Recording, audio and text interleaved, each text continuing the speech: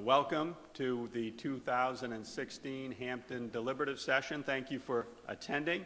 If you would at this time uh, uh, rise, uh, Nathan Page will lead us in the Pledge of Allegiance. Please, Nathan? please join me in the pledge of allegiance to the flag of our country. I pledge allegiance to the flag of the United States of America and to the republic for which it stands, one nation, under God, indivisible, with liberty and justice for all. Thank you, Nathan. Moderator, quick point of question. I, I did this once before, uh, when I was 11 years old, so it's been a couple of days. Okay, all right. Right. Just a few. The, uh, I want to acknowledge that the warrant has been posted in accordance with statute. I'd like to introduce the uh, officials on the stage this morning. To my right, uh, Rick Griffin, Chairman of the Board of Selectmen, Rusty Bridle, the Vice Chair, uh, Mary Louise Woolsey, uh, Phil Bean, James Waddell, Right behind me is Jane Cypher, the town clerk. The town attorney is adjacent to her, Mark Gearreald. And next to Mark is our town manager, Fred Welch. In the audience, I've seen the um, Budget Committee Chair, Eileen Latimer. And our finance director is Christy Pulliam, who is over in the corner. She is. Um, Our administrative assistant, Christine Osman, is to the rear uh, of the stage. Our deputy town clerk, Shirley Doheny, is uh, behind me next to our town clerk. Our town planner is um, in the audience as well. We'll be hearing from him shortly, Jason Bachand.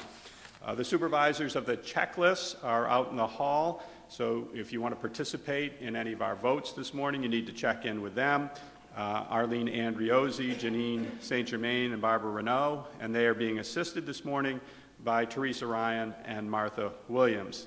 Assisting the moderator this morning, to my uh, left, Dennis Kilroy, Nathan Page, who you just saw, Daryl Mosher, who's uh, down on the uh, runway, along with Bob Ross. Uh, There's coffee and food um, and lunch um, as the day wears on uh, in the, um, in the hall. Uh, Once again, supported by the eighth grade class at Hampton Academy. Um, Your purchases will support their trip to New York City, which the eighth grade takes in the spring.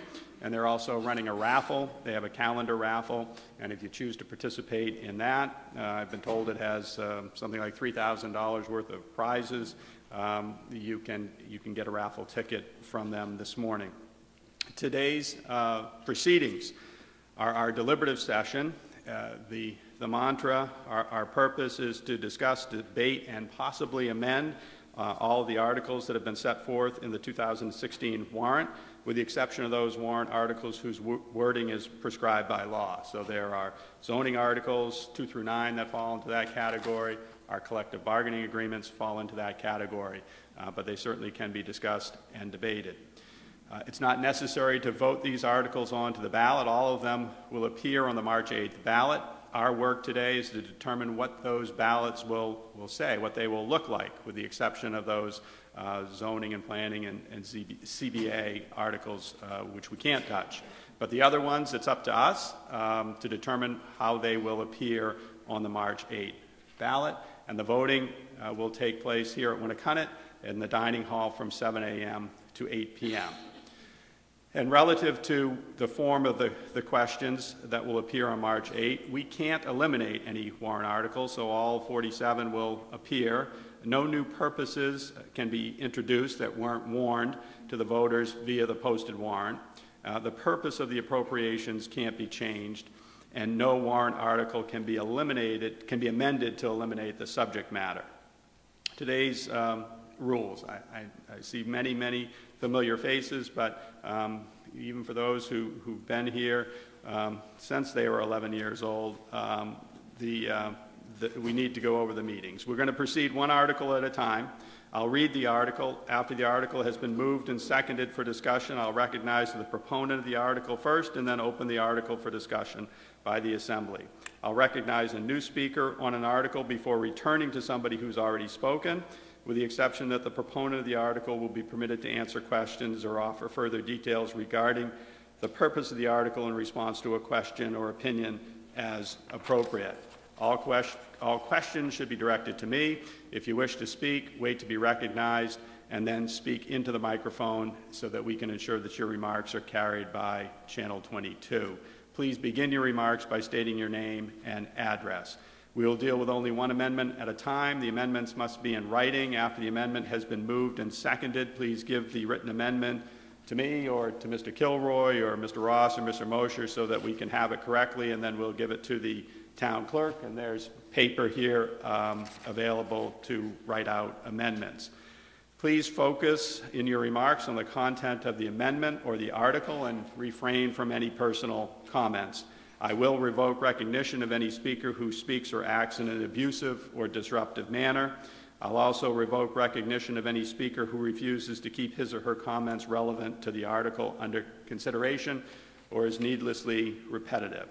Non-residents will be allowed to speak on the affirmative vote of the meeting. If an issue arises during the meeting that's not covered by any of these rules, I intend to use fairness and majority rule as guiding principles with due consideration for the minority's right to be heard.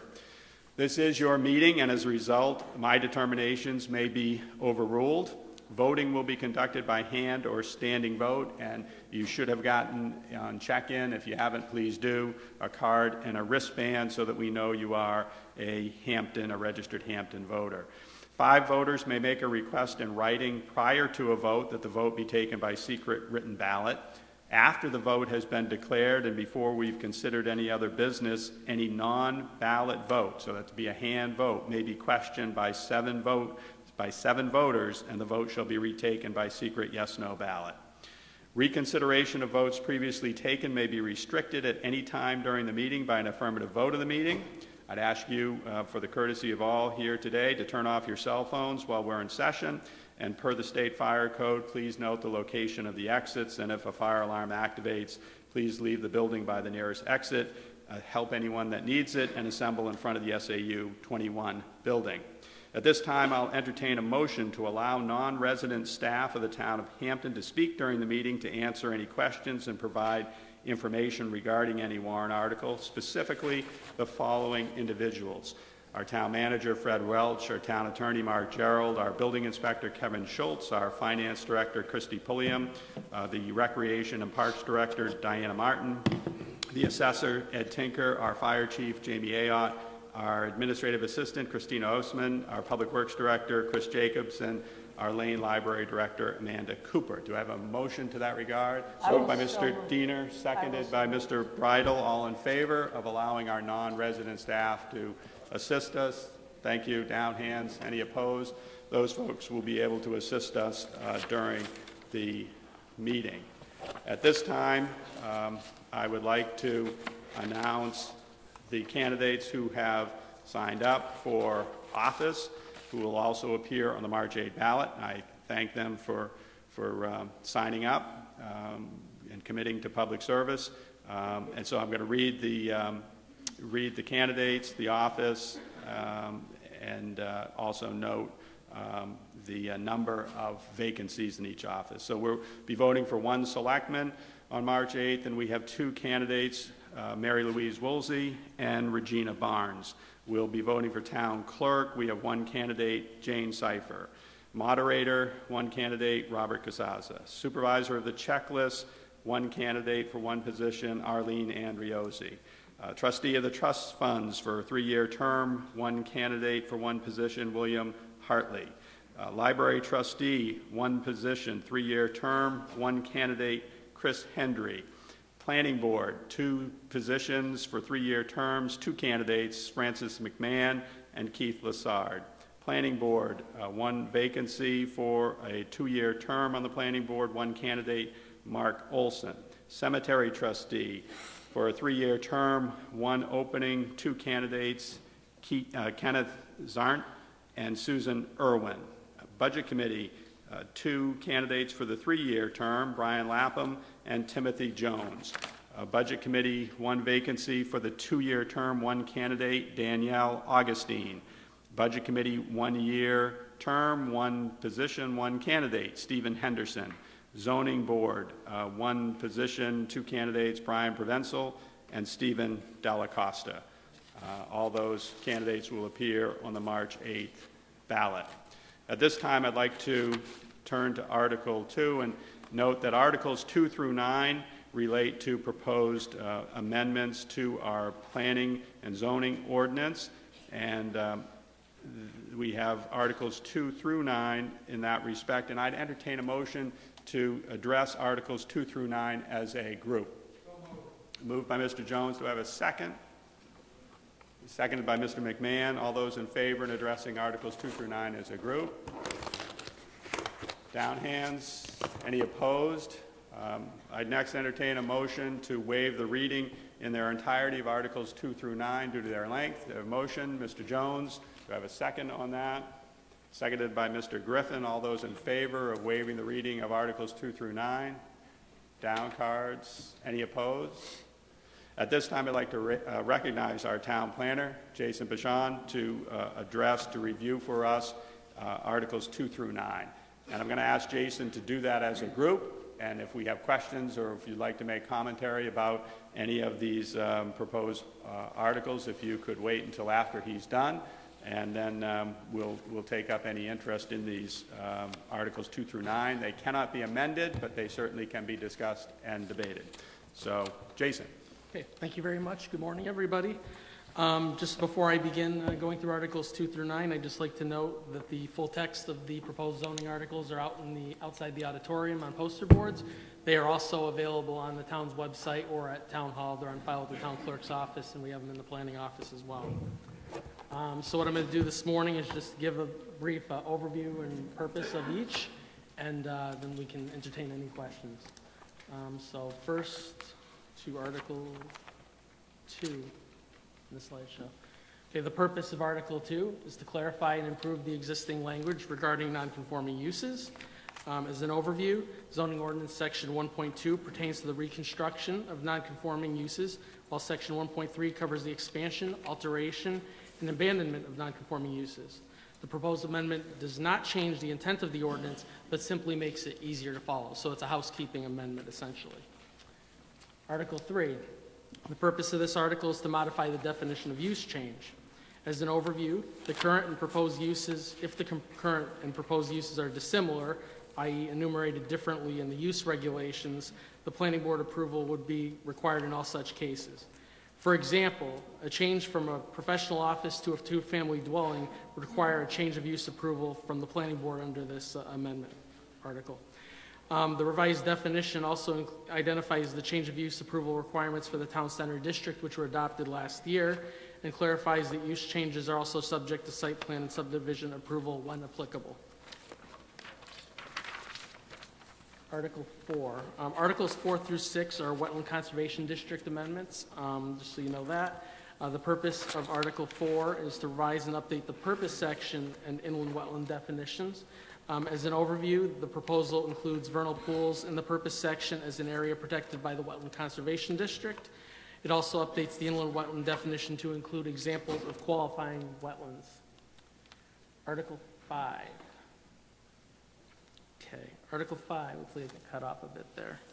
Um, The purpose of Article 5 is to create a 100-foot buffer for a select list of first first through fourth order rivers and streams, these being Ash Brook, Drake's River, Little River, Nilus Brook, Old River, Taylor River, and Winnicut River.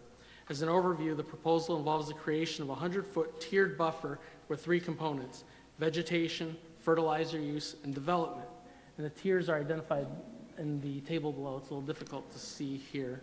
Um, see a little bit on that. Um, Anyway, there's a a vegetated buffer strip in the first, no-cut zone, the first 25 feet, um, a limited cut area from 25 to 75 feet, no structures are allowed in the first 75 feet, and no fertilizer allowed in the first 75 feet, and limited fertilizer use in the 75 to 100-foot area of that buffer.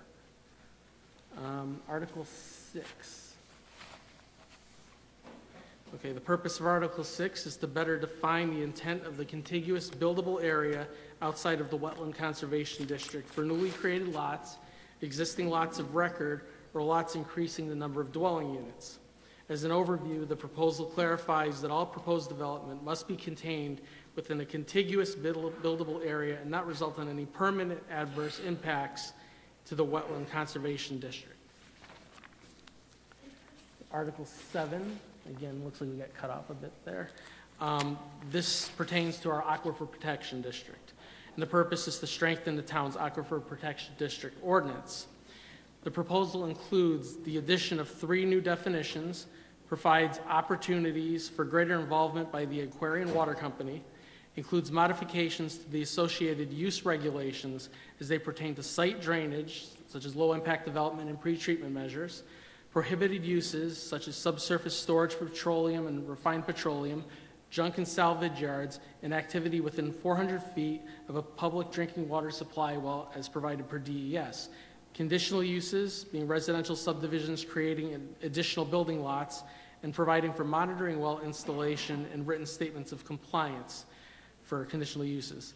And nonconforming uses uh, provide for discontinuance where a direct hazard to the aquifer is identified. And there's also a- other general codification and consistency changes within that amendment. Article 8. Okay. So Article 8 and 9, the last two are actually housekeeping changes as well. Um, The purpose of Article 8 is to cross-reference, pro- provide cross-referencing for use regulations located in other sections of the zoning ordinance. And as an overview, not all of the use regulations are located under Article 3. The use regulations for the Wetland Conservation District, Aquifer Protection District, Professional Office Residential District, Town Center District, and Transportation Corridor Overlay District are found elsewhere in the ordinance. Expanding the notes section will make the ordinance more user- user-friendly and reduce the possibility of requirements being overlooked through the cross-referencing. And finally, Article 9. Article 9, uh, Uh, the purpose is to make the regulations involving elderly housing more user-friendly. The proposal is to relocate the use code table from Article 15, where it currently exists, to Article 3 by establishing a new section, that being 3.48. New changes to the table, or no changes to the table are proposed. New section 3.48 also identifies types of elderly housing per existing definitions, which are in 1.6 of the ordinance, and the introductory language of Article 15 is slightly modified for clarification and cross-referencing purposes. So those are our proposed zoning articles for this year. Um, If anybody has any questions on those, I will entertain those at this time. Jason, just a quick question. Can you say Excuse me, excuse me. Could you come to the microphone so that we can capture your comments? Thank you, Jason. Um, Just a quick question. Could you say a little bit more about the Aquarian Water Department and their increased involvement? I got to get you to state your name and address, please. Carolyn Fetters, 206 Woodland Road, forgot from Okay, last year. and your question? Uh, My question is, could you say a little bit more about the increased involvement of the Aquarian Water Company in one of the Certainly. articles? Thanks. Certainly. Jason, Okay. which article is that? That So would- that, That would be Article 7. okay, And just to incorporate some of the comments there. Um, So, so basically, in Article 7, we added uh, a few items which expand their uh, involvement in the, uh, and I just want to turn so I have that for you. So basically, if the zone is incorrectly designated, for example, in the Aquifer Protection District, um, a review by Aquarian or successor with a recommendation to be provided by the planning board would be permitted now. So in determining whether a property may or not be in the Aquifer Protection District, if there's some dispute there, it allows their involvement to participate in, in that, making that determination. Um, Also, we do now require notice, abutter's notice to Aquarian for any, uh, any um, project requiring a public hearing, application to the planning board requiring a public hearing for anywhere within the Aquifer Protection, Protection District. Previously, it was only for conditional uses, now it's for any application within the Aquifer Protection District. Um, They would also be involved if, if a project, a conditional use permit were required and uh, monitoring well installation were to be part of that, they would be involved with that process as well. Um, So that's, so basically expands their involvement, they have additional oversight into, uh, into uh, what's going on within the district, and it, it makes the regulation stronger. all right. Thank you, Jason. Does anyone else have any questions regarding Articles 2 through 9? Seeing none, we'll move on to Article 10. Articles 2 through 9 will appear on the ballot as printed. Thank you, Jason. Article 10.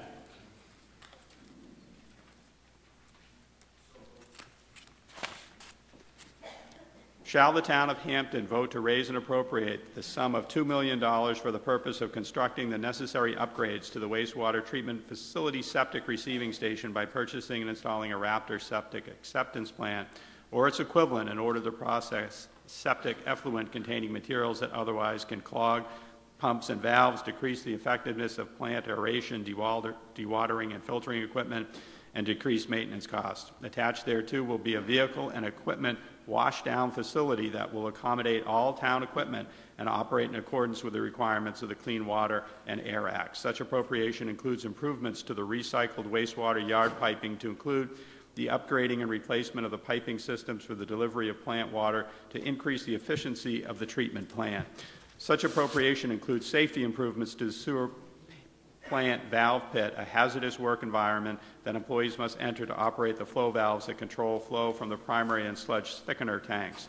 Included in the appropriation is the design, engineering, purchasing, and installing an emergency generator to power the aeration blower system that is not now connected to emergency power. A loss of power means a loss of secondary treatment in the plant that the town is required to maintain under law and its state and federal permits. Such sum to be raised by the issuance of municipal bonds or notes for a period not to exceed 30 years under and in accordance with the Municipal Finance Act, and to authorize the Board of Selectmen and the town treasurer to issue and negotiate such bonds or notes and to determine the rate of interest thereon. To authorize the Board of Selectmen to apply for, contract for, accept, and expend any federal, state, or other available funds towards the projects in accordance with the terms and conditions under which they are received and to borrow in anticipation of the receipt of such and/or the issuance of such bonds or notes as provided in the Municipal Finance Act uh, and it's amended, and to authorize participation in the state revolving fund established for the purpose, and to authorize the Board of Selectmen to apply for, accept, and expend such monies as they become available from the federal and state government, and to authorize the Board of Selectmen to implement such cost-effective solutions as are presented in the future and they deem to be in the best interest of the town that may result in a lesser amount of expenditure than is authorized by this warrant article, and to authorize the Board of Selectmen to take any and all actions necessary to carry out the project in the best interest of the town of Hampton. Three-fifths vote required, recommended by the Board of Selectmen 5-0, not recommended by the Budget Committee 7-7. Is there a motion to open discussion on Article 12? Ex- Yeah, Article 10, excuse me. Moved by Mr. Bean, seconded by Mr. Waddell. Mr. Bean, would you like to speak to the uh, Article 10? Simply that the selectmen support this and we defer to the uh, Public Works Director. Okay. Mr. Jacobs, would you like to speak to Article 10? Uh, For the record, my name is Chris Jacobs, uh, Director of Public Works. This whole bond issue idea started back in April. Um, Many of you know the former Public Works Director retired. Um, I stepped up and uh, was appointed to that position. In my first meetings with uh, the town manager, he asked me to encompass collectively all the issues I had within Public Works and more specifically within the wastewater treatment plant. Uh, We identified probably 12 projects, and they were uh, through a process of discussion and combining, we brought it down to these particular four, and it, at the suggestion um, of the town manager and others involved in the project, it was elected to bring it into one bond, uh, one bondable project. Four, the, three of the four projects are too small in their uh, overall scope. While they're critical, they're, they're too small to actually be bonded. So that was the reason for bringing it to this, um, to this point, if you will, of coming up with a bond. In brief, and if Christina can bring it up, maybe uh, the first slide, uh, PowerPoint slide for the sewer bond. We have four components of this project. Uh, Septage receiving station, that's the one I'm looking for, she's wondering. Got it, thanks. Septage receiving station, uh, combined with a washdown facility. Uh, There's some internal yard piping that needs, and that's piping below grade that needs to be corrected, improved, replaced. Um, We have a uh, concrete box or pit. It's below ground. Right now, it's a um, two-man operation uh, because it's a confined space to get somebody in there. Um, high in odors, high in risk. Um, And we've also had um, maintenance issues over the last two years with that. Mainly, one of the pipes literally eroded out, and uh, we had water spilling on the floor. Um, The other fourth and probably the most major component to this is emergency power for the aeration tanks. In a very simple layman's term, when the wastewater comes into the plant, we first remove any grit from it. We secondly then send it up to what we call the primary clarifiers, which are just large swimming pools, um, where we settle out the heavier effluent. From there, it goes to um, aeration tanks. And the aeration tank would be shown on, yeah, the emergency generator sheet. Uh, right there. The lower photo shows you basically what the, that swimming pool looks like. We have four rectangular boxes, they're probably 30 feet deep. What we do is we push, pump air up through that um, effluent and through the process of bugs. Uh, We have active bug cultures in the effluent, uh, but they require a copious amount of electricity. Why is this important? It's those bugs that do all the work, to be honest with you. Um, They, those bugs live and breathe on whatever uh, food matter is in the effluent, uh, but they live, literally live and breathe and die on hourly basis, so that they produce, well, they die and they fall to the bottom, they produce sludge. But to keep them going requires air. Why is that critical? Last summer, we had three days in a row where the air temperature was above 90 degrees, plus the humidity approached and was over 90 degrees. The air um, processes struggle when that happens.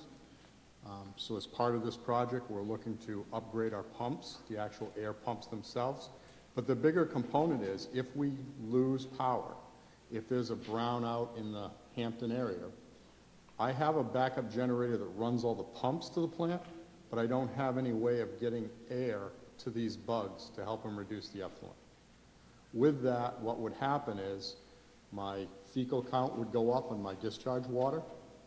Uh, I'd have to use a heck of a lot more um, chlorine to kill off the bugs before they actually leave the plant, before I pump them out into the, to the tidal brook. And from there, it would go to Hampton Harbor, and from there, who knows where, along the beach, but the harbor itself. So this is a very, very critical component of the whole process, and it's probably the, the linchpin of this bond project.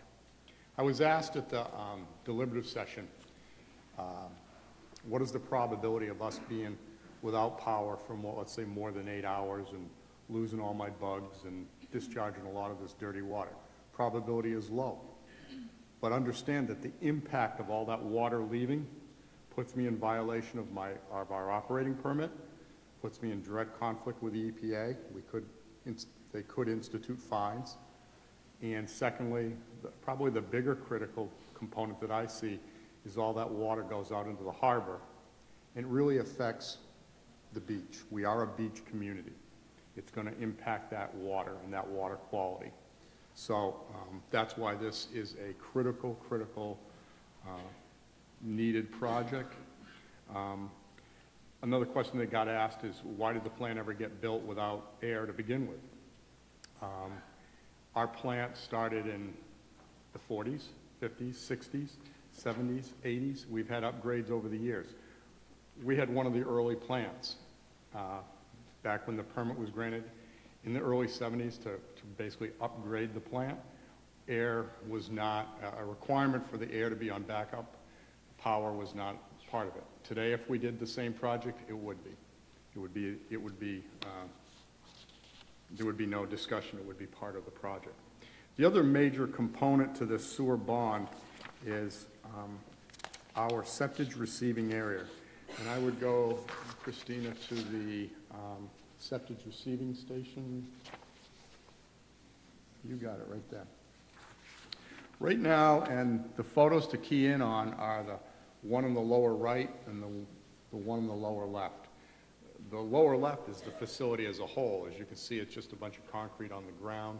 The green thing in the back is a, um, just basically a green roll-off container where we collect the grit. For those of you on septic tanks, the picture to the right is the important one. What that shows is that's the back end of a septic truck and the discharge pipe coming out of it. And basically what, and I'm glad it's not closer because it's not a pleasant sight, um, the effluent from the septic tank uh, gets dumped or dropped into this facility, literally in that pipe.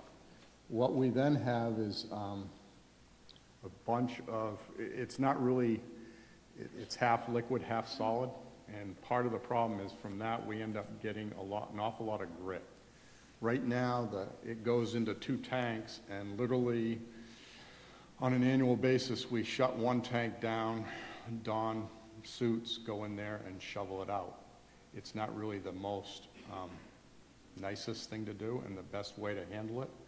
Uh, So what we're asking for is what they call, a it's Lakeport, that's a a brand name, but it's a, um, it literally siphons through all that material and takes out the grit, leaving, if you will, the- the flowable solids and the, and the water, which we then receive into the plant. Currently, um, as I say, we're trying to do things safer, more environmentally friendly, and uh, this would save us from having to shut this facility down and then hand dig it out once or twice a year, depending on its need. Um, We do have a a- a vacuum truck that we- can actually use on it, uh, but to be honest with you, we've tried that, and the material inside the tanks is too heavy to vacuum. It literally has to be shoveled out. So um, the other issue that we have with this is that it's open to the, to the weather. Um, We're currently at risk, that concrete area, if you could slide it more to the, to the, to that, yeah, where the concrete areas are, right there, you can see the, the two uh, rails where a truck aligns. Um, Right now, because we, we are dealing with a water-based system, and when we ask the, uh, the septic haulers to wash down that area, they're using plant water, clear water, um, but it leaves it very icy. So it's always a battle, how much do we clean it? And especially at this time of year, I, my biggest concern is somebody's gonna slip and fall, um, and really injure themselves. Uh, it hasn't happened yet, we've had just a few pulled backs from people slipping, but it is a, a very high risk. Associated to that, um, if we were going to enclose this in a building, which is part of the, uh, the weather tightness of this operation, we were going to build a bay adjacent to that for washing down all of our trucks. We have uh, um, trucks that, that carry this sludge that we generate up to waste management, we need to wash those down. We have a street sweeper, we need to wash down on a daily basis. We have um, our snow removal vehicles, we need to wash them down. We pretty much wash them down every, after every storm to try and get the salt off of them, because the salt corrodes the bodies. The problem is, we're not capturing the way we should, all the water that comes off of all those trucks, vehicles. Um, We're dealing with, um, um, in some cases, waste uh, that, that shouldn't be on the road, it shouldn't be even deposited in the yard. So the idea, I know a couple years ago, there was a warrant article to have a um, separate washdown facility. It occurred to us this past year that if we were going to have a separate washdown facility, we'd also have to have a separate grit handling capability. This is the grit handling capability that the town currently possesses, that we intended to upgrade. It only makes sense to put the washdown facility from a cost perspective right next to or adjacent to this septic receiving facility, because we're dealing with the same kind of products, waste uh, and runoff from the trucks. The other two components of this, oh, can, you you can go to the washdown facility slide, um, okay, lower right portion.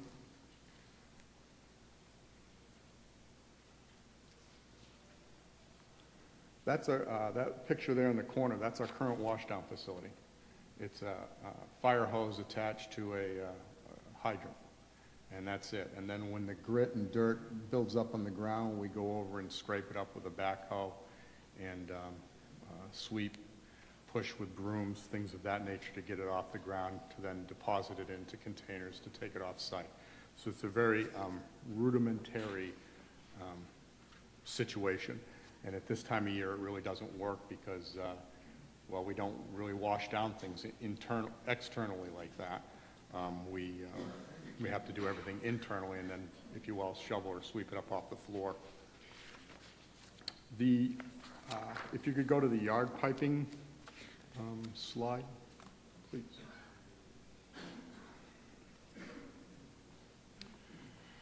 Looks like a puzzle, but it, it really isn't.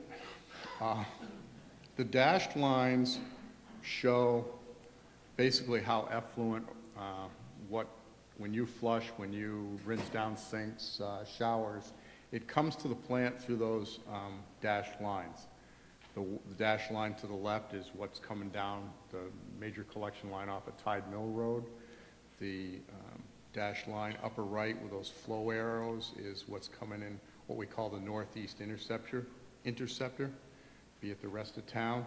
And the dashed line that's coming from the bottom up through those round clarifiers on the left side of the photo, that's actually the Church Street pump station line.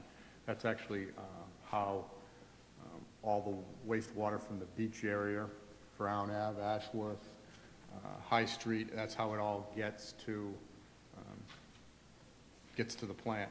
There's two force mains underneath the marsh, and it's pushed from there into the headworks. The other zigzaggy line actually shows you the process that water takes through the, through the plant. Um, The most critical component being in the lower right portion where those four aeration lagoons are, and from there, how it gets pushed uh, to those tanks to the left that looks, those dark circles, that's actually the secondary clarifiers. The water, if you walked over there and looked at it, kind of looks like pond water. It's just, uh, you'd think it's safe to swim in, but I wouldn't. Um, And from there, it goes through chlorine contact and discharges. What we're trying to do is at the, um, where it says headworks, um, so the top middle of the photo, right now, we have no way of um, distinguishing, determining what we're getting for waste. Why is that important? Who really cares? Um, we have different strength waste coming from different portions of the town. And when it gets, sometimes when it gets commingled, it's too late to react to it. I equate running the wastewater treatment plant to uh, uh, creating a cake, but the ingredients change every 15 minutes. Um, Some of you are aware we have now a major brewery in town, Smuttynose Brewery. Um, There's mornings that we open up the headworks um, expecting a not-so-pleasant smell, and it smells like uh, a beer because of the strength of the waste that we're getting from, from Smuttynose. We're able to deal with it, but it comes in at such a slug um, that uh, it comes in at such a slug that it's, it's difficult to adjust the, the the oven temperature and the other components we need to make to the cake to, to handle the waste.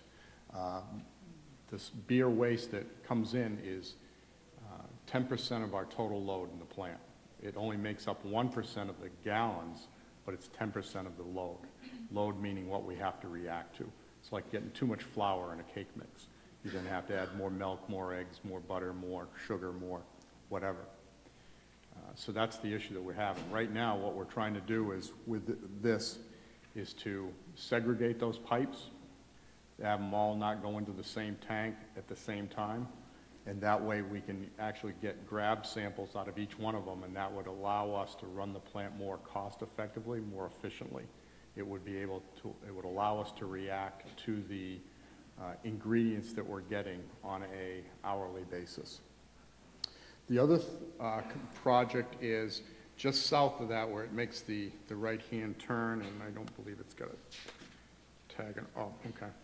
Uh, Go to the valve pit improvements slide.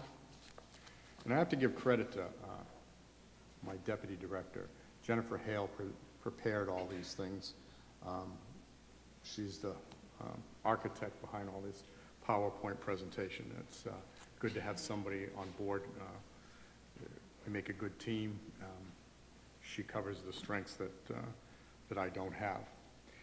Valve pit, right in the smack center of the plant. That's the square box, if you will, 10, 12 feet deep, with a lot of internal piping through it, but it's got uh, 1950s technology, i.e. we have to put on a, um, not an air respirator, but we have to uh, use what we call the safety protocol for going in a confined space, which is put on a vest, uh, have a winch, have someone standing on the top, and wear an air meter so that we're assured that there's sufficient oxygen when they go down in there. And that's just to go and turn a valve to, to trim the flow. This is, we use valves to adjust the ingredients for the cake mix, how much flour we're getting, how much effluent we're getting from certain sections of the plant. And the idea is that we don't have to climb down into that pit um, to, um, because it's a safety issue. That's the pit that two years ago on a Friday afternoon inspection, walking by, heard water running in a place I'm not supposed to hear water running. So opened up the valve, at least the cover to the valve pit, and found that there was, you know, a foot of water on the floor. Why? Because the, we talked before, why do I need a, a Lakeport grit removal system at the headworks? It's because the sludge had so much grit in it, it had literally scraped or scoured a hole right to the bottom of a, of a 12-inch diameter pipe. A whole part of it was missing, and that's why all the effluent was on the floor. So, um, and, and when we had to repair or replace that, then again, it was all confined space work, um, close to needing air uh, packs or respirators because of the amount of um, sewer gases we deal with in those locations. So those, that presentation um, is a more, I hope, a more uh, layman's uh, presentation rather than uh, numbers and things of that nature. And at this point, I guess I would like to entertain any questions that my, Thank you, Mr. uh, Jacobs. Thank you for the presentation. Is there anybody who's, who wishes to be heard on Article 10? Mr. Jones? Good morning, Mr. Moderator. Morning. I would like to ask uh, DPW a question. Um, He mentioned that at the, uh, I believe he said deliberative session, but I think he meant the Budget Committee's deliberation. Uh, We asked the question regarding risk. He responded to low. Uh, He mentioned that again today. And uh, presumably, if this warrant article passes, he's presenting it as a lower than low risk. And I'm wondering if you could make a statement that might give us some sense of quantification between low and lower than low. Thank you, Mr. Jones. I, I think, Mr. Jacobs, if, if you're going to sign a percentage, I, I I recall you making a comment about what's the risk of failure, what's, for the generator, is that what you're asking about, Mr. Jones? I think that is, the, the risk of not having emergency power in that facility has been one day out of 365 over the last year.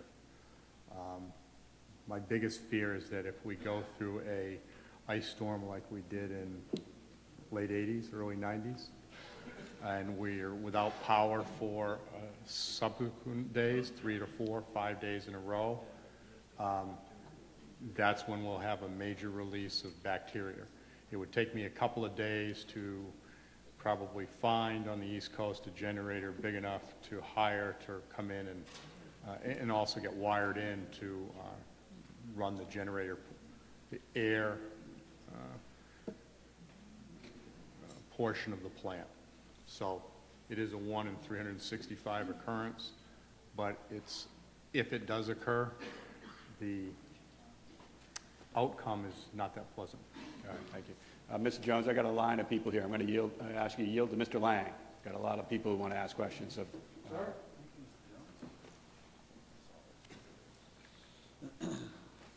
Mr. Moderator, um, David Lang, 66 Park Avenue. I have a question for the Public Works Director. Um, My understanding of your presentation, and thank you very much for explaining to us what happens after you hit flush. Um, But um, my question is this. It appears to me that we're dealing with 1940s and 1950s technology, um, and this is a Band-Aid approach um, to this. How long is the life expectancy of these changes? And then after the question, Mr. Moderator, I'd like to speak on. Mr. Jacobs? If you can respond to Mr. Lang's question. The life expectancy, uh, none of the projects are Band-Aid projects. Um, Valve pit improvements um, have been designed, I would say it's a 20, 30-year before the valves themselves would have to get replaced. What we're going to do is automate the valves.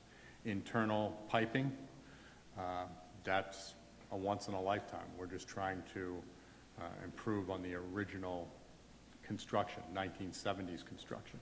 So you can see we're talking 45 years after the initial construction.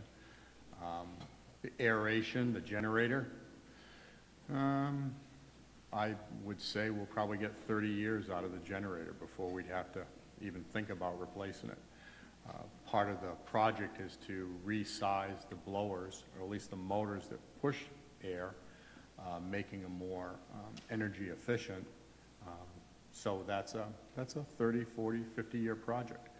Uh, The air handling equipment that's in there is late 70s. So we've gotten a number of years out of it. Uh, We have had to do some maintenance and repairs. And septic receiving, I would say that's a 40 or 50-year improvement. The, the technology really wouldn't change. The equipment will rust and corrode due to the, the gases generated in the wastewater project before the, uh, the project is, you know, needs to be redone or improved or replaced or maintained. Thank you, Mr. Jacobs. Mr. Lang, quick follow-up, so we get through this Uh, line. One of the, uh, just very quickly, one of the concerns that I have is that sometimes in government, we, we take out a 30-year bond for a project that's not going to last as long as the debt that we have. And we find ourselves in a position that we end up throwing good money after bad.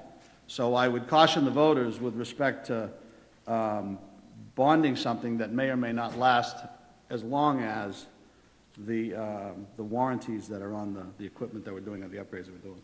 Thank you, Mr. Lang. Mr. Nichols?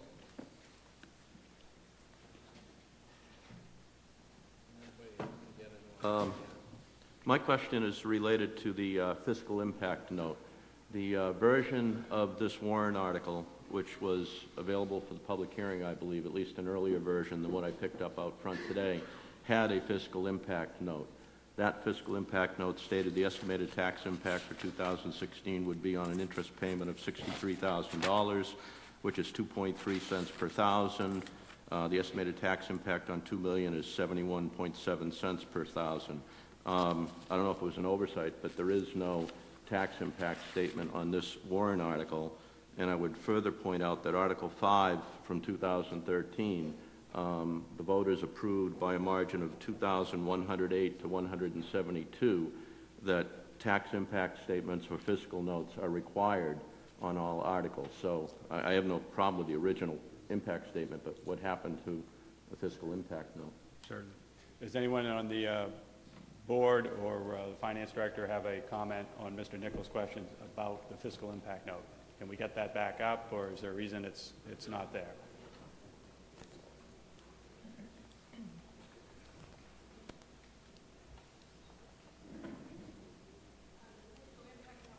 moved because when we reviewed the article, we realized there would not be a pay, we wouldn't have the uh, financing of the bond in place in 16 because of the way that the, once we put it out to bond, and then the, I think it's 255 days, I believe, before your first payment is due, and therefore that we remove the fiscal note because there won't be a payment on the bond in 2017, 16.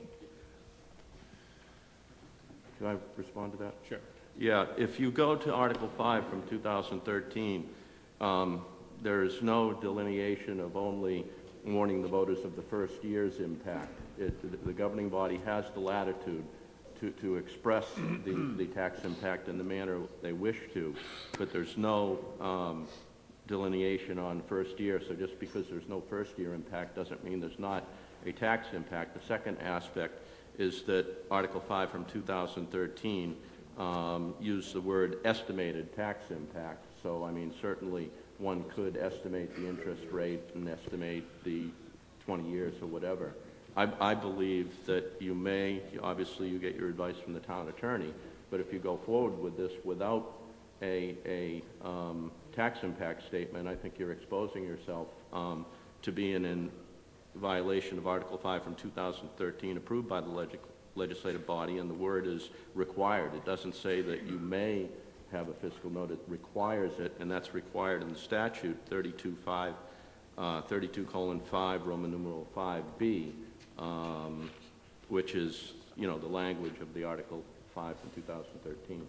So, I Understood. don't- I think I've made my point. Yeah, no, well taken, good point. Um, um, I'll just have a final question on, on Mr. Nichols' comment. Do we have a fiscal impact note that was calculated at, at a prior time that we could share with the folks here today? And if the answer to that is no, it's no. I understood Mr. Nichols to suggest that he thought he had seen a note prior. There was a note on um, one of the drafts of the warrant prior, yes. For- It was in regards to a possible interest payment of $63,000. And, let's see. The fiscal impact note for $63,000 would be uh, .023 or 2.3 cents per thousand. I believe that's the fiscal note that was on one of the earlier drafts of the warrant.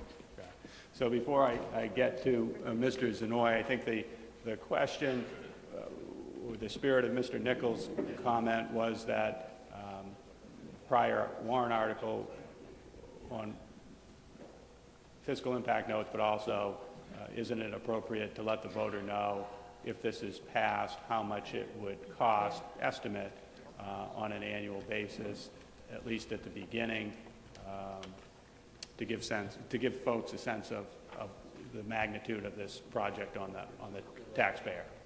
So, uh, let me go to, uh, Mr. Znoy, you next in line?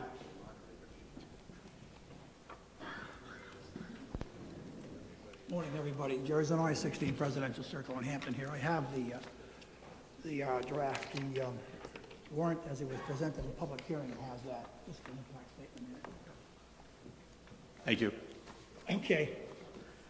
Um, I have trouble with this sewer bond article.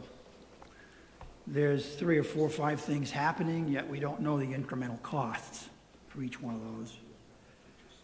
I'd be curious to see if the washdown shed was the majority driver of this $2 million bond. We don't know.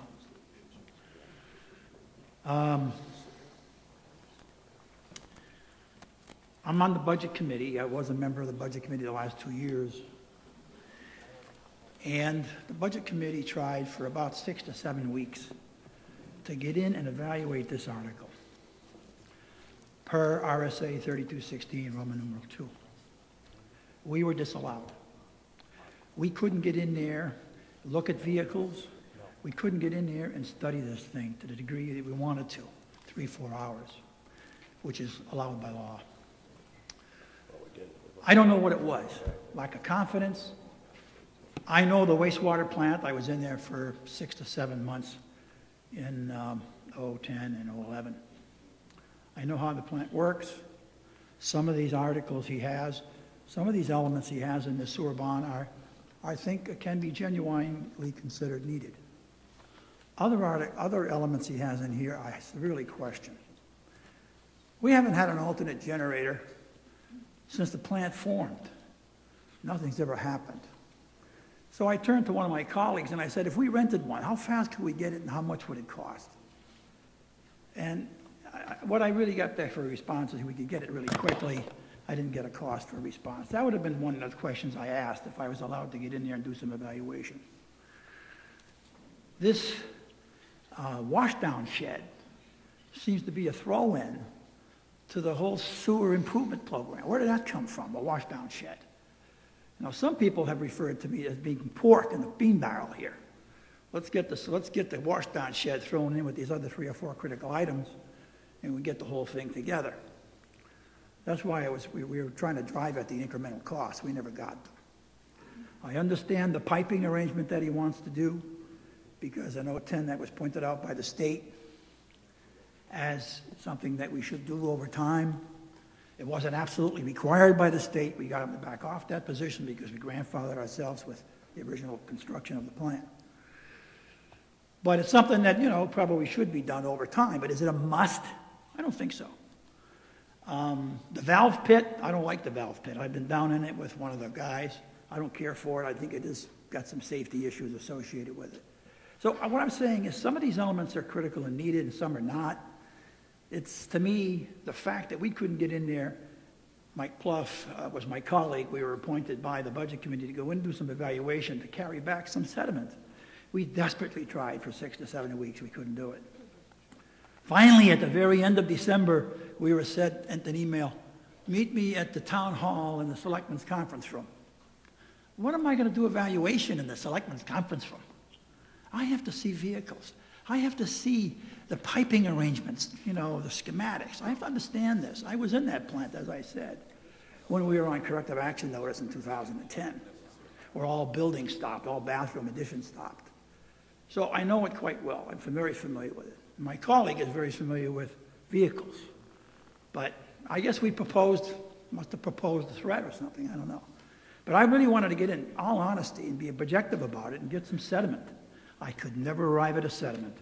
But I say weaknesses with the sewer bond with, with this, this washdown shed that seems to be put in there, with an alternate generator for $500,000. Actually, this, uh, from one of the selectmen meetings, 100,000 is, is, is, is grant available. But to really discuss the, the salient issues of every one of these elements to see if they're truly needed. Where are they? Are they must items? Are they should be items? Nice to have items. Try not to understand that. Couldn't do it. We failed. So we went back to the budget committee and said, look, we don't have that sediment. And uh, even though I do have some sympathies with the wastewater plant because I was in there for seven months, and I really wanted to confirm what they were trying to do, I just couldn't do it. I'm sorry about that, I really am. Thank you. Thank you, Mrs. Znoy. Ma'am?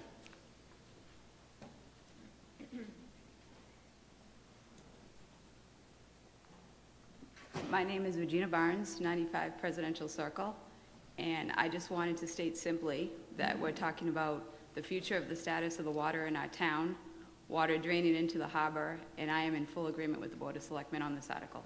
Thank you. Thank you, Ms. Barnes. Mr. Kravitz?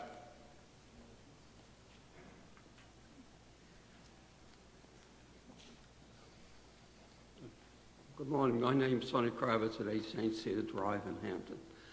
I want to explain, I'm on the Budget Committee, I want to explain why the Budget Committee split 7-7. This is an important article to pass. It's not necessarily a 30-year bond, it's the fact that we got in with turf war with the Board of Selectmen because they, last summer, last winter we had $300,000 in snow removal. The Board of Selectmen voted to take 300,000 out of surplus. Budget Committee said, Budget Committee is made up of three, there are 14 people on there, three of them are former selectmen. They said, you know, the the Board of Selectmen can't draw from the surplus without the approval of the Budget Committee. The Budget Committee voted to send the Department of Revenue a letter objecting to withdrawing of funds from surplus. And they agreed. So we ended up in a turf war with the Board of Selectmen. A number of votes were four to one. The, on, the one vote was Mary Louise Woolsey. Yeah, Mr. Kravitz, I got to get you on, on the uh, What- article here. What we were trying to do was to visit, the, the Budget Committee wants, is charged with preparing a budget for the town. We wanted to, in the past years, we go to, we interview each department and ask them questions because there are always new people coming on board. Yeah, Mr. Kravitz, I'm going to give you one last opportunity. I need you to speak sorry, on the the sewer article. I'm going to hear from the chair of the Budget okay. Committee on the What budget I'm trying to moment. say is that we ended up in a turf war, and the Board of, it's, this is an extremely important article. It doesn't necessarily mean a 30-year bond, it means we're looking for funding for doing improvements. You're seeing what the town of Portsmouth is dealing with with EPA. They're going to spend 80, 90 million dollars to upgrade their facilities. The wastewater treatment plant is, we're playing Russian roulette with it at this point. Okay. You know, it's an important article. All right, thank you. Thank you for your sentiments. Mr. Jones, before I get to you, I've got to follow my rules. i got to hear from people who have not yet spoken. We've got two gentlemen who fit that category. Thank you, Mr. Moderator. Nick Bridle, 225 Towle Farm Road, Hampton. Uh, I'm on the Budget Committee as also as well, and I did vote in the affirmative for this. My question is for the Department of Public Works uh, head. There's got to be, if these upgrades don't get completed, and um, one of these aeration pipes were to fail due to the backup generator, um, there's, I'm assuming there's some fines and some costs incurred from the EPA. Uh, If something were to do, where we weren't keeping up with um, what's going on, if we don't have these things in place, the emergency generator, and things go bad, albeit at a low risk, what are, what is the town looking at for costs in, in, as far as fines go? And a follow-up question to that would be, is there any chance in the next few years, if we don't do these upgrades now that we are going to be mandated by the federal government to complete these upgrades, and uh, potentially at a further cost to the taxpayer? And I will yield my time to the department head. Thank you. Thank you, Mr. Bridle. Uh, Mr. Jacobs, quickly, uh, Mr. Bridle had two questions. If noncompliance, does that result in fines? And are we subject to being mandated in the future if we don't address the items that are contained in this article at this time? Uh, Yes, uh, the EPA does maintain a uh, daily fine schedule of $37,000 a day for noncompliance. Uh, The probable, if there were a, let's say, a multiple-day release, what would happen in likelihood is the same thing that happened back in 2010 and 11. You get an administrative order through the Department of Environmental Services with the state. Uh, They're giving, they would give us uh, uh, time to uh, design and implement the project. In the meantime, they would probably uh, clamp down on the issuance of, of new connections.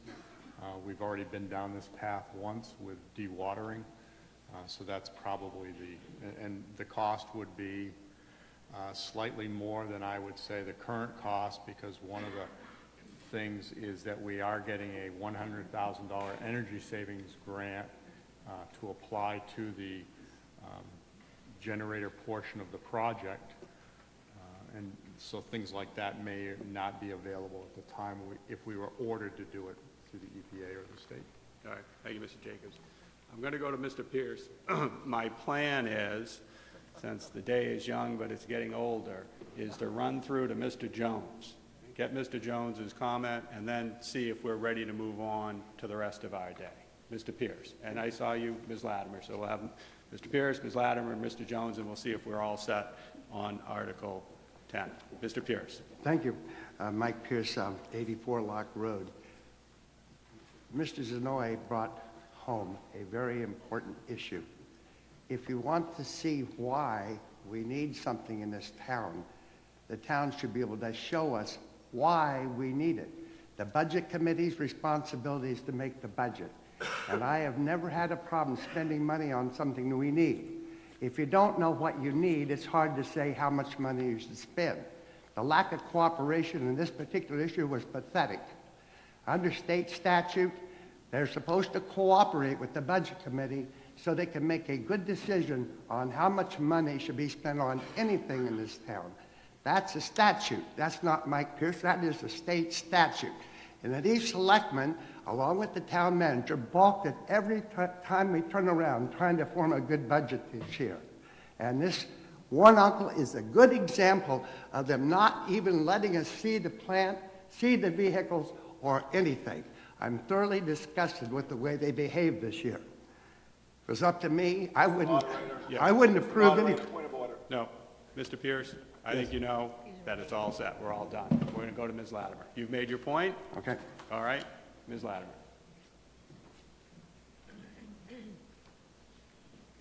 Good morning. Eileen Latimer, Chairman of the Budget Committee, resident 251 Mill Road. I'm not going to talk to you about a turf war or how this year went. I'm going to talk about this warrant article right here.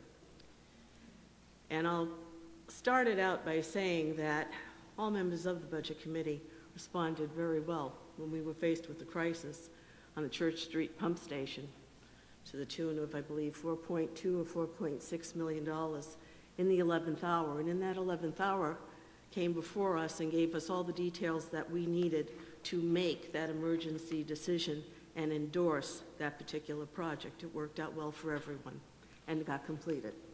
In this particular case, what you have is a bundle of four different entities. They were brought this way, as you saw the slide presentation, to the Budget Committee. In the end, I can't tell you what the breakdown is for the four different articles, and I don't know if anyone here, sitting here today, watching the same PowerPoint presentation can do the same. That's the problem. It's $2 million, it's four projects.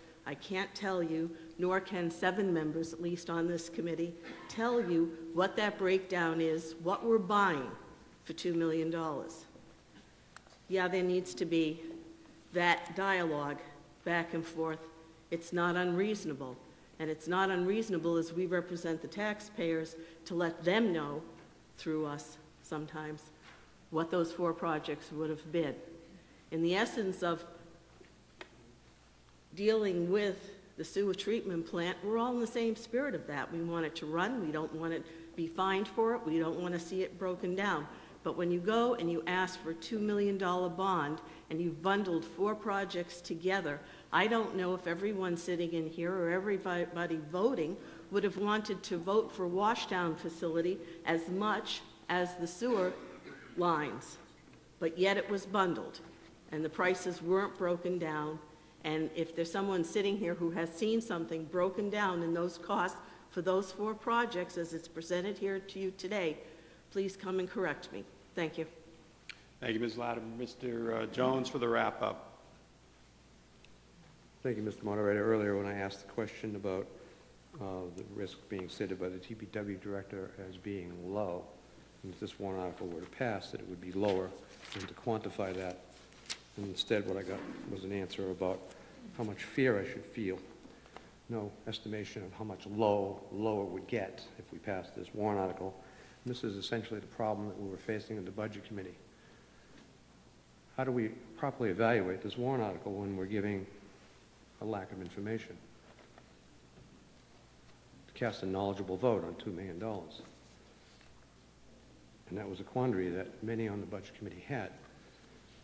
Some of that resulted from us having sent uh, representatives from the, sub, from the Budget Committee, uh, representatives that were on the Budget Committee that had expertise in this area.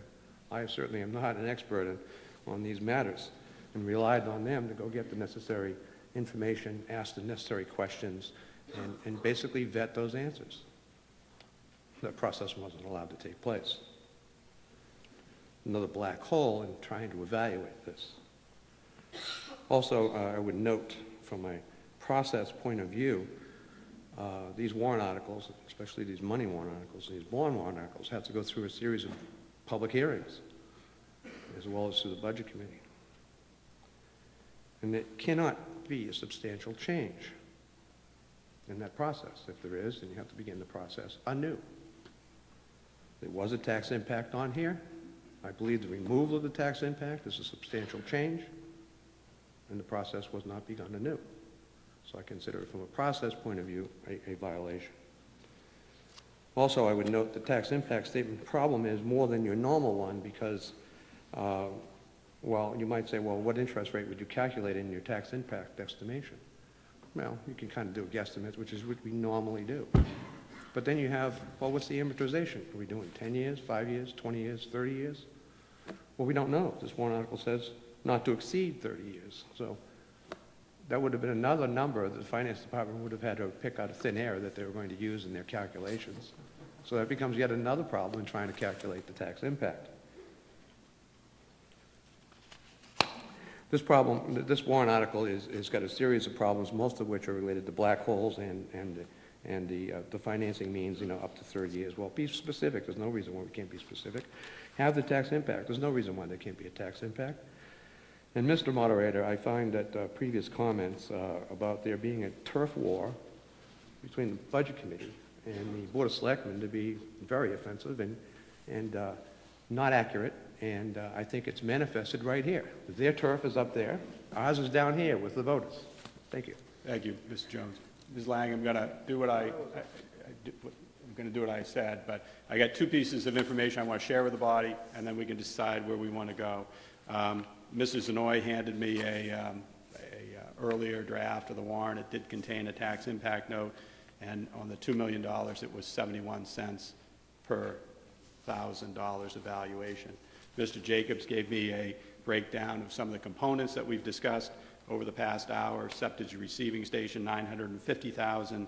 Washdown facility, 330,000. Internal yard piping, 80,000. Safety improvements valve pit, 90,000.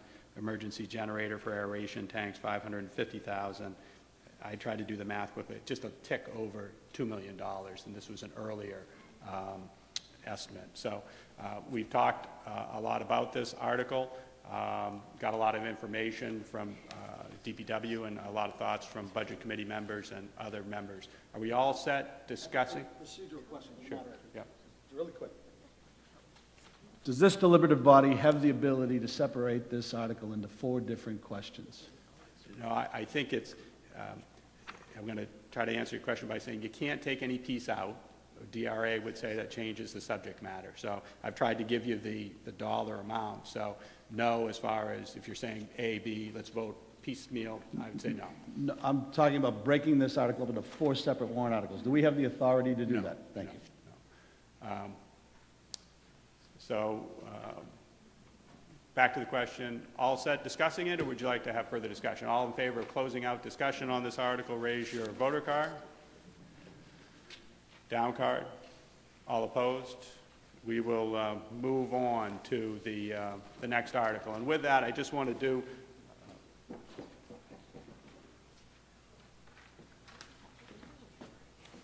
a little bit of math. Um, 10 o'clock roughly, 36 articles to go.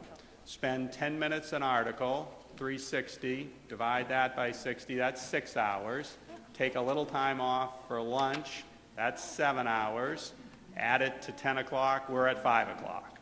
So, uh, looking forward, uh, we're going to talk about what's important, we're going to spend the time that's needed, but if you were to spend just 10 minutes an article, you would be at 5 o'clock. And I've always said I think we do our best work before 5 o'clock.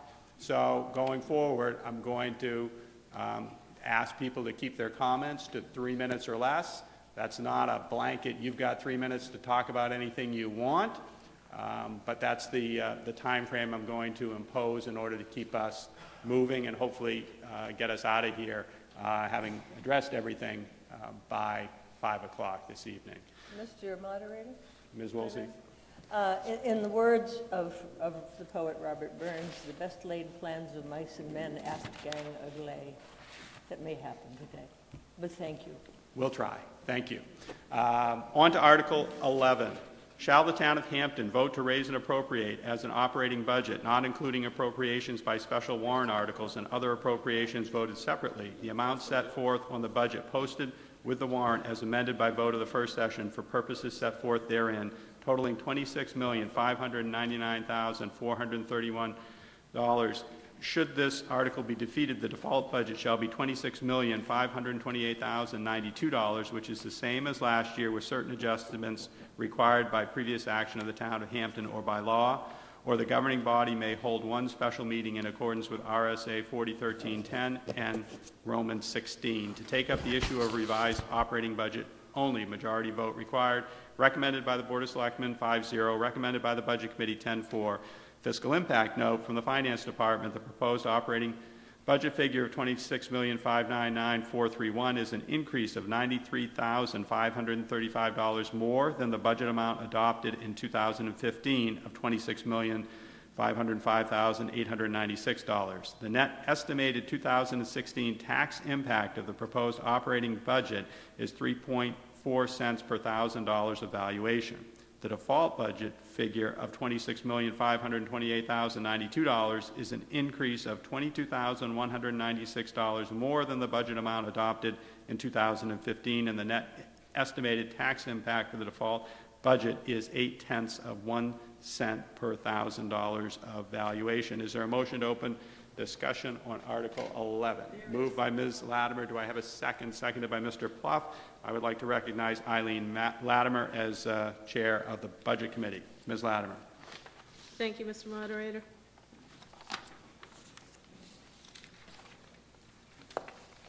Our goal this year was to bring you a budget as even and level as we possibly could. And I think, despite all controversy, that was accomplished. Beginning of the budget year, I met with town manager and asked that we keep as level as we could to the 2015 budget. The 2016 budget is only 0.35% greater than the 2015 budget. Also asked that there be a breakout of all new items into warrant articles. That way, the voters could decide what they wanted, what they didn't want, and have a say in the impact. This amounted to about $440,000 worth of warrant articles.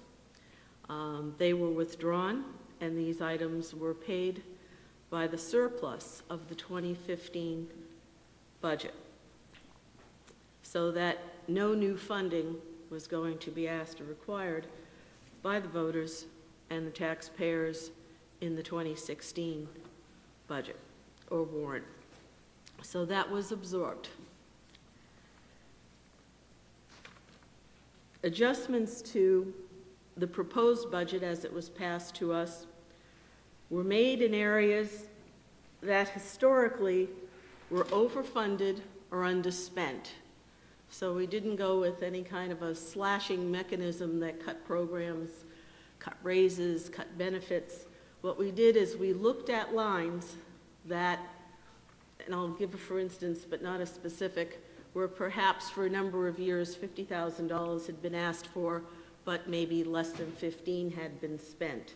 Those were the types of adjustments throughout the budget that we looked to make. Additionally, fuel adjustments by both management and inspired by the Budget Committee were made throughout the budgets. As you all know, you know, fuel has considered, has constantly dropped. I don't know when the bottom will finally hit, but as we went along, we kept looking at new ways to save. Another way was found where we could benefit by getting the tax portion of the fuel back. There is now a new process in place. I believe the uh, town manager can acknowledge that, and we're currently in that position. Mr. Welch? Uh, uh, Before we go afield, I want you to give us your budget overview, please, and, This uh, this is part of it, Mr. Moderator. well, we're not going to have a dialogue between people at I'm podium. just asking for confirmation, but I'll, I'll move on. Thank you.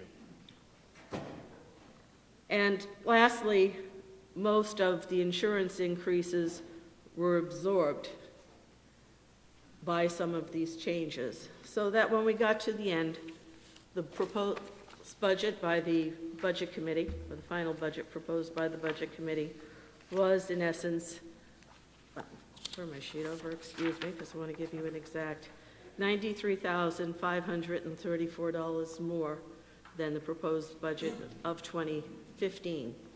Um, Again, insurance increases were higher.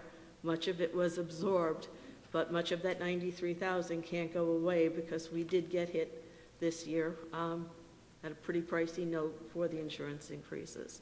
So with that, that is the budget wrap-up. That is the work. Um, And I would ask you all to vote in favor of that. Thank you. Thank you, Ms. Latimer. Thank you for your brevity. Mr. Rice. Thank you, Mr. Moderator. Fred Rice, 15 Heather Lane.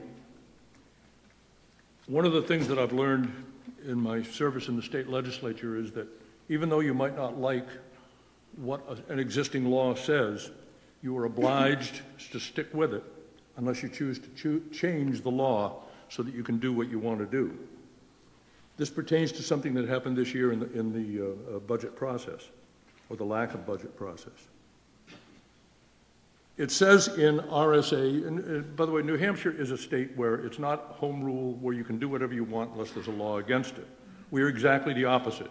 You can't do anything unless there is a state statute, a revised statute annotated, an RSA, that says you can do it.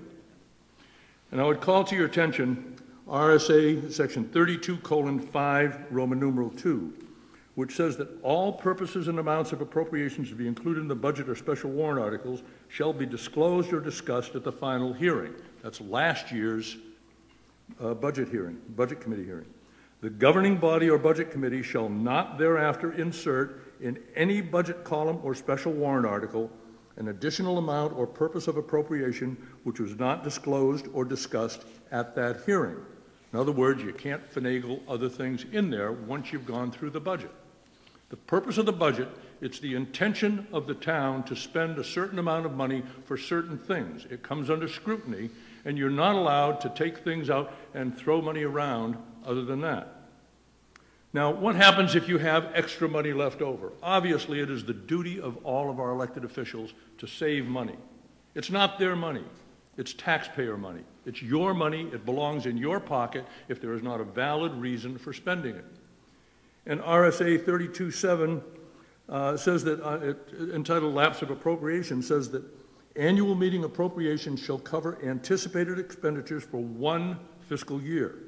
All appropriations shall lapse at the end of the fiscal year, and any unexpended portion thereof shall not be expended without further appropriation unless, and briefly, unless it's encumbered, unless it's placed in a non-lapsing fund, it's bonded, uh, it's anticipated that it's going to be uh, money received from, from the state or elsewhere. And, and that says that you can only spend what you say you're going to spend it for, and that's it.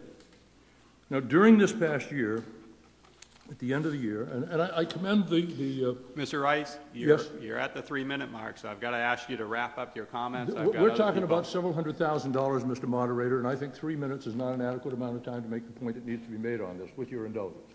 Well, I can uh, put that out Um, to a vote, Mr. Rice, or you can wrap up your comments.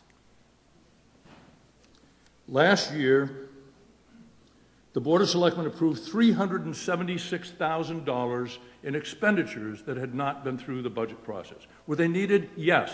But the clear intent stated by the Board of Selectmen, stated by other uh, uh, town officials, was that it was because they were tired of a lot of warrant articles and they didn't want to risk something not being approved. So they took an overage from last year's budget and they spent the money without any kind of public review. I like what they spent it on. I'm in favor of that. I do not like the fact that they spent it without any kind of public review. That's your money that they spent without any kind of public review. They talk about a bottom line budget, and yes, you can change things. Uh, you can move it from one part of the budget to another, but there is a condition. And the condition is uh, that the governing body may transfer to an unexpended, uh, unexpended balance remaining provided that, that uh, it, there is a change in purpose. This is not, this is not anything that was in there before. These are new items that were added in because they wanted to circumvent the warrant article process and the public approval process. The money that was left over should have gone back to reduce taxes for the, for the town. And with that in mind, that $376,000, although I think that they were uh, expenditures for necessary items, I do not believe that they were done in conformance with the state statutes. And I would therefore move that we amend the town budget by an amount equal to those expenditures which- which were made on an unauthorized basis, and reduce it by an amount of $376,000, making the budget amount $26,223,431.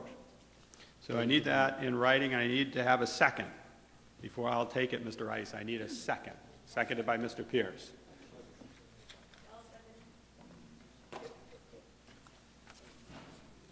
So Mr. Rice has made a motion to reduce the budget amount to twenty-six million, two hundred and twenty-three thousand, four hundred and thirty-one dollars.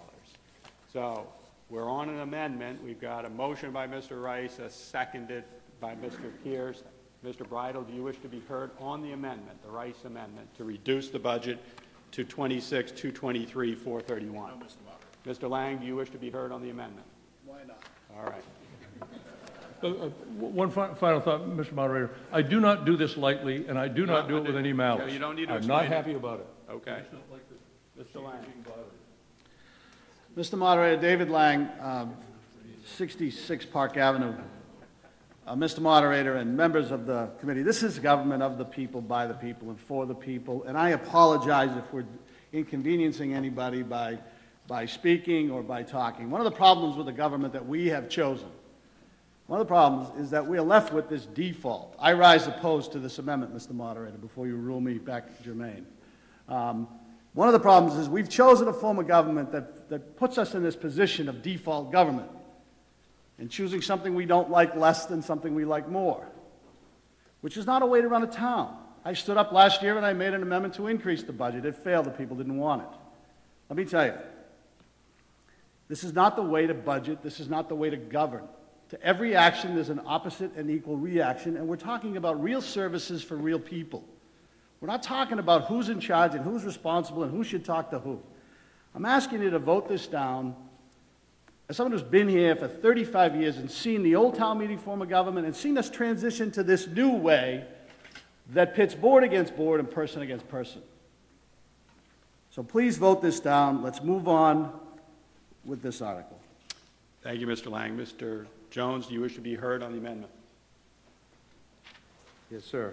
Uh, I stand in favor of this amendment, and I won't get into the particulars because I was going to use those for the discussion on the motion as a whole. But essentially, I was not going to support the whole motion because it was higher than default, and I'll speak to that later when we get to that portion. But I will note that with the proposed budget being reduced below the default, it is far more likely that this proposed budget will pass at town meeting session two. And why is that important? Well, for one reason it's important is there are employee raises in the proposed budget that are not in the default budget. And many of those employees have had delays in their raises, unjustly, in my opinion. And so by getting this below the default, we're helping to ensure that the proposed budget will pass and those people who deserve those raises will get those raises. And I'll also note that last year we talked about uh, the sky falling in if we didn't add, you know, well over a million dollars uh, to the budget that Budget Committee brought forth. And of course, the voters in town meeting session two voted that down. And the sky didn't fall in. They had an excess unspent uh, uh, money in the budget of something like $800,000, which Mr. Rice spoke to. I find myself kind of awkward knowing that I'm agreeing with Mr. Rice. We often disagree at this forum, but I'm happy to see things do change. Thank you. I do support this amendment. Thank you, Mr. Jones. Um, Ms. Latimer, do you wish to be heard on the Rice amendment?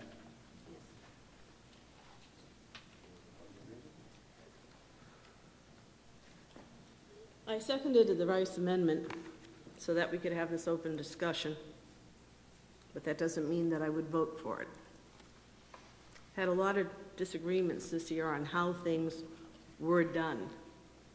But I will tell you that the budget that the Budget Committee came up with, they did somewhat in a vacuum of information coming in, but I'll give credit to every member on that committee for doing more work than I've seen people do in the total of 15 years that I've been on this committee.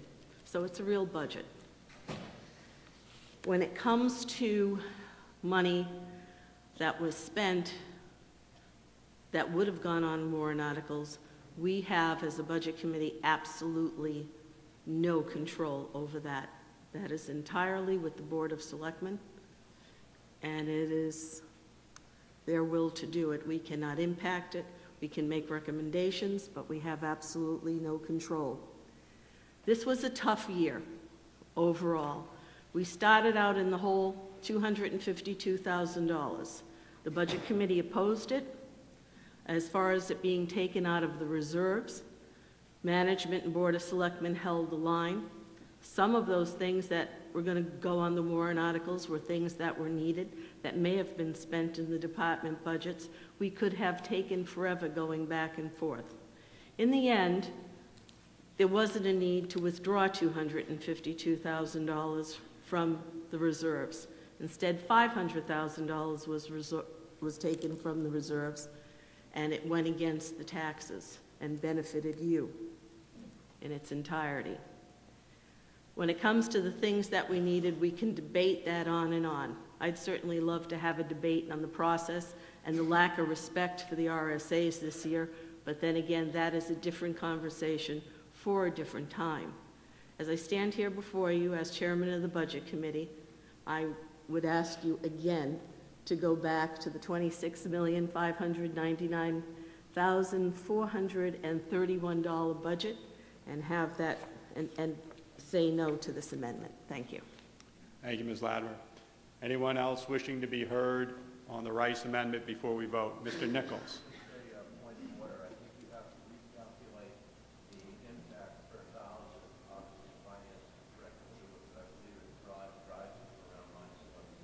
Yeah, let's see where we end up on the uh, amendment before we, uh, we end up with the final calculation of the tax impact.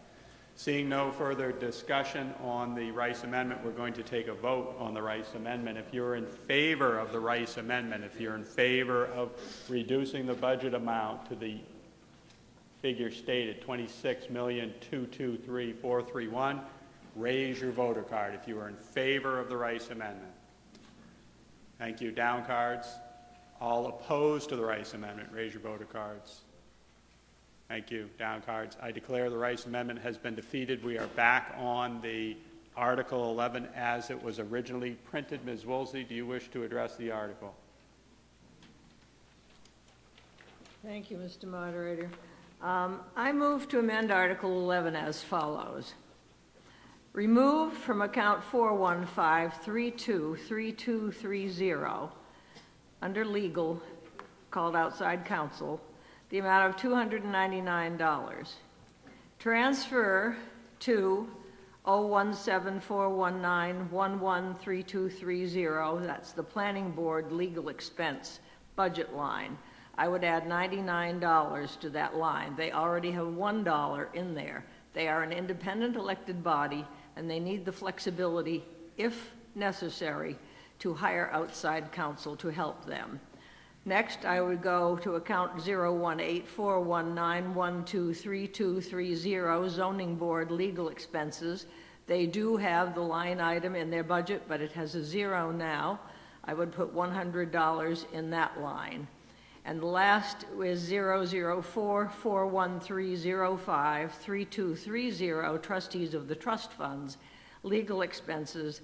They need that line added, and I would insert $100. This amendment will not change the total budget figure. It's just reassigning the $299 so that the independent elected officials on the planning board, the zoning board, and the trustees of the trust funds have something in their legal line so that they can access outside counsel if necessary. Thank you. Uh, I'm, not going to take a second at this time because my understanding is we're working on a bottom line budget and that the purpose of this body is to address those figures. So I take Ms. Woolsey's comments and she shared them with you. Um, but my understanding, I'm going to look to counsel in a moment, is that um, we're not into um, setting those line items as much as we are here today to address the uh, the numbers in the, in Article 11. We certainly can discuss those line items, but um, ask counsel if he agrees with that. I believe that's correct. It's a one-figure number on. So uh, we understand the uh, effort to, to move $299 around uh, in the budget, but it doesn't change the, the, the uh, figure as presented. So uh, I'm going to just move on and see if uh, we have further discussion about um, the, uh, the budget. Mr. Uh, Bridle. Thank you, Mr. Moderator. Nick Bridle, 225 Towle Farm Road. Uh, Again, I'm on the Budget Committee, and I did vote against um, cutting the proposed selectmen's budget.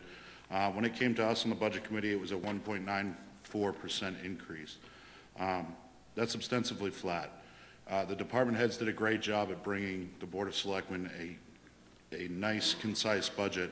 Um, And where our department heads in this town are relatively new, especially in the bigger departments, um, I think it's, I think it's my opinion that the town give the department heads a little wiggle room and expect them to do a good job with the money that we give them and not cut them. They've done a great job bringing us a nice trim budget. I know there's been a lot of talk been thrown around the room about surplus and extra money left over at the end of the year. But for those of you who are unaware, department heads were asked to cut training this year, almost halfway through the year. Cut unnecessary spending by the town manager because we had a lot of snow last year. We wanted to make sure we stayed within the budget. That's not how you effectively run a town. We wouldn't have that surplus money, in my opinion, if the department heads were given their money, not told to cut training, not, not taking away the materials and equipment they need that weren't deemed essential. Um, the money would have been spent instead of all at the end of the year to try to squeeze it into the last year. I say, and while I'm happy with the budget that's up there, the budget committee came up with, it's a good low number. Again, I was against it in the budget committee, but I say, let's give these department heads a budget and let's expect more of our, let, let's see what they can bring to the table and, and expect that of our department heads. I think they do a good job. I think it's time for this town to be more proactive than reactive. Thank you, Mr. Moderator. Thank you, Mr. Bridle. Mr. Jones to Article 11.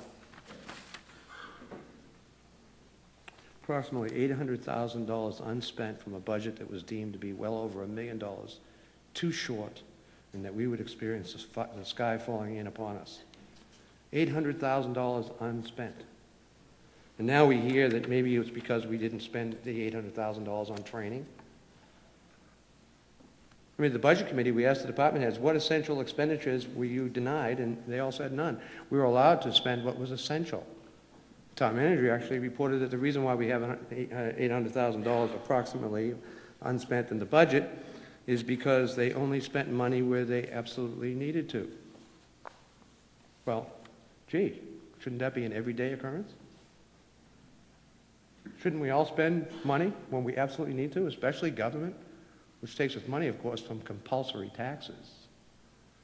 They should be prudent enough to say, yeah, that's normal operating procedure. Spend only what's essential. But 800,000. And then we also heard about $350,000 excessive snow from our snow last year. So you could actually add that to the 800,000, you can see that, gee, that makes over $1.1 million in excess that budget was, even though it was a default budget. Something's wrong here, ladies and gentlemen. Now you look at this particular budget, just look at the insurance line.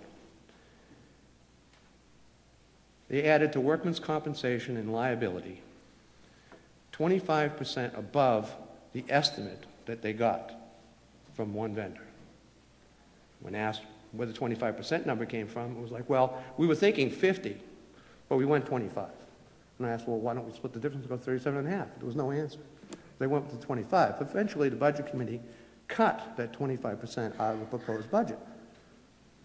But if you look at the default budget and the proposed budget, you find some rather interesting numbers. Last year, we spent $3.5 million on the insurance line item. This year, the Board of Selectmen proposed 3.773 million. The Budget Committee somehow only proposed 3.747 million, when we were told that cut that we were making was $285,000. Doesn't seem to be reflected there. But even more curious is the default budget, which is supposed to be what was last year plus or minus, you know, blah, blah. Now it's way up, almost 4 million. Last year's budget, 3.5 million. Default budget, 3.949 million on that insurance line item. Now, there are examples of this kind of uh, curiosities going on all over the place. All right, and I just highlight this one because I don't want to spend too much time. But the bottom line is I will tell the voters that whatever the number is on this warrant article in final form, pick the lower number because they're both inflated. And uh,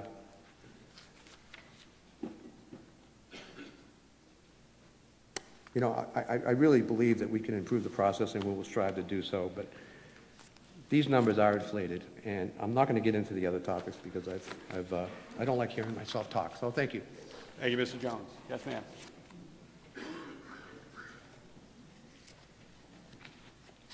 Jen Hale, 13 Bourne Ave. Um, I just want to make one statement, and it's the exact opposite of that. When looking at these numbers, be educated to know what the difference is in the numbers. A default budget isn't just that much less. Every single department is affected, some more than others. It's services that are provided to the people in this town. It's services that are expected, and without the appropriate funding, you don't get those services. So I just say that blankly, that make sure you know which number and what you're getting. Thank you, Ms. Hale. Anyone else wishing to be heard on Article 11? Seeing none, we will move on to Article 12.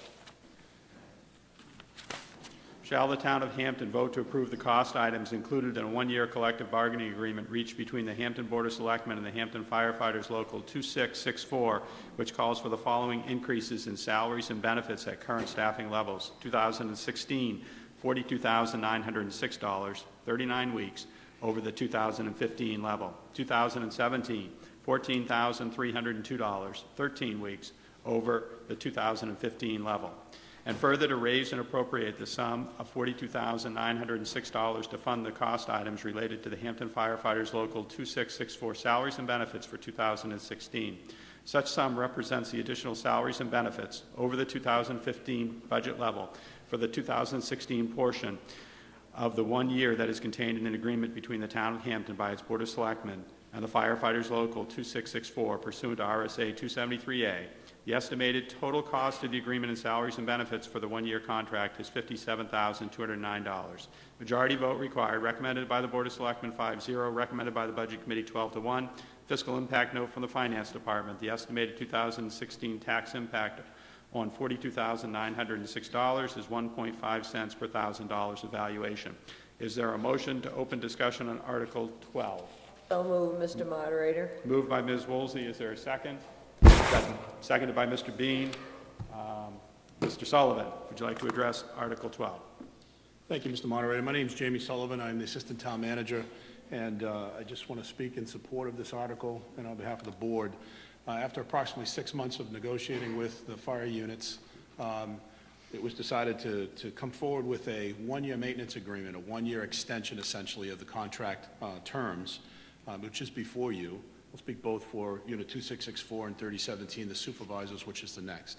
The proposal is for a 1.75 uh, raise for a one-year term only. Uh, We strongly urge the voters to support this article. Thank you. Thank you, Mr. Sullivan. Anyone else wishing to be heard on Article 12? Yes, sir. Matt Newton, 11 Ashbrook Drive. I am a taxpayer, just like you guys. I also have the honor to represent the firefighters of the town of Hampton, your firefighters. We're always here to serve you, we're always here to make sure that you're taken care of. And uh, I would just wish that, uh, just want to point out the cost of this uh, contract. If you look at a $300,000 house, that's pretty average around here. Um, 12 cents per week. 12 cents per week. It's not a lot. We're not asking for much. We're here to serve you, and I hope you're there to come to our aid when we need us, or when uh, you, yeah, we need you. So I urge you to vote for this contract. Thank you very much.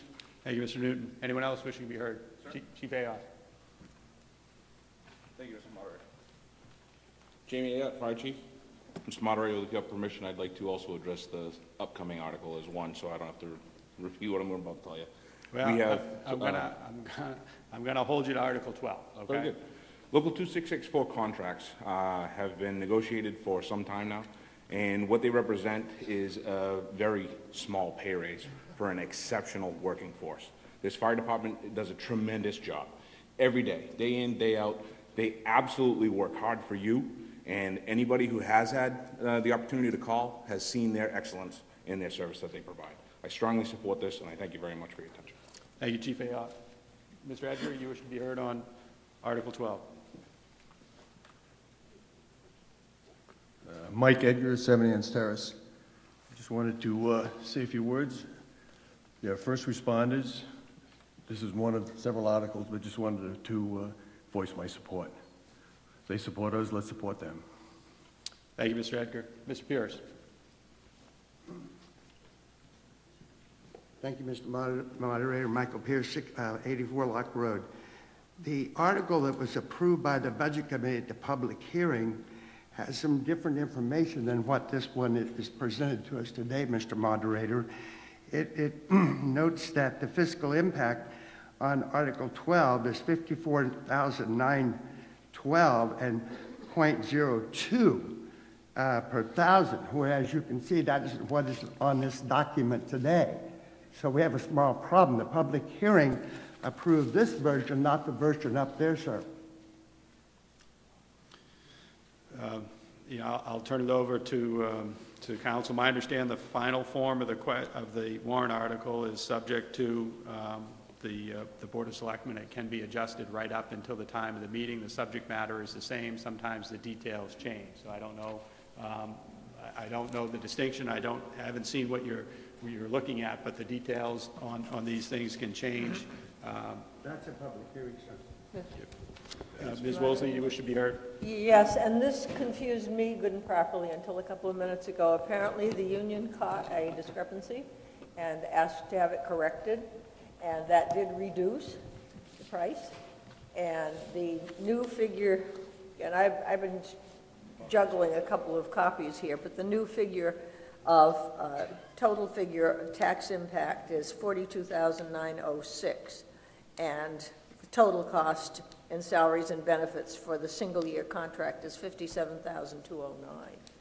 So that, the lesser figure is the correct figure, and I apologize for the discrepancy, and it got me confused too.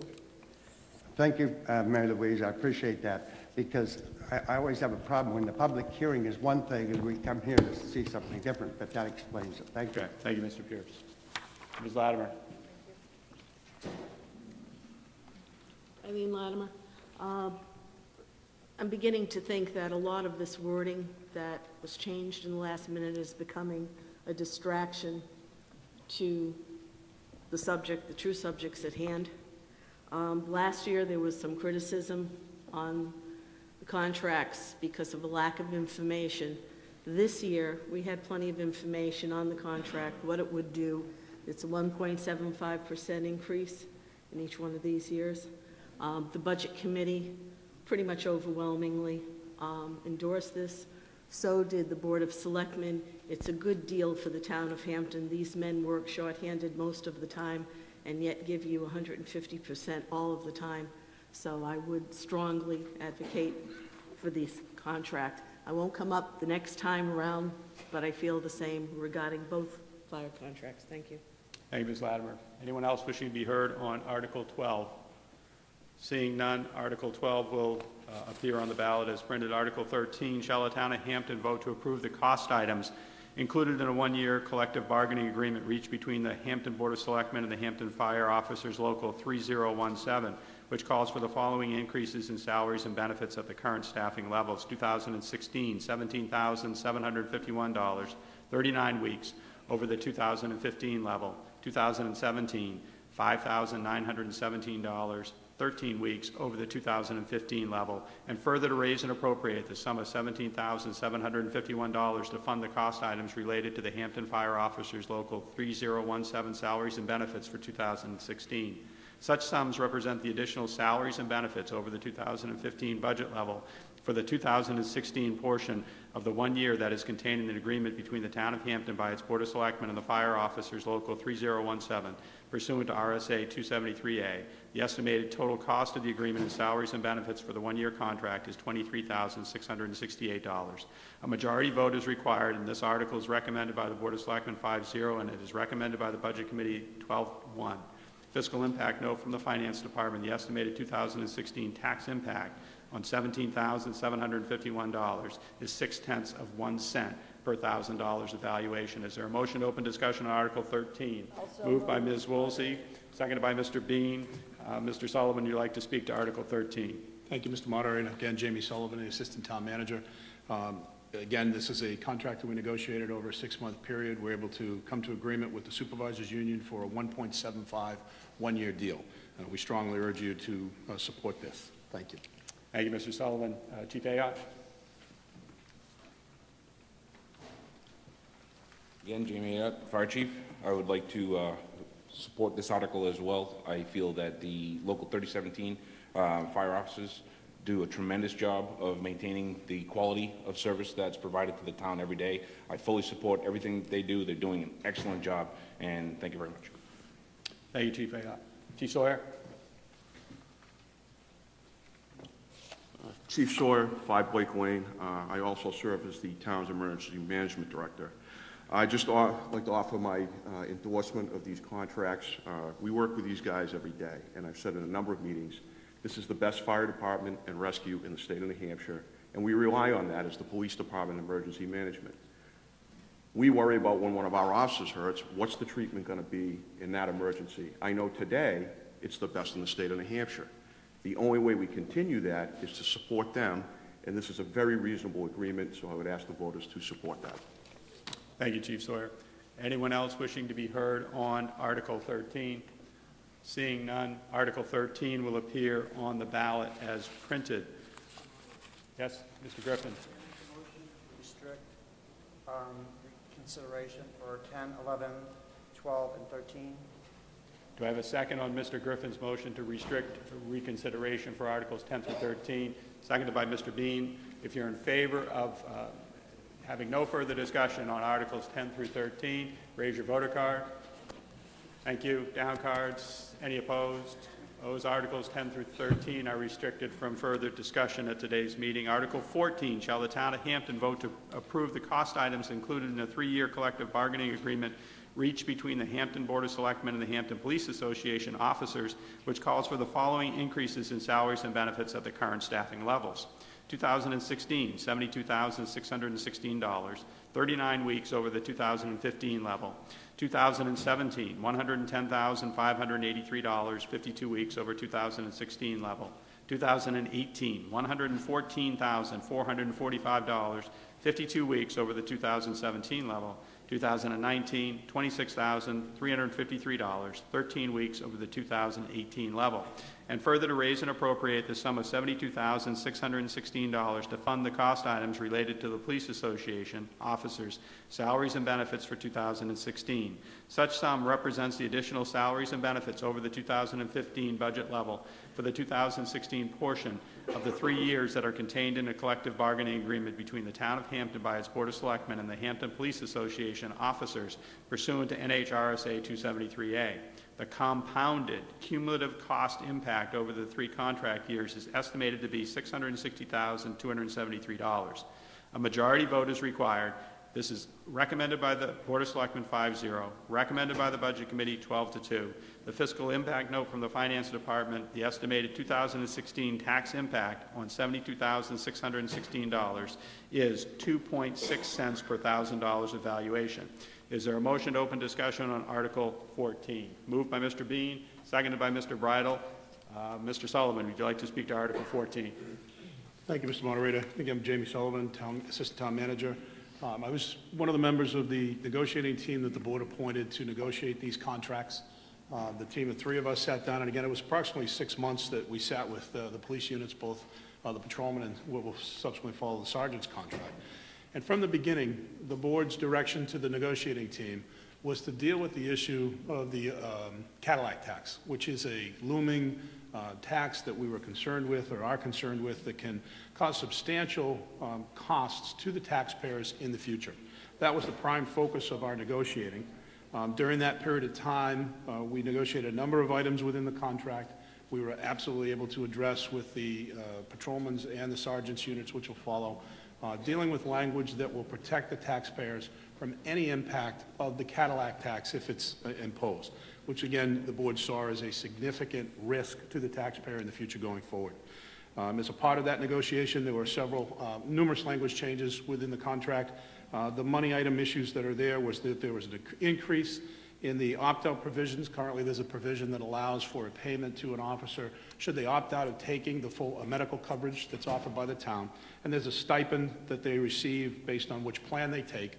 Um, Those stipends were increased slightly. Um, In addition, there were some uh, adjustments to uh, uniform allowance for detectives um, and an increase in a uh, a percentage increase to become a detective. Um, The overall is a negotiated three-year contract, calls for a 3% raise in each of those three years, and is represented by the numbers you see on the board. Uh, The board would strongly recommend that you uh, support this contract and be happy to answer any questions, Mr. Monitor. Thank you, Mr. Sullivan. Anyone else wishing to be heard on Article 14? Yes, sir. Claire Marco, 8 Ward Lane here in Hampton. I was uh, born and raised in Hampton. Now I have the honor of being a police officer in this town. I've been with the department for about two and a half years now, and uh, I can say that this agreement that's come through the negotiating committee and the Board of Selectmen is a very reasonable one. What we're trying to do is maintain our competitiveness with other departments and recruiting the most desirable candidates to uh, help serve you and the rest of your community and keep everybody safe. We, uh, as the former chief mentioned, we made concessions with our healthcare as we did in 2014. We also are doing what's called comp time. So if we worked an overtime shift, instead of getting paid at a time and a half rate, we'd essentially get what's vacation time more or less. So that would also save the taxpayers money. as far as uh, the rest of it go, I know we work tirelessly every day to just provide the best service we can, do it at the most professional level we could. So hopefully you guys support that as well as the rest of the collective bargaining agreements on the ballot. Thank you for your time. And if you have any questions, myself and other members of the HPA will be uh, standing around. Thank you. Thank you, Mr. Marco. Yes, sir. Uh, Tim Hillman, 6 Morningside Drive. Uh, I'm an employee of the police department. I've been working for the department for 19 years now. Uh, I'm basically going to reiterate a lot of things that uh, Clay brought up. This is uh, the second um, contract proposal, uh, third year in a row, that we would make concessions for our health care in order to save the taxpayers money uh, and to save the town money. Um, we work very hard, 24 hours a day, to keep the town safe. Um, and I think the numbers that we've brought forward that have been agreed upon between um, the union and the selectmen are very fair. We want to remain competitive. We want to be able to bring people into our department uh, to continue to provide the great services that we already do. Thank you. Thank you very much. Anyone else? Uh, Chief Sawyer.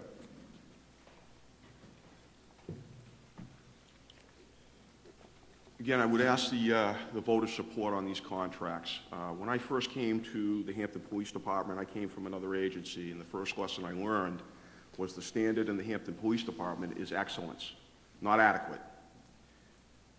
We're in a very competitive world today, recruiting police, fire, public works. The people that are willing to do these jobs take the risks. And it's not always about money. It's about being valued. But in order to get these people to come in, and again, I think Clay hit it, is bring the best of the best to the town of Hampton, that is getting increasingly difficult as we become part of the middle of the pack or the lower portion of the middle of the pack when it comes to these competitive issues of wages. As we speak, the city of Manchester is hiring 19 officers. I've lost four officers to Manchester PD in the last 18 months, part-time officers. But keep in mind, the collective bargaining agreement we're talking about also encompasses our part-time employees. We try to cultivate these folks to be outstanding police officers, and I think anybody would tell you in the state of New Hampshire, nobody trains their part-time officers better than Hampton PD. I'd like to retain a few of them so that when we do have our vacancies, we have that pool of qualified people that step right in and they're up and operating day one. Nobody else has that advantage in the state of New Hampshire. And the only way for us to maintain that is to support them and maintain that level of excellence. And I believe this contract, a three-year contract, will assure that for the next three years. Thank you. Thank you, Chief Sawyer. Mr. Page. Hi, Nathan Page, 200 Breakside Road, and I'm not a police employee. My interaction with the police is usually with a set of blue lights behind me. Um, But the, uh, our police department, we have some- a great crew of the police, and all of our town, all of our town employees do a great job for us. You know, we need to reward them with a contract. We we haven't passed contracts for quite some time.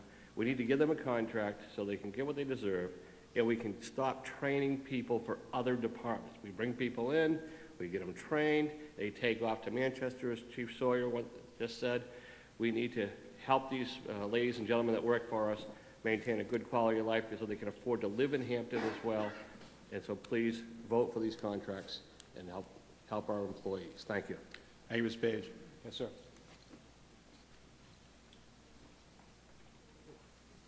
Uh, Brian Lapham, 27 I Street. Um, The chief and some others stole my thunder, but uh, I just wanted to say that we ask an awful lot of these officers. And we need to keep the officers here. If we don't start to spend a little money above and beyond, we're going to be talking about new training. We're going to be talking about this and that. Oh, it's a hundred thousand dollars, two hundred thousand dollars. Um, so I would just ask everyone to please support these bills. Thank you. Thank you, Mr. Lapham. Anyone else wishing to be heard on Article 14? Seeing none, Article 14 will appear on the ballot as printed. Article 15, shall the town of Hampton vote to approve the cost items included in a three-year collective bargaining agreement reached between the Hampton Board of Selectmen and the Hampton Police Association, sergeants, which calls for the following increases in salaries and benefits at the current staffing levels. 2016, $12,934, 39 weeks, over 2015 level. 2017, $14,199, 52 weeks, over 2016 level. 2018, $37,555, 52 weeks, over 2017 level. 2019, $11,420, 13 weeks, over 2018 level. And further to raise and appropriate the sum of $12,934 to fund the cost items related to the Police Association, sergeants, salaries and benefits for 2016. Such sum represents the additional salaries and benefits over the 2015 budget level for the 2016 portion of the three years that are contained in a collective bargaining agreement between the Town of Hampton by its Board of Selectmen and the Hampton Police Association sergeants pursuant to RSA 273A. The compounded cumulative, cumulative cost impact over the three contract years is estimated to be $133,422. Majority vote is required. Recommended by the Board of Selectmen 5-0, recommended by the Budget Committee 12 to 2. Fiscal note from the Finance Department, the estimated 2016 tax impact on $12,934 is 5 tenths of 1 cent per thousand dollars evaluation. Is there a motion to open discussion on Article 15? Moved by Mr. Bean, seconded by, is there a second? Seconded by Mr. Waddell. And I recognize Mr. Sullivan to speak to Article 15. Thank you, Mr. Moderator. Jamie Sullivan. Um, The terms on this contract are, are exactly the same as was for the patrolman, so I won't take too much time. Again, and emphasize that the, the primary goal was to deal with the Cadillac tax for the length of a longer contract on three years, and we were able to achieve that. Thank you. Thank you, Mr. Sullivan. Chief Sawyer? As I spoke previously, the training is a critical issue. The next highest critical issue we have in police departments is the supervi- supervision we exercise over our officers. We've seen a lot of the national headlines, things that have gone wrong in police departments, and the only way you can correct those is to have somebody out there that is running the shift. In the Hampton Police Department, that is a sergeant. They are the most important people in the police department. It's not the chief of police, it's not the command staff, it's the people out there on the street dealing with the issues and dealing with the officers and making sure things are done right and protecting the liability of the town. I will tell you going into this summer that at least 50% of our part-time ranks will be on a probationary status, meaning they have less than two years' experience. 50% of that force you see down there maintaining order down at Hampton Beach is going to be less than two years' experience. That's the recruitment issue. The liability and the retention issue, that's this agreement with the sergeants. I have to have supervisors that can go out and manage a very inexperienced crew of people to reach that level of excellence. So I'd ask again the voters to support this article. Thank you. Thank you, Chief Sawyer. Anyone else wishing to be heard on Article 15?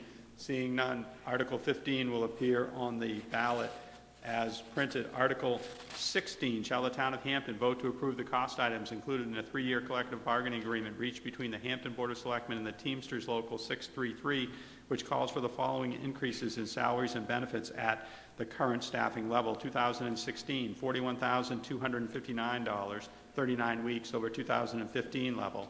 2017, $58,004, 52 weeks over 2016 level. 2018, $47,205, 52 weeks over 2017 level. 2019, $9,809, 13 weeks over the 2018 level. And further to raise and appropriate the sum of $41,259 to fund the cost items related to the Teamsters Local 633 salaries and benefits for 2016. Such sum represents the additional salaries and benefits over the 2015 budget level for the first of three years that are the, that are contained in a collective bargaining agreement between the Town of Hampton by its Board of Selectmen and the Teamsters Local 633, clerical, uh, Public Works foremen, Police Department dispatchers pursuant to RSA 273A. The compounded cumulative cost effect over the three-year contract, over the three contract years is estimated to be $336,855. A majority vote is required. This is recommended by the Board of Selectmen 5-0. It's recommended by the Budget Committee 12 to 2. The fiscal impact note from the Finance Department, the estimated 2016 tax impact on $41,259 is 1.5 cents per thousand dollars evaluation. Is there a motion to open discussion on Article 16? Moved by Mr. Bean. Is there a second? Seconded by Mr. Griffin. Uh, Mr. Sullivan, would you like to speak to Article 16? Thank you, Mr. Moderator. Uh, Again, uh, the uh, negotiating committee uh, focused on the goals from the, the board here to do a, a longer three-year contract, um, i- is- as long as we could find a solution to the Cadillac tax issue. With the Teamsters, uh, this group encompasses folks across a number of departments, um, in the police department, the public works department, as well as the folks who work in town office. So there's a, a wide range of folks. We were able to achieve agreement, again, protecting the taxpayers from any impact of the Cadillac tax in the future. Um, And in exchange, there were some adjustments to wages as a result of that. Um, A number of uh, initial wage levels were changed uh, to raise folks uh, close to the peer groups in those particular areas. Um, This contract calls for a two and a half, uh, three, three over the three years. And additionally, as I discussed with uh, the police contract previously, uh, the increase in the stipends for opting out of an, uh, taking the town insurance were increased as well. Um, That's a general overview, and Mr. Monitor, I'd be happy to answer any questions the board, uh, again, asks the- the voters to uh, strongly support these contracts. Thank you. Thank you, Mr. Sullivan. Anyone else wishing to be heard on Article 16? Seeing none, Article 16 will appear on the ballot as printed. Article 17, shall the town... Ms. Griffin? Restrict number 14, 15, and 16. Uh, There's a motion made by Mr. Griffin, seconded by Mr. Bridle to restrict reconsideration of Articles 14, 15, and 16. All those in favor of no further discussion on those articles, raise your voter card. Thank you. Down cards. Any opposed? Articles 14 through 16 are restricted from further discussion at today's meeting.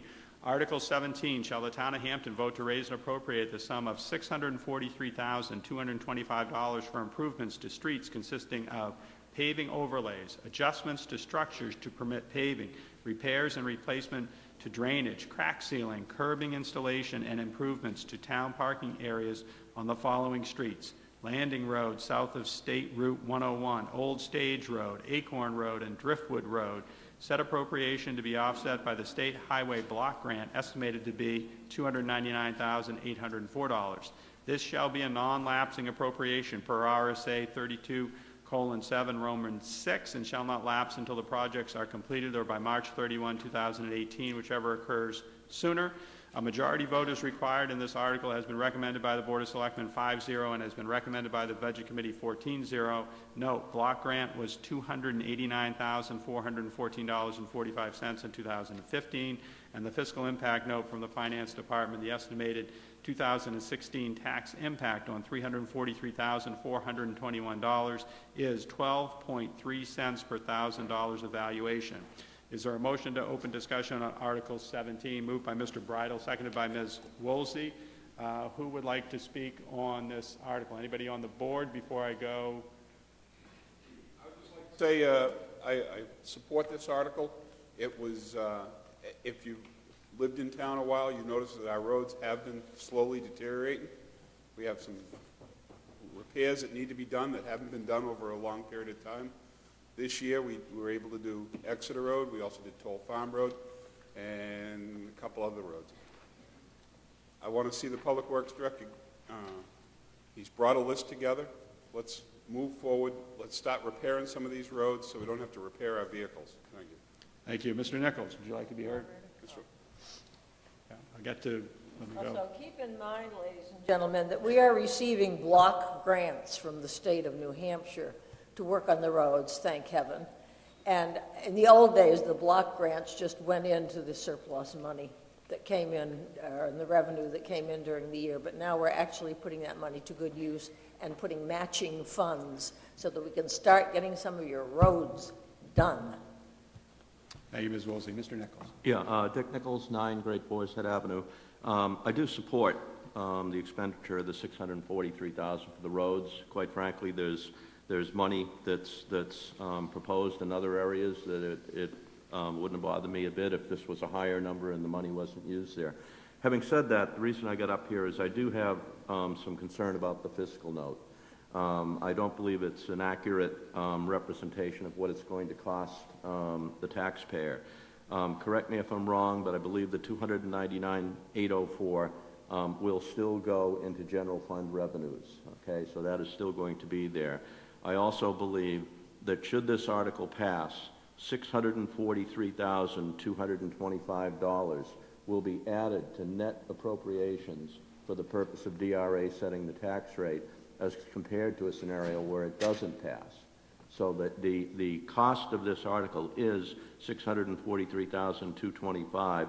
Last year you had the same language about the offset, which I think is just really kind of a, a sales pitch and not accurate between, in relation to how the money is used. But I, I think you've gone a little far in the fiscal note in stating there's 343,000 because the difference between whether or not this article passes will be 643,225 additional in the tax rate, but I do support the article. I'm not going to make a motion to change the fiscal note because I believe the language of Article 5 in 2013 gives that authority to the governing body, not. Thank you, Mr. Nichols. Um, Our DPW Director, Mr. Jacobs. Thank you. I think you've noticed this year around town um, that there's been a, a uptick in activity level within the Department of Public Works, meaning that um, last year you gave us uh, monies to do Exeter Road and um, paving money, just like out of this article. We took that money, got Fairfield, Ruth, and Belmont paved. That was a leftover from a sewer and drainage job a few years earlier. We then moved on to Exeter Road. I think a number of you realize that that's a, a market improvement as to the travel uh, capability on that road. Um, it's, it's smoother. You don't avoid a lot of issues uh, that, that were normally there. We then had, and this goes back to Jennifer, I have to give her credit, she managed the project. Um, she and Frank Swift uh, got right down to brass tacks with Ex- Exeter Road, and they figured out a way that we actually could take the rest of the money and get uh, Towle Farm uh, uh, paved. So you saw uh, the continuation. In other words, that, that was a project that was actually on this year's 2016 list, but they found a way to get it done within the bid contracts that we had. That same effort is going to continue this year in that we've already identified Landing Road, uh, south of 101, Old Stage Road, Acorn Road, and Driftwood Road. And, and if anyone in Winton actually drives on these roads, you realize that like Acorn and, and Landing Road, they're already gone. They're just, there isn't one square foot of viable pavement on either one of those roads. We also have a list of, I bet, another 20 behind this for paving. So whatever you give us for money, we are going to spend. We are going to bid this out. This work will get done. Your tax dollars will have uh, an immediate impact and effect. Thank you. Thank you, Mr. Jacobs. Anyone else wishing to be heard on Article 17? Seeing none, Article 17 will appear on the ballot as printed. Article 18, shall the town of Hampton vote to raise and appropriate the sum of 353000 for the purchase of the following replacement vehicles for the Department of Public Works? One, one-ton truck with dump body, plow, and wing. Two, 350, 350, 35,000-pound gross vehicle weight dump trucks with plows and wings. The replaced vehicles to be traded in if deemed to be prudent by the Public Works Director, Town Manager, and Board of Selectmen. This shall be a non-lapsing appropriation per RSA 32:7 Roman 6 and shall not lapse until these purchases are completed or by March 31, 2017, whichever is sooner. A majority vote is required. It's recommended by the Board of Selectmen 4 to 1, recommended by the Budget Committee 13 to 1. The fiscal note, impact note from the Finance Department, the estimated 2016 tax impact on $353,000 is 12.7 cents per thousand dollars of valuation. Is there a motion to open discussion on Article 18, moved by Mr. Waddell, seconded by Mr. Bridle. Uh, Is there anyone who wishes to be heard, Mr. Waddell, on Article 18? Yes, Mr. Moderator, I'd like to be heard on this. It's just that I'm in support of this, but also I'd like to say that I've heard prior to this in discussions on DPW, on the sewer uh, bond and stuff, that people were not allowed to go down and get under things and look at vehicles and decide. You know, we hire department heads. We hire a police chief, we hire a fire chief, we hire a DPW chief, and these people are the experts. They come and they make presentations to the selectmen, they make presentations to the budget committee, and they, they show pictures of vehicles that are uh, in need of repair. And I think what we have to do is we have to trust their judgment, and we have to make our decisions on those presentations that they make. So I am very much in support of this. I am very much, uh, I think there was a good presentation made by the DPW on these issues, and I think we have to trust our department heads. Thank you, Mr. Waddell. Anyone else wishing to be heard on Article 18? Seeing none. Do you want to be heard, Ms. Hale? Uh, Just real quick, just for everybody to understand why we're replacing these, these, uh, the two 35,000-pound gross vehicles, this is not the first time this has come up. Uh, These vehicles continue to deteriorate. They are the lead of our snow operations and fleet. Um, We use them beyond that daily for operations. Um, These vehicles, along with the one-ton, have significant undercarriage corrosion and other parts as we move forward. Um, They're not going to get better. The maintenance costs are going to increase. And with that said, these two Macs that we are replacing are over 28 years old. They are tired. Uh, So again, we ask for your support in this article. Thank you, Ms. Hale. Mr. Jacobs? Last year, when this was up, um, members of the Budget Committee, and we listened to them, stated that, you know, you- the type of truck, we were having a difference on the type of truck, specifically uh, Mike Pluff. Uh, He recommended that we go with Mack trucks, and, and we strongly did our homework and looked at that, that particular option, and we agree with him hundred percent. Um, So that's what's specified. We, we're, we have Mack trucks. They've lasted 27 years. Uh, We're trying to buy or replace Mack trucks. Uh, I think the original ones were 87,000. They've doubled in price. They're now in the 160 range. To give you an im- idea of uh, how old these trucks are, uh, not this past summer, the summer before, we had to do a radiator back to the firewall maintenance of one of those trucks. Um, all your hoods pop up. These hoods actually pop, pop forward. And when we popped it forward, the two support hinges were so rusted, the whole hood fell off and hit the ground. Um, we then started with replacing radiators and um, hydraulic pumps and things like that, and it seemed that everything we touched, it broke. It was just literally held there by its own rust. Um, So in that particular effort, it was a $9,000 effort on an original purchase, $87,000 truck to bring it back to roadworthiness. And that's the issue that we're having. Um, This past summer, some of the, the same trucks, uh, we tipped up the bodies, and we found that the body wasn't attached to the frame anymore, except for the two hinge pins. The whole body literally kept tipping away from the, from the, from the frame itself.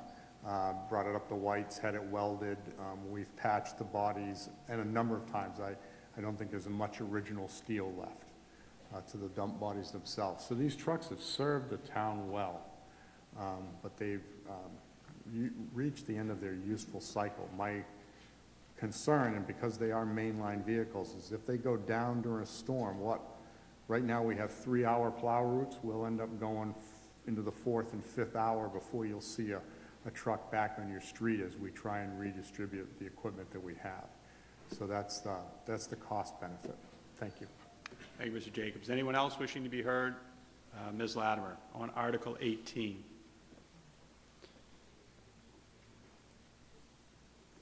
I think this is one of those times when clearly it illustrates when you have cooperation from different bodies that you get a lot done. This warrant article did come before us last year for an international truck, and the recommendation was made by Mr. Pluff um, that it be changed um, perhaps um, to a Mack, which has a much longer life. Uh, This particular warrant article has now been debated uh, for two years, and as you can see by the votes pretty much endorsed by almost everybody between the Board of Selectmen and the, um, the Budget Committee. And I will say this in connection to what Mr. Waddell said um, about we have hired professionals who are apt in their jobs. I would like to add to that the fact that we have three new department heads who are new, for the most part, in their positions, and we have members in this community who openly and actively volunteer to participate and help, who have not a few years in some of these areas, but decades. And I think as long as we can have an open discussion all the way around, that includes everyone, that we end up with a warrant article like this that can be supported from all areas. Thank you. Thank you, Ms. Latimer. Anyone else wishing to be heard on Article 18? Seeing none, Article 18 will go to the ballot as printed. Article 19. Shall the town of Hampton vote to raise and appropriate the sum of $300,000 to be added to the Road Improvement Capital Reserve Fund created under Article 16 of the 1998 Annual Town Meeting in accordance with the provisions of RSA 35 for the purposes of maintenance and/or reconstruction of, of streets? The major- a majority vote is required. It's been recommended by the Board of Selectmen 5-0, recommended by the Budget Committee 10 to 4. The fiscal impact note from the Finance Department, the estimated 2016 tax impact on $300,000 is 10.8 cents per thousand dollars of valuation. Is there a motion to open discussion on Article 19? Moved by Ms. Woolsey. Is there a second? Seconded by Mr. Bridle. Yeah. Is there anyone who would like to be heard on Article 19? Yes, I- Ms. if I may Woolsey. just make a comment.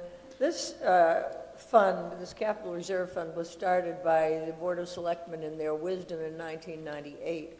The idea was to build up until you had a reserve so that you could do really major projects. Unfortunately, some of the funding was stripped for smaller projects about 10 years ago, but we're trying to build it back up. When you have to totally reconstruct the Exeter Road with all the sewer underpinnings, et cetera, you may be looking in the millions of dollars, three to four million dollars. I'm hoping we can keep adding to this fund every year, $300,000 a year, until we have something substantial enough to help the community out when we have a really, really big project and a really big expense.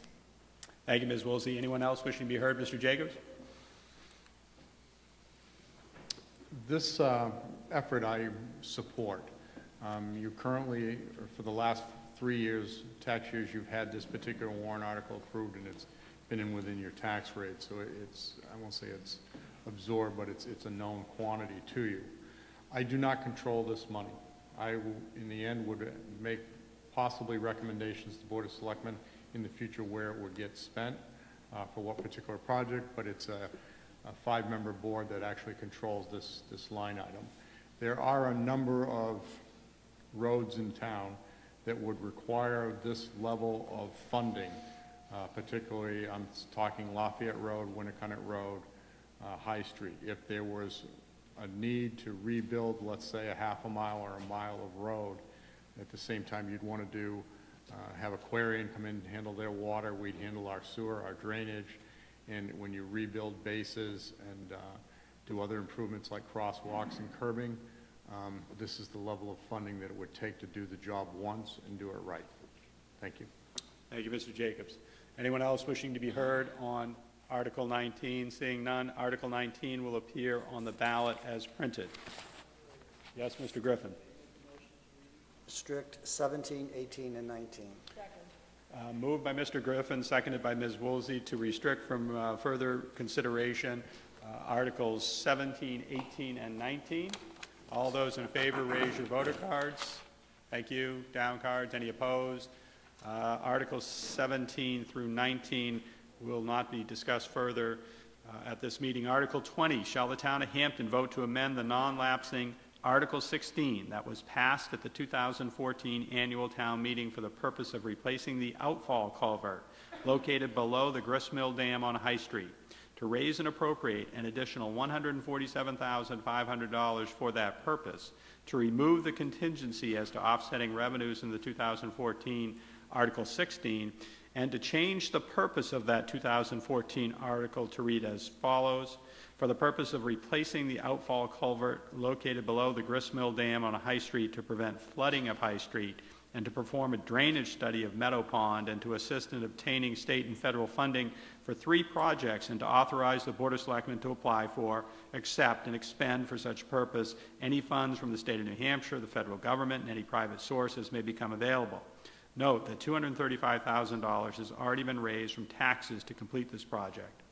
And to raise and appropriate the sum of uh, $147,500, that was originally provided by the state, which is no longer available, to fund said sum with a sum of $73,750, half of the sum of 147,500, to come from the unassigned fund balance, a fund containing unexpended appropriations from prior years as of December 31, 2015 and the sum of $73,750, half of the sum of 147,500, will be raised from taxation from the non-lapsing will be raised from taxation. The non-lapsing deadline in the original article remains the same. This shall be a non-lapsing appropriation per RSA 32:7 Roman 6 and will not lapse until the replacement of the culvert and the performance of the drainage study are completed or by March 31st, 2018, whichever is sooner. Majority vote required, recommended by the Board of Selectmen 4 to 1, not recommended by the Budget Committee 6 to 7 to 1. Fiscal impact note, Finance Department, the estimated 2016 tax impact on $73,750 is 2.6 cents per thousand dollars of valuation. Is there a motion to open discussion on Article 20? Recognize Mr. Waddell. I have a second, seconded by Mr. Bridle. Mr. Waddell, do you wish to speak? I may, I make a, I hereby move to amend warrant Article 20 by striking out the current language without changing the fiscal impact note and by replacing it with the following language. Shall the town of Hampton vote to raise and appropriate the sum of 147,500 for the purpose of replacing the outfall culvert below the Grist Mill Dam on High Street and to perform a drainage study of Meadow Pond and to fund such appropriation the sum of 73,750 to come from the unassigned fund balance, a fund containing unexpended appropriations from prior years as of December 31, 2015, and the sum of 73,750 to be raised by taxation. Majority vote uh, required. Uh, Note, in 2014, the town appropriated 235,000 for this purpose, which was to be supplemented by 147,500 from the state of New Hampshire if the dam was breached. In March of 2015, the town voted not to breach the dam, but to rebuild it, reversing its prior vote. The state withdrew its assistance of 147,500 to replace the culvert and to do the study. The article will fund the remaining appropriation of 147,500 needed to complete the work. If the article does not pass, the previously raised amount will be surrendered to surplus and the project canceled. Sir, second to Mr. Waddell's uh, amendment? Mr. Bridle. Mr. Waddell, would you like to speak to your amendment? I believe that that was, uh, the language was changed simply by the uh, DRA. Do you wish to speak beyond that to the article? And or the uh, attorney can. Or- Moderator, uh, this and uh, one other article uh, drew some attention at the Department of Revenue Administration, and while the department does not uh, approve article language, it does uh, at times uh, sugge- make suggestions for wording changes. Uh, This, of course, is an article that uh, relates back to a former article, and uh, there was extensive discussion in this new language uh, is uh, as suggested by the Department of Revenue Administration. And Mr. Welch uh, can speak to uh, how this interrelates to the prior article. Mr. Moderator? Yes. The prior article uh, did, as was illustrated in the First Amendment, the first motion, uh, did provide for the replacement of this culvert because the dam was going to be breached. And of course, the town subsequently voted to change that. Unfortunately, the Department of Revenue had us raise the $235,000 in the contingency article the previous year, and that money is there until 2018. Uh, The effort here is to find out if the town really wants to proceed with this work. If it does not, then we want to void the $235,000 and return that money to surplus so that it will be used to defer taxes. So before I get to um, the audience, are we raising an additional 147,500 to put on top of that 235? Yes, sir. Okay, all right. Who wishes to be heard on Article, on the Waddell Amendment? This is on the Waddell Amendment. Mr. Jones? Mr. Moderator, I just wanted to confirm that you've considered whether or not this is to be a substantial change to the original warrant article? Um, I am- have accepted the amendment. I think, um, as I read it, Article 20 in its original formation was rather tortured in its language, and um, I think the effort has been made um, in the amendment to, to make that language clearer, with the same direction. I agree in the effort, but whether the substances were changed is kind of questionable in my mind. Uh, And I don't have a specific point to make on that. I was just hoping that, that you would give some consideration to that. Yeah, I had, uh, I'd seen this amendment in advance of today's meeting, and uh, I believe we're still talking about work on that Grist Mill Dam, and that's the subject matter, and that's where we still are uh, if the, if the Waddell amendment is approved. Okay. Uh, And I understood the, uh, one of the speakers up there referring to the DRA, and I understood that this is not the language of the DRA, but uh, language developed by someone in town in consultation with the DRA. Do I have that accurate? That's my understanding, how this board works and, and many uh, boards. Not to say there's anything wrong with it, just want to Right, be sure where right. the language Yeah, came I think they run it by the DRA to make sure, because um, my experience has been, if you have language that they don't like, you can Sure. vote it in, and they then won't recognize it, and the, the purpose of the, uh, the town will be thwarted. Fully understandable. Yeah. I hope we can get that whole article up so I can see it at once, but uh, I think the, uh, the notation that's there um, seems to be uh, at odds with the article above it, the paragraph above it, in terms of using different wordage. And it's also historically accurate. Um, The warrant article it refers to in the note, for example, in 2014, does not use the word breached. It uses the word decommissioned. And I might note that that warrant article in 2014 that it's referring to was passed by the voters by 72.5%. And it was contingent on and claimed itself to be essentially nullified if the grant was not forthcoming. And this warrant article is apparently trying to take something out of a state of nullity, which doesn't seem to be a lot of sense to me. Waiting for the language of the amended version so that we can vote on accepting the amendment? I think that language is up right now. Okay. I don't know whether the font can be reduced a But do little we bit so need, that do you... we need to actually vote to accept the amended version? No, we're going to, we're going to have a vote on that after we have discussion. We're discussing the amendment right now. Oh. And then we're going to, we're going to take a vote to see if the body wants to amend Article 20 as Okay. uh, Selectman Waddell has suggested. Because I have comments to make if the amended version is accepted.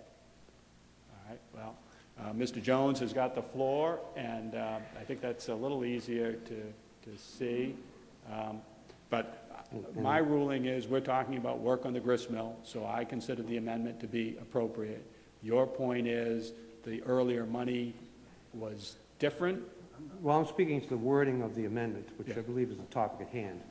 And uh, it is historically inaccurate, inaccurate, and when it calls for breach, it actually, that warrant article referred to decommissioning, not breaching the dam. It may be the same thing in some people's minds, but I don't see why we cannot use the same word that was used in the original warrant article when we're referring to the original warrant article. Okay, so I'm going to do this, because I want to take one amendment at a time. Well, that was as just the we first discussed. sentence in the notation. So- The second sentence has a similar issue uh, in that um, uh, it it refers to the word breach. Again, the town voted not to breach the dam. It means not to, it it voted, it didn't vote to not do something. It voted to rebuild the dam Yeah. by six votes, Okay. 0.12% over a majority versus the 72.5% to decommission. So in any case, these things are uh, skewing history at best and just historically wrong in some instances. If I could get that screen to scroll a little bit further, uh, I have additional problems in here. Uh, And and it says in the last sentence, uh, if this article does not pass, the previously raised amount will be surrendered to surplus. Well, I thought we were educated this year, there's no such legal language as surplus. It's actually the unassigned fund balance. Okay, so, And also, that last phrase, and the project will be canceled. Well, that's not true. The only thing that would be canceled would be the funding, using this as a funding mechanism for the project. It Doesn't mean we couldn't vote to have a project done by some other means. Okay. So it's completely distorted in terms of how the viewer will read it. Okay. These are just some of the problems I have with the amendment beyond my still question about whether there's a substantive change here from the original Okay. warrant article. Thank you, Mr. Moderator. All right.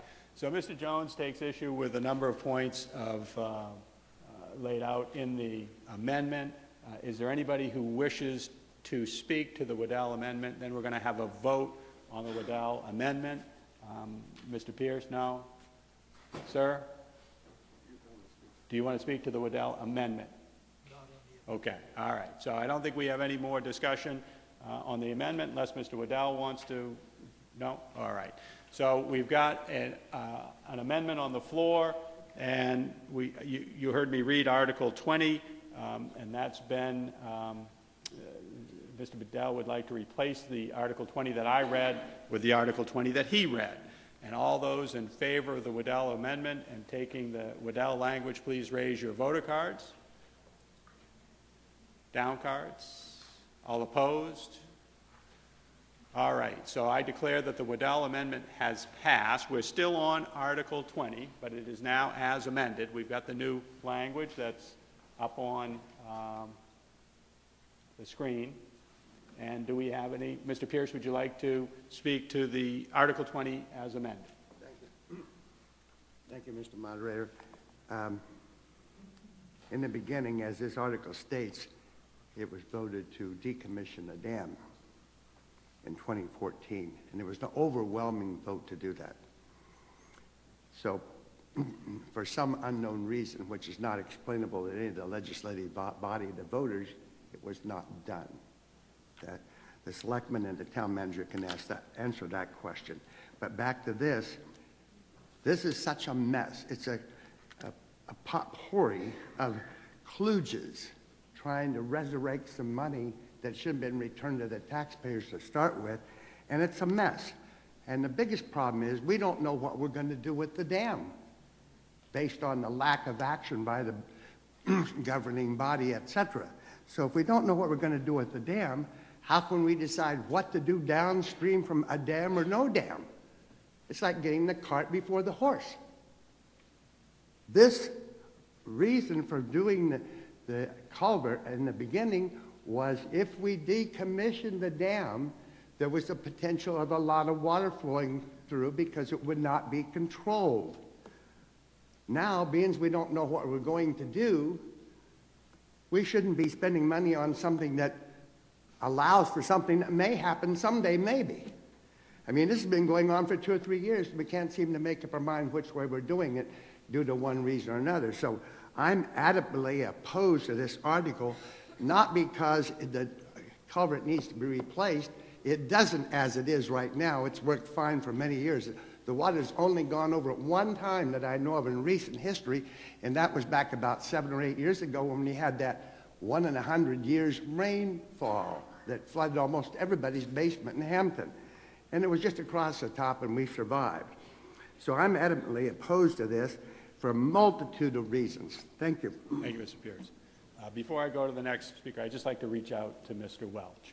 If this article were to pass, the amended article, um, as I understand it, some 300 and, what, 82, 385 approximately, $385,000 would be available to do what? Just in simplistic terms, what would Article 20 as amended do if it were passed? If it were passed, Mr. Moderator, the funds that were made available through this, this motion and, and the approval would in fact replace the culvert under High Street with one that is uh, hydraulically um, in conformance with the engineer's estimates, and it would uh, complete a study, a drainage study of um, Meadow Pond. Okay. Our next, yes, sir.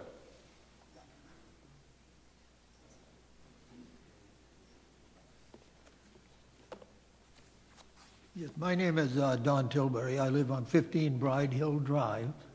And uh, my point tonight really is brought up because of all of these projects that are going on. And I'm going to bring up that a project out on Bride Hill Drive that had been ignored for 20 years, more than 20 years, and it's a flooding situation. So I brought it up with the Public Works Department and uh, Mr. Welch, and nothing's been done. And that's the only reason I bring it up, to make it public. I'll be talking to them more later. Thank you, Mr. Tilbury. Before I get to Mr. Jones, who's spoken on this article. No, I spoke on the amendment. Spoke on the amendment? You're correct. Come on up. Then Ms. Barnes. Thank you, Mr. Moderator. Um, I also do not support this warrant article. However, I do see opportunities to make it better. And so therefore, I move that we strike the last four words in the notation, those words being "and the project canceled." Can I get a second? There's no reason this project needs to be canceled. This is warrant article doesn't pass. Thank you. Second, Ms. Latimer. Okay, so now what I'm going to ask you to do with Mr. Kilroy's help is I'm going to get you just to write. you know, Strike the last Strike words. those like, last words out. We've got a second. um, Can you, can you give Mr. uh, Yeah.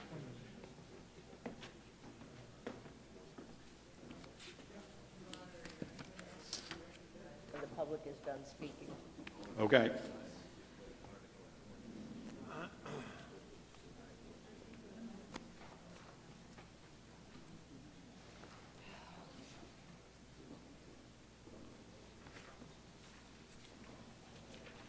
Thank you.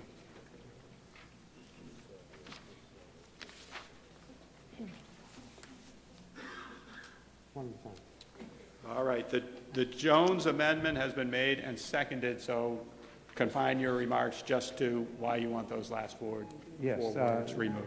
There is no reason to be conveying to the voter that if he doesn't pass this warrant article, the project will be canceled. As I said earlier, I don't support the warrant article. I do support the need to do the work. This is not the right mechanism to do it. But we can improve the mechanism. We can certainly improve the message we're giving the voters. The project will not necessarily be canceled if this warrant article fails, and it shouldn't be conveyed to the voters as, as, as a cancellation. Thank you. Thank you, Mr. Jones. Anyone else wishing to, Ms. Myers, you want to speak to the amendment? The Jones amendment, just the four words staying in or coming out? Okay, all right. Uh, Ms. Woolsey, did you want to speak to the Jones amendment? No, not to the amendment. Okay. Anyone else up here wanting to be heard on the Jones amendment? Anyone in the audience on the Jones amendment? We're going to have a vote on the Jones amendment. If you're in favor of the Jones amendment, raise your voter cards. That means striking that language, those four words. Down cards. All opposed? All right, the Jones amendment has failed. We're back to the language provided by Mr. Waddell and Ms. Barnes, if you'd like to speak to Article 20. Regina Barnes, 95 Presidential Circle, which is directly off Winnacunnet, which runs parallel to High Street. And it apparently in 2014, we appropriated $235,000 for this project. I believe the project is necessary because High Street does flood and the culvert does need to be replaced. Thank you. Thank you, Ms. Barnes. Uh, Mr. Znoy. Yeah, Jerry Znoy, 16 Presidential Circle. I'll try to be brief here. The 2014 article called for $235,000, 147.5 were to be supposed, supplied by the state with a grant. The tax impact indicated uh, to the taxpayer was only the uh, 87,500. That was the tax impact of the 2014 article. Your tax impact would be only for 87,500. Come to find out, the whole 235 was taken and taxed the taxpayer and put now in the available column on the budget. Now they're asking for another 147 because they didn't get the grant because the, because the dam wasn't decommissioned. Bringing the total to 382 or thereabouts. Nowhere have I seen anybody cost these things out. The Stevens report was a very thorough engineering report about this gristmill dam and the culvert and all the drainage into the dam, uh, the water behind the dam. It indicated, and I quote it from page six, on a 50-year storm, you might have 0.1 inches over the top of High Street. On a 100-year storm, you might have 0.3 inches over the top of High Street. Page six.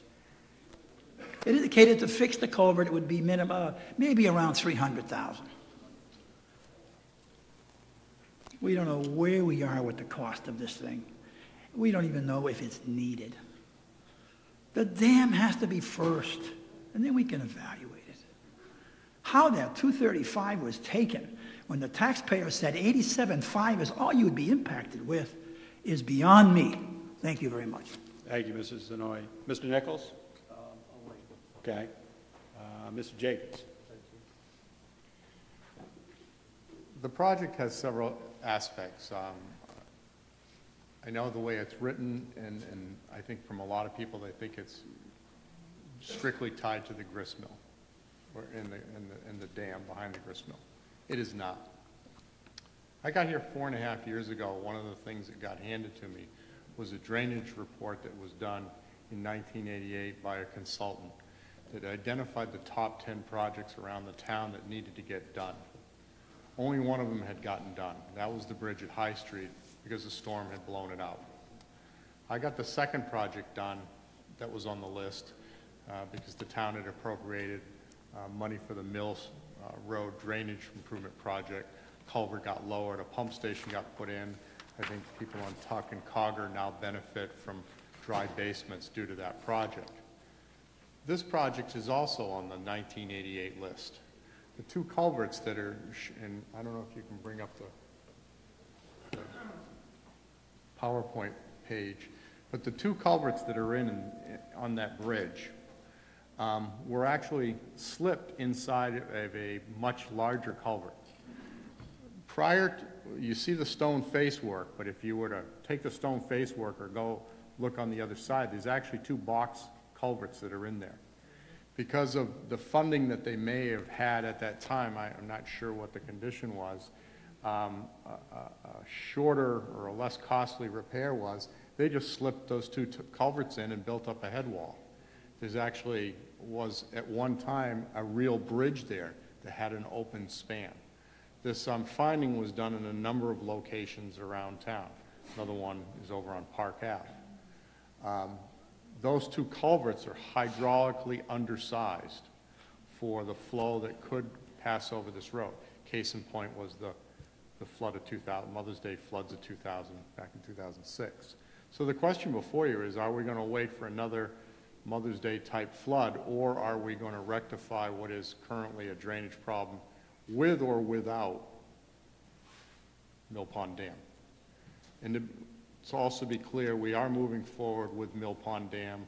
Uh, On February 3rd, there's five of us sitting down to interview four uh, engineers, uh, consulting engineers that have given us uh, qualification statements to proceed with the final um, dam reconstruction. So we are moving forward on that project. The other component to the money that's being asked for is a drainage study for Meadow Pond. When that bridge was put in on High Street, we're not sure if it was put in too high or if it changed the hydraulics of Meadow Pond, but the people on, between where the dam is and, and Ocean Boulevard, you, you know where I'm talking about, those culverts, or uh, those condos that are on the, let's see, they'd be on the north side of High Street, that area regularly floods. So the drainage analysis that we're asking as part of this funding is attempting to correct that problem, show us how to correct that problem. Also, the people on Green Street, uh, Gation, um, I regularly get complaints from them that they have water in their yards. Um, They've called, they've gone even as far as called the EPA. So part, part of this money is to resolve those issues also, because hydraulically, they're all interrelated. So um, I'd ask for your support of this project. It would help guide us, the department, the Board of Selectmen, how to make other improvements in that watershed. Thank you. Thank you, Mr. Jacobs. Mr. Nichols?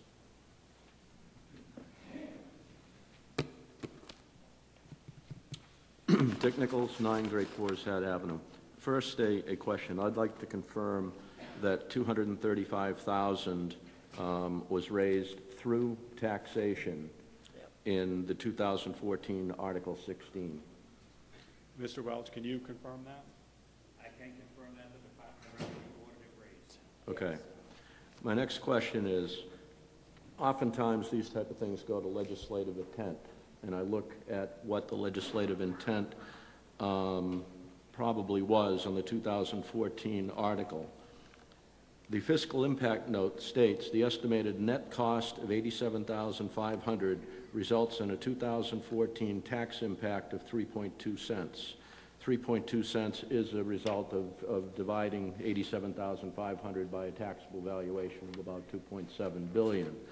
Therefore, it appears to me, and this is much broader than just this article, that somebody has decided that fiscal impact notes are non-binding.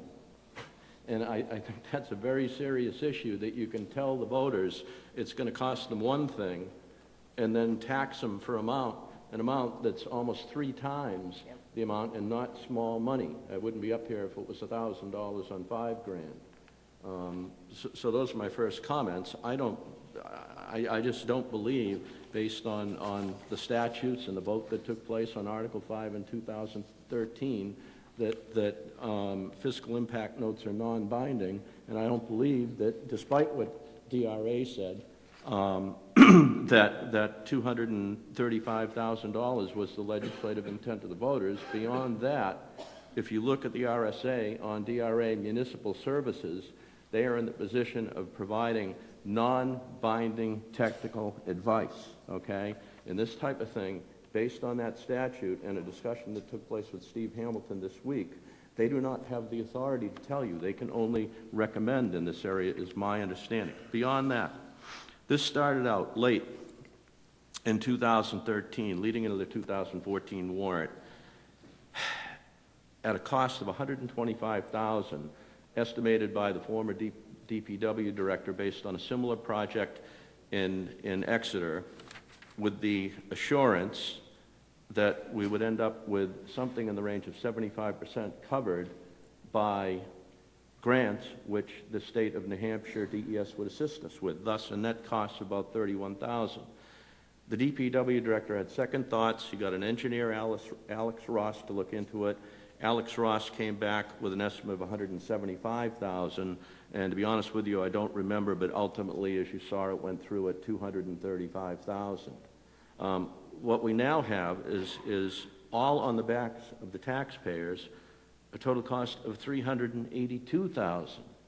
It, it, it's just not making a lot of sense on, on so many different levels. I, I think that the, the, the proper approach to this is, is to just, you know, and, and I'm not having any issue with what the DPW director said. I think there are two problems that, that need to be fixed. I think one problem is the technical problem associated with the capacity of the culvert to deal with flow rates. I think, I think we also need at this deliberative session to, to fix the second problem is, is the manner in in which we appropriate money, and I think we need to stick um, to the, the, and view the fiscal impact notes as binding.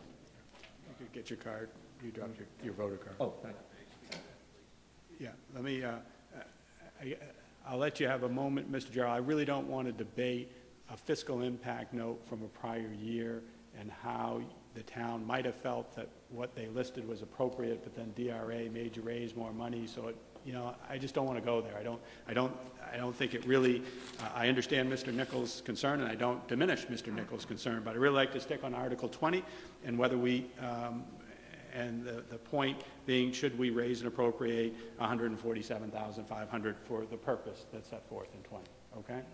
The fiscal impact notes are, a best estimate at the time of, of what the ultimate cost will be. I, I don't think you can say that that's, that's going to be the binding or non-binding language. It's just the best estimate at the time. Now, what happened actually in, when a DRA went to setting the tax rate that included Article 16 back in 2014 was they had us raise the full, as I understand it, they had us raise the full amount of $235,000, and then they netted out in revenues the full amount of $147,500, which was not in fact uh, received. We did not learn until that that was not in fact received until after the 2015 town meeting. So there was no way to address that situation. And uh, and this Article 16 was actually, is actually non-lapsing until March 31 of 2018.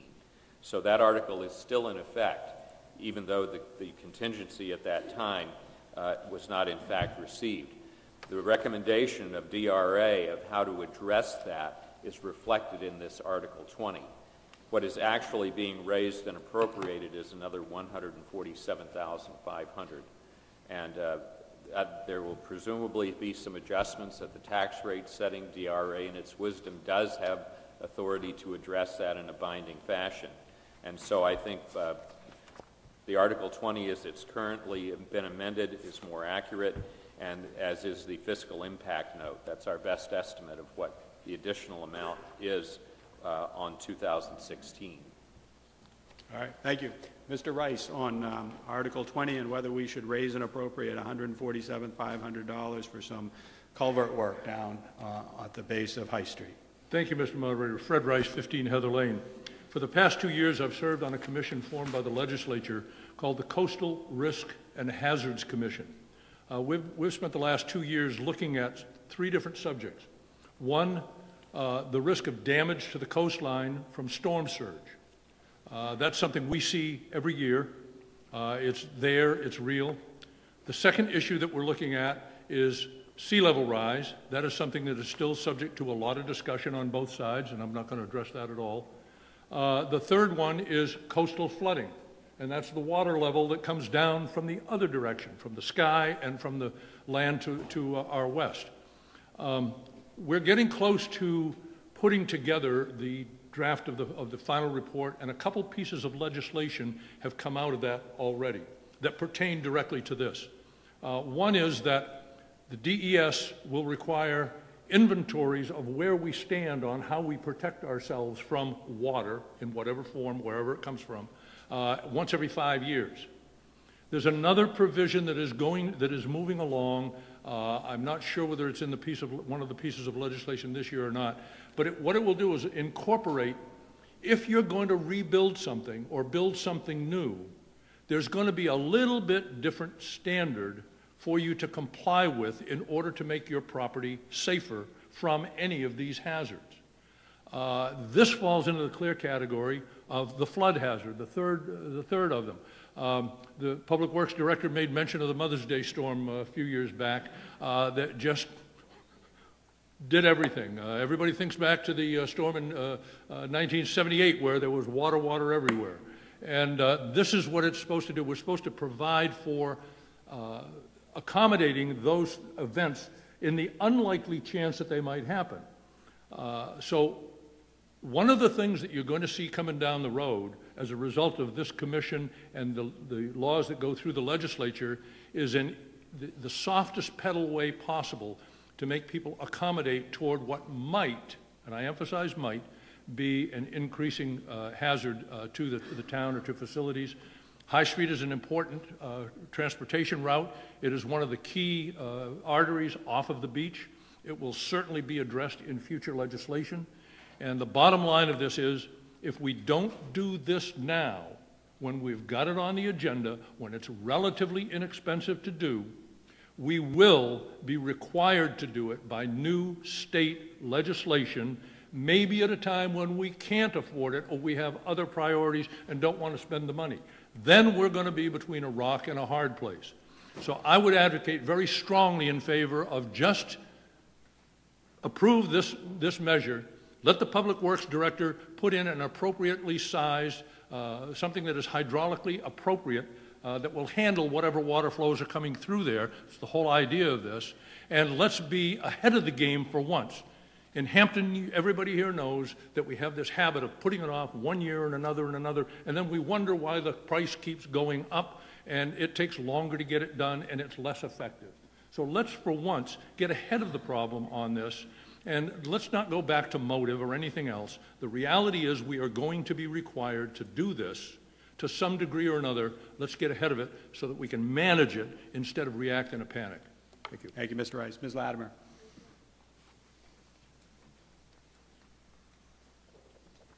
I think when you have a warrant article like this that DRA has to totally rewrite and the moderator has to turn around and ask the town manager what it means, I think that's a pretty good sign that the warrant article itself is a mess. I don't know how you do a study at the same time that you're doing the culvert. Um, This was to take apart the dam that was voted for, to rebuild the dam that was voted for, now to put a culvert in from the dam. And my question is, once you widen that culvert, who are we going to flood out on Kings Highway? And I'm not sure any of that's answered or any of this is clear. I will say that we spend half a million dollars a year in administration in this town, and I find this warrant article a mess. I'm not opposed to correcting a default in that culvert, coming to terms with what was voted on for the pond, because people do vote and they have the right to do that, and we have to abide by those votes. But I think that this article is, it has been from the beginning a mess and should go back to the drawing board for clarity and might have to wait another year. Thank you, Ms. Latimer. Anyone else wishing to be heard on Article 20? Yes, Mr. Waddell. quickly uh, refute a couple of things that have been said, and one would be anybody that drives down uh, High Street, you have the ocean, you have the, you have the pond, and you have the, uh, the marsh, all right? So you've got water all over the place. It floods all the time.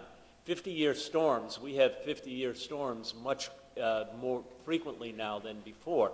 I went to a conference in the uh, fall at the Ashworth uh, National Conference on sea, seawater rise, it's tide rising, as Mr. Rice said. And there was a, a very uh, sharp mayor from New Jersey there who had been uh, impacted by Hurricane Sandy. And her whole point was that be proactive, don't be pr- reactive. Do things before it happens, or else you're going to pay in the end. You're also going to save on insurance, flood insurance for people and stuff if you do it. So I think it's very important to be proactive. And I think people, anybody that's written down there knows there's water all over the place and you need the proper drainage. Thank you. All right, thank you, Ms. Waddell. Not seeing anybody else, we're going to move on to Article 21. Article 20 is going I to, asked to be recognized when everybody was through. okay. You all set? Okay. Let's, let's look at, at this with common sense. We have built, like many other communities, all over the place in the marsh and where it's full of water. Kings Highway. You have Meadow Pond area, west of Kings Highway. Uh, over in Bride Hill, which is the western side of town, the development that's going to be taking place west of I-95. Mo- most of Hampton is wet. Number two, the public voted to authorize decommissioning the Mill Pond Dam in 2014, predicated partly on the state's uh, offering of a grant, an offsetting grant. The state and other states, and Mr. Jacobs showed uh, pictures of other locations across the United States on Channel 22. Countrywide, the, the trend is to discontinue dams, especially the small dams like this one in Hampton. Uh, we voted to decommission it, that was not done, and the replacement of the culvert was predicated upon decommissioning that dam. The following year, in 2015, when we voted to change reverse position and go ahead and reconstruct the Mill Pond Dam, A, there was no valid quote from any engineer. That was a guesstimate from Stevens Engineers. And B, there are no grants anywhere in the state of New Hampshire for rebuilding the dams. So we lost the grant. I'm looking at these figures, which are all over the place, and I will say this to you. Do we need to improve the drainage on High Street? Yes. I want to see the drainage on High Street and the culvert done at the same time as we either decommission that dam or rebuild it. We're going to have to do one thing or the other. That's where we're stalling. That's where we're dragging our feet. If the figure comes in really high from the engineers, as Mr. Jacobs said, in next month or in March, then there's probably going to be a problem for the public finding the extra money because right now there is not enough money to rebuild that dam. So what I say is I want to sit tight. The whole town hasn't washed away yet. We're probably getting close, but it hasn't washed away yet. I'm going to move to have the amount of money requested in this article sit at $1 one dollar for money. Give us another year to see if we can pull this together and either rebuild that dam, in which case there will be no grant, but the culvert will be redone, or decommission and redo the culvert at that time. We do half measures all the time around here. If we're going to do the project, we're going to have to do the project in that location. Let's do it right. So I'm going to hand the moderator my amendment to reduce the amount of money requested here to $1 until we can pull our act together and figure out what we're going to do in that location. All right, so we have an amendment uh, to reduce the sum of $147,500 to $1. Is there a second? Seconded by Mr. Pierce. Thank you. Thank you.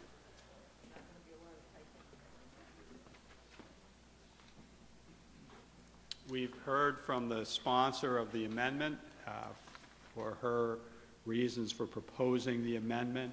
Uh, Is there anyone, we've talked a lot about this article. Uh, Is there anybody who wants to speak to the Woolsey amendment? Mr. Pierce, do you want to be heard? You were a second on the amendment. Do you want to be heard on the amendment? If I may. Yes. And then Mr. Griffin.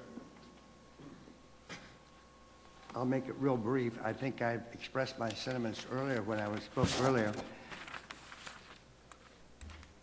We are going to redo the culvert before we decide what to do with the dam, which has a lot of water behind it in theory when it works, or none if we decommission it. So what does that mean about the culvert? This particular culvert, culvert does not take care of the problem that you have when you go down there almost every other day with the tide being super high, maybe once a week, whatever, the water going across between the condos from one into the meadow pond from the north side.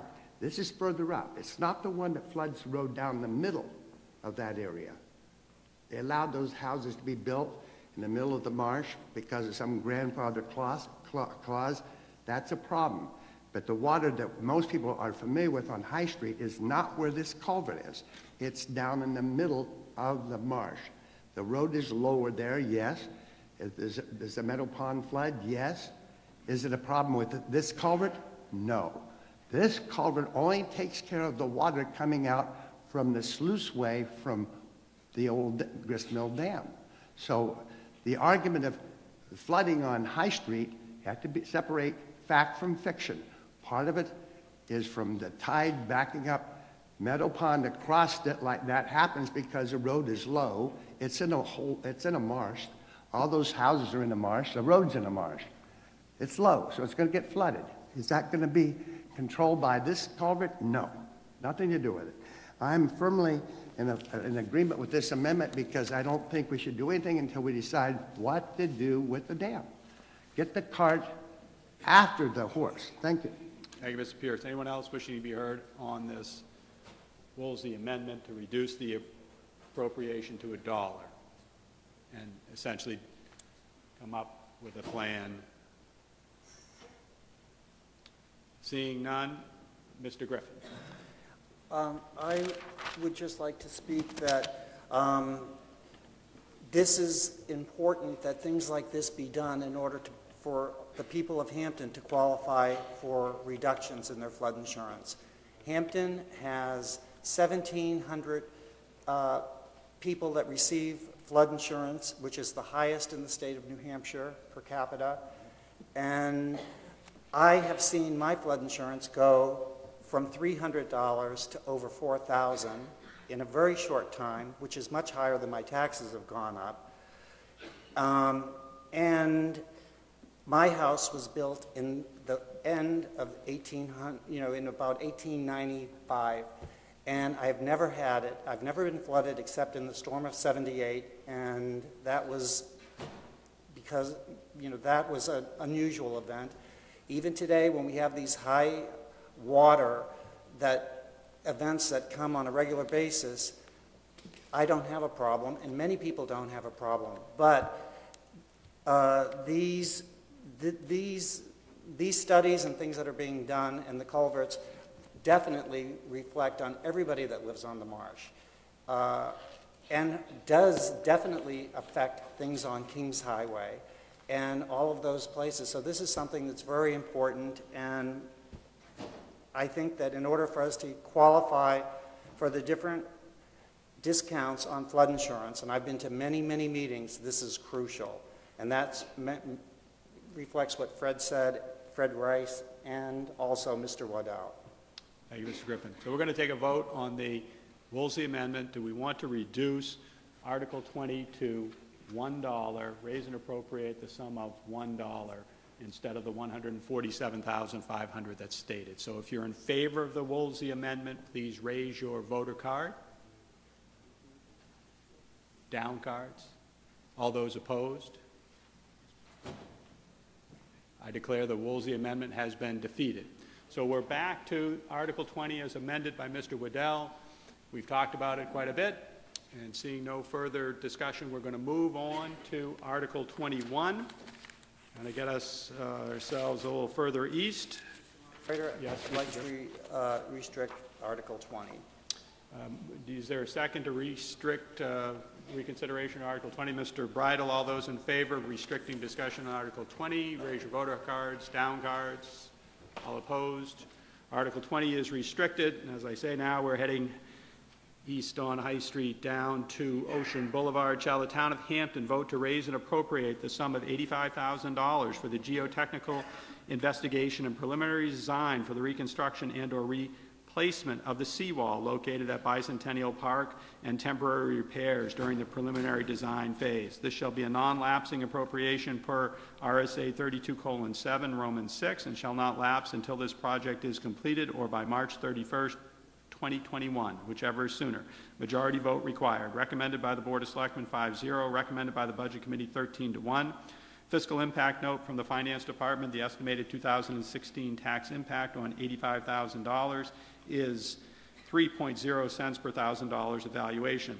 Is there a motion to open discussion on Article 21? Moved by Mr. Bean, seconded by Mr. Bridle. Is there someone who would like to speak to Article 21? Uh, Ms. Hale? I will keep this as brief as possible, but I would like to just pull up the slide for Article 21. Uh, very important to understand that the money being requested here is so that we can determine what is the next step to have that plan that everybody keeps asking about and how best to move forward in what is apparently and very prudently needed if you look at the pictures that are on the slide. Uh, the bicentennial wall right there is falling. It is pieces of it are crumbling. The state has done repairs to their section of the wall. Our wall sits significantly lower than theirs. Uh, we are uh, in a situation where this wall was co- uh, constructed over time in different segments as part of the old Coast Guard wall and then added to and uh, added to and in some cases even added to. Uh, so basically what you're looking at here as part of this warrant article is to give us the tools and the resources that are needed to put together the accurate uh, costs that would be either associated with repairs and or reconstruction uh, in the future. So again, uh, this includes a geotechnical investigation that is expanded above and beyond anything that has been done in the past, and that is very important. Uh, there's information that is needed to be able to make the next judgment calls. It includes the survey, both uh, elevation-wise and anything that we would ever need for permitting uh, as we move forward. It would include preliminary design so that accurate cost estimates by an engineer can be conducted. A small portion of this article uh, is also uh, set aside for any temporary repairs that we do need uh, while we were getting this work done. So I just wanted to make it very clear that what this is for, and that is all I have to say. Thank you very much. Anyone? Uh, Mr. Griffin? Yes, I would like to say this is another thing that, again, reflects the um, problem that we have with flood insurance. Um, and people think, well, maybe I'm, I'm not affected by flood insurance. Well, you are because every, with these uh, major amounts that people are paying for flood insurance, it's reducing the values of their property, which means there's a less of a tax base and everybody's paying more. A good example of, and one, this particular wall is one of the biggest complaints we receive from, um, especially from people that visit the town of Hampton, uh, tourists. They don't understand how this could be. And Another example is about the problems with flood insurance that is the Dory Inn um, on the North Beach area. Their flood insurance has gone from 13,000 to, I believe, 92,000. And all these flood insurance amounts are going to go up 25% for the next four years. So instead of my, mine will be 5,000 next year and end up four years from now at 8,000, which is exactly what I pay for insurance. This is a major problem in Hampton, and things like this need to be addressed in order for the flood insurance to be, have a possibility of being reduced in the future. Thank you, Mr. Griffin. Anyone else wishing to be heard on Article 21? Seeing none, Article 21 will appear on the ballot as printed. Article 22, shall the town of Hampton vote to raise and appropriate the sum of $45,650 for the maintenance, repair, reconstruction, and replacement of sidewalks as needed, including $5,000 for the installation of ADA-compliant ramps at crosswalks. This shall be a non-lapsing appropriation per RSA 32:7 Roman 6 and shall not lapse until this project is completed or by March 31st, 2017, whichever is sooner. Majority vote required, recommended by the Board of Selectmen 5-0, recommended by the Budget Committee 14-0. Fiscal impact note from the Finance Department. The estimated 2016 tax impact on $45,650 is 1.6 cents per thousand dollars of valuation. Is there a motion to open discussion on Article 22? Moved by Mr. Bridle, seconded by Mr. Waddell. Uh, Mr. Bridle, will you, do you wish to be heard on Article 22? Uh, I'll defer that to the Public Works Director. Mr. Jacobs? How we came up with the $45,000 is it's actually, we just added up what we could have or should have spent the last three years. Um, As some of you have seen, um, the department has taken action on a number of fronts this year, and sidewalks is one of those. Um, There was uh, some major trip hazards outside of Town Hall. I got all three divisions, the sewer drain, the highway, and my carpenters to all work together to share the workload, and we got that fixed. Uh, We invested uh, in the proper tools to do it, and uh, so we're going to be moving forward in 16 with a number of sidewalk repairs around town. There's a number of missing or non-existent ADA-compliant ramps at crosswalks. Uh, The target project for this money is Towle Ave. Um, if any, I don't know if anyone's used that sidewalk uh, recently. Um, It's essentially, the top surface is not there. It's all spalled away. Uh, So again, I'd use the combination of our forces and possibly outside forces um, if we need, need the help, and uh, that's the sidewalk that we concentrate on. Uh, My uh, comment to the Board of Selectmen and to the Budget Committee is, if you give it to me for trees, for sidewalk, I'm going to spend it all in that effort. Thank you. Thank you, Mr. Jacobs. Anyone else wishing to be heard on Article 22? Seeing none? No, excuse me, Mr. Griffin? I would just like to say that I regret that I was set on the several boards of selectmen where they did, took this money from the sidewalks and didn't spend it like it was supposed to. And many of those are the same people that are complaining here tonight, today. And I think that we need to spend it on the sidewalks instead of like we did in the past, just push it away. Thank you. Thank you. Seeing none, no further uh, interest on speaking on Article 22. Article, Mr. Griffin. Motion to restrict 21 and 22. Motion to restrict reconsideration of Articles 21 and 22. Is there a second? Seconded by Mr. Waddell. All those in favor? Raise your voter card, down card. Any opposed? Articles 21 and 22 are restricted from further discussion. We're on to Article 23.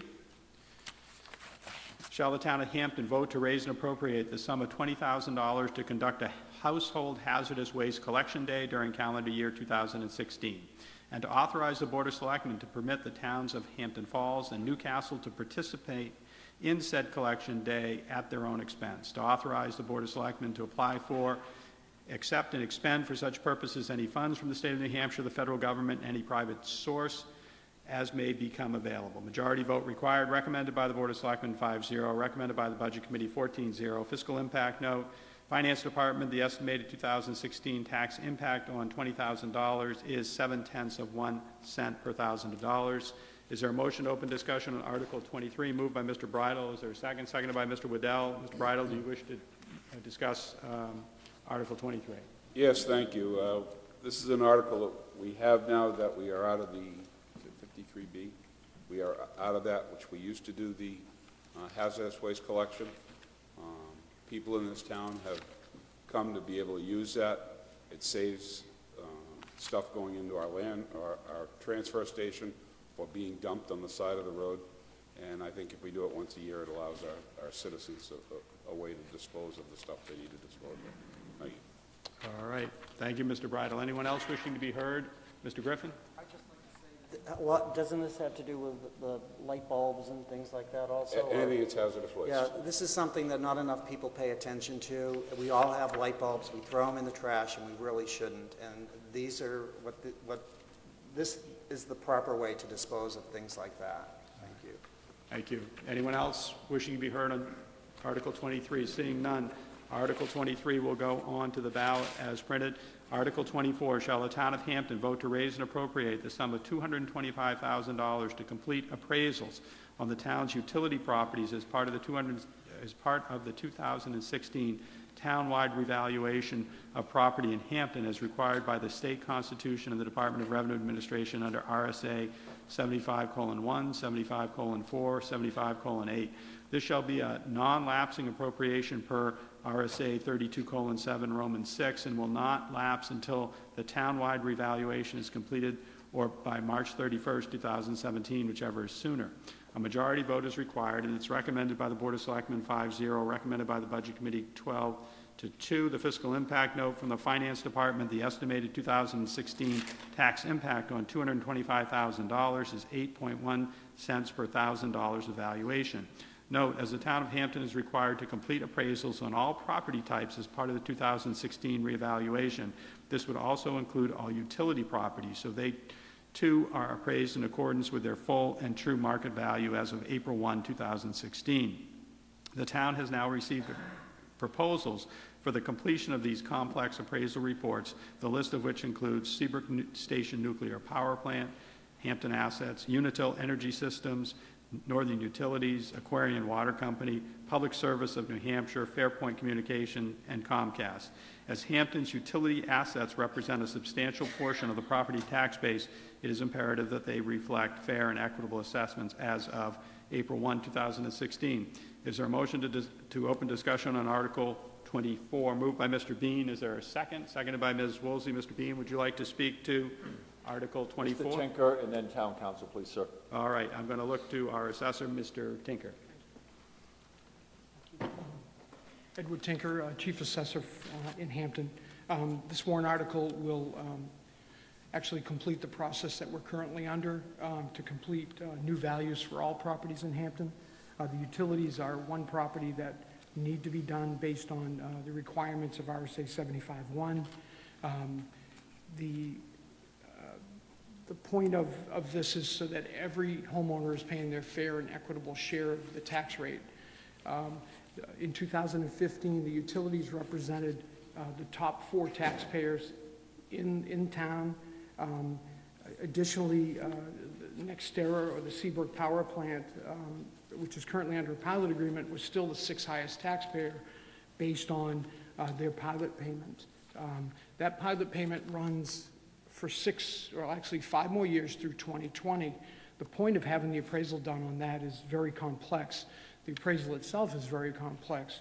We were able to um, secure an appraiser out of Boston that specializes in these appraisals.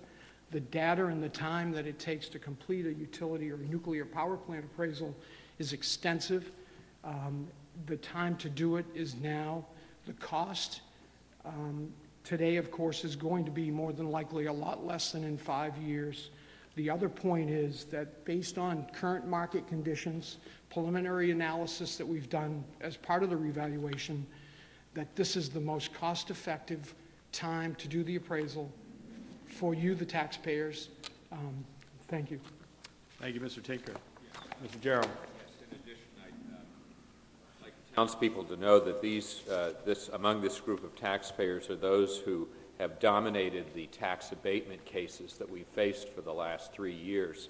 Um, and in particular, the Fairpoint Communications has brought suit in Superior Court against 140 municipalities. And it's very important that, uh, that this be done, uh, appraised now, uh, so that we'll have the appropriate figures in which to fight cases like this, because these are the, among the highest taxpayers in town who are seeking to have their share be lowered, at which will be the expense of all other taxpayers.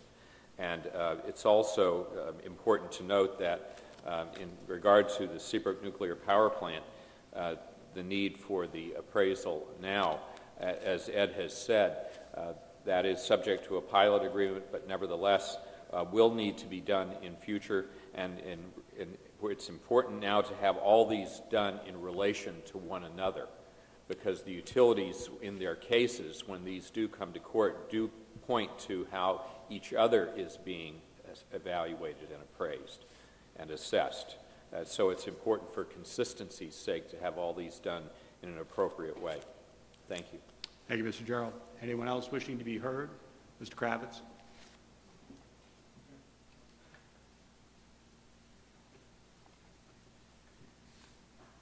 Uh, Sonny Kravitz, 8 St. Stair Drive.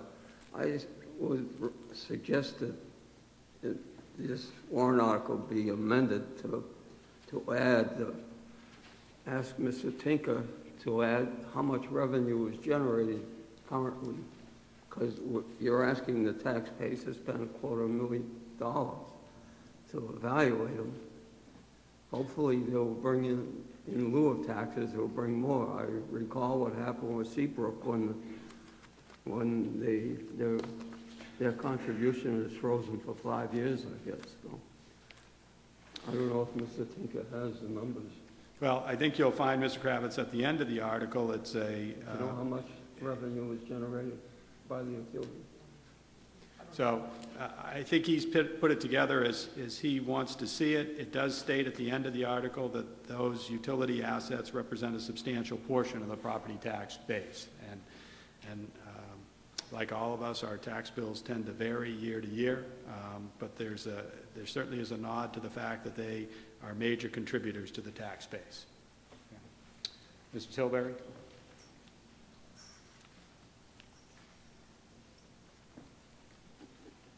Yes, uh, Don Tilbury, 15 Bride Hill Drive, and I have a question regarding the taxes from the nuclear power plant. Uh, Somehow, those taxes were reduced by a threat, threat, I'm sure. We'll take you to court if you don't do something about that taxes. And the only thing is, my taxes went up all these years, and their taxes go down. I'd like to know why. Thank you, Mr. Tilbury. Mr. Tinker, do you have any commentary on um, whether uh, the power plant taxes have gone down, and if so, uh, whether it's been recent or whether it's a depreciation issue? Right. No, the, um, as uh, our town attorney was saying, um, all utilities this year, or at least in the past five years, have filed abatements and appeals. Um, So we have uh, negotiated or uh, gone to uh, court, uh, the BTLA, and um, the result is that we uh, win some, we lose some, and, uh, you know, because the utilities have been a big part of that for the past five years, and NextEra being one of them, um, we had, we ended up negotiating the current pilot program. Again, remember, the utilities are all basically in the top five or six taxpayers, um, and that's the point of this warrant article, is that we want them to be valued at fair market value. We, we, we feel that they should pay their fair share as well as you, uh, every homeowner, and that, that's the point of this warrant article. Thank you, Mr. Tinker. Yes, Mr. Waddell? You know, one of the problems is that, and, and our state representatives and our state senator has been fighting this up in Concord constantly, is that there's a, a pollution control exemption that you, that companies get. And, uh, you know, it, it, if you don't negotiate with them something, you could end up with zero. And Renny Cushing, you can talk to him. He has filed a bill for the last three sessions, I think, trying to repeal that exemption because it's not an exemption necessarily on what is a pollution control. It's an exemption on, on pipes that water inflow and outflow of water that they need for cooling. So it represents a very uh, complex and difficult problem for the town. So it's necessary to get this evaluation done so that when we go back, that we'll have some, uh, some ammunition. Thank you. Thank you, Mr. Moderator? Yes, Mr. Griffin. I would just like to say, too, that uh, this should have been done before on the other boards that I served when we were fighting the Seabrook Power Plant, and because we didn't do this, this is why Mr. Tillsbury's insurance uh, taxes have gone up. We weren't prepared to, to fight back, and this should have been done long ago, but we penny, penny pinched on the other boards that I was on, and this is the result. Thank you. Uh, Mr. Znoy?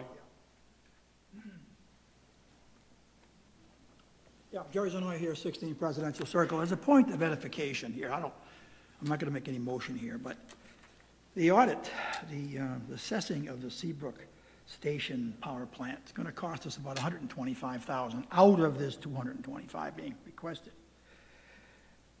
It's not going to get us one dollar of taxes because the town has a payment in lieu of tax agreement for the next five years. Yes, it'll go into the valuation, but it'll be non-taxable. So we're going to spend 125,000 out of the 225 to gain nothing in terms of taxes. I'd like to see us wait until at least 2019 or 20 and then do a full-up assessment when it makes sense in the next five-year cycle of reassessment. We're not going to gain one dollar of taxes out of this, this assessment. It's going to cost us 125 out of the 225. I, I, I just, I need, I needed to provide that edification to you. Thank you. Thank you, Mrs. Znoy. Uh, Mr. Bean? The reason uh, the gentleman's taxes from uh, Bride Hill went up is because uh, uh, the Ways and Means Committee, uh, the Dread Commissioner, uh, Concord, those around the flagpole, have permitted this uh, RSA 7712 to allow for a pollution control exemption. It has been, it has been approved by those in Concord. It has been fought by our, our delegation unsuccessfully. Most recently, where that, that law was uh, amended, or that, that effort was amended by Senator Cushing, uh, it's been unsuccessful. Your town representatives, to include the selectmen, have worked very diligently with the New Hampshire Municipal, Muni- Municipal Association, uh, and we have not been able to crack that beast yet, but we will. This, in all likelihood, this effort will probably end up in the tort arena. Uh, we have no confidence in the legislative process. We think this belongs before a judge. Those of us that have researched it, those that are, of us that have approved it, where it does not come down to people from the rest of the state that enjoy lower taxes at our expense. So while the legislature has uh, endeavored to pursue this in legitimate legislative channels, that's not going to happen. So going forward, we're going to redouble our efforts.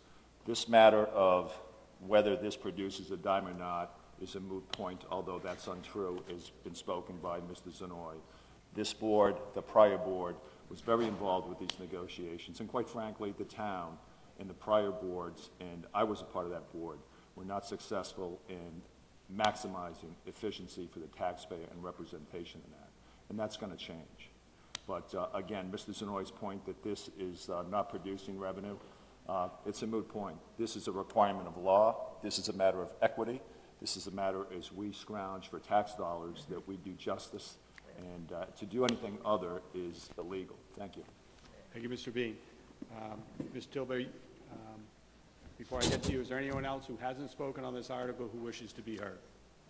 Seeing none, Mr. Tilbury, and then we're going to move uh, to the next article. Go ahead, Mr. Tilbury.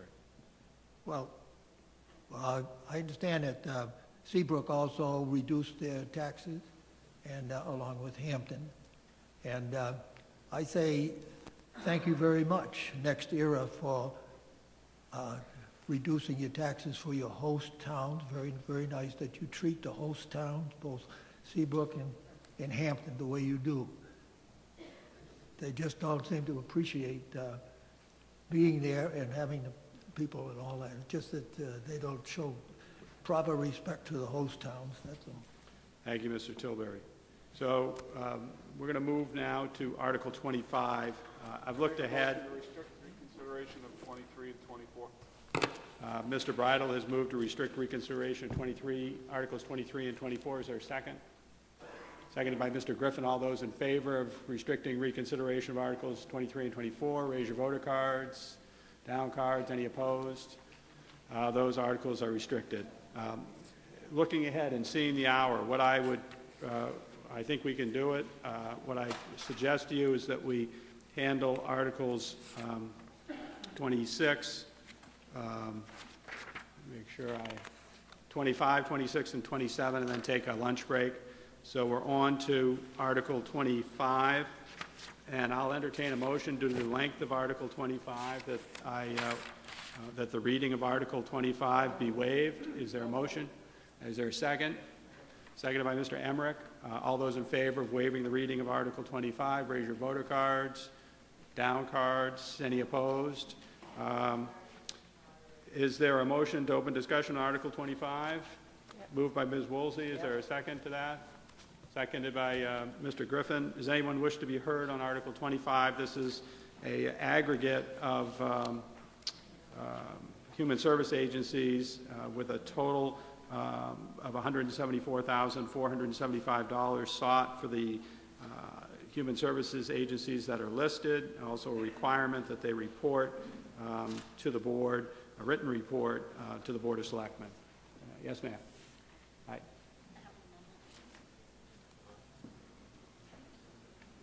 You're going to go to the, uh, can you go to the microphone and and state that amendment? That's your amendment, so. Um, Corinne Baker, 244 Exeter Road. I have an amendment for this warrant, which would read to amend Article 25 as follows. Change the 2016 funding request for Seacoast visiting nurses from $40,000 to $35,000 and add end 68 hours of hunger for 2016 funding request in the amount of $5,000. All right, before you speak to that, is there a second to Ms. Baker's um, article, uh, amendment? Seconded by Mr. Lassard.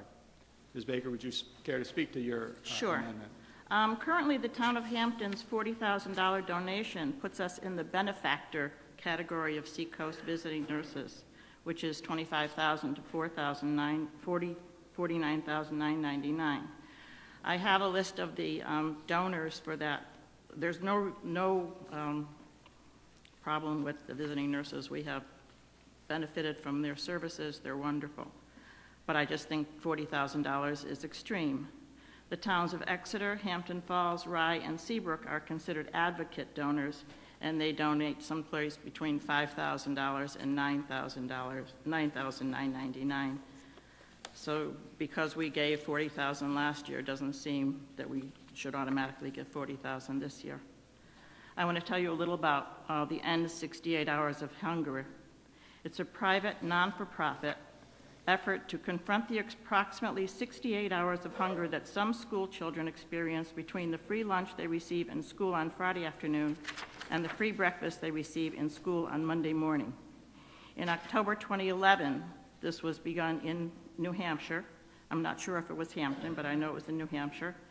And we began feeding 19 New Hampshire children. Yeah, Mrs., uh, Ms. Baker, I, I'm tuning in a little bit late to your amendment. Yeah.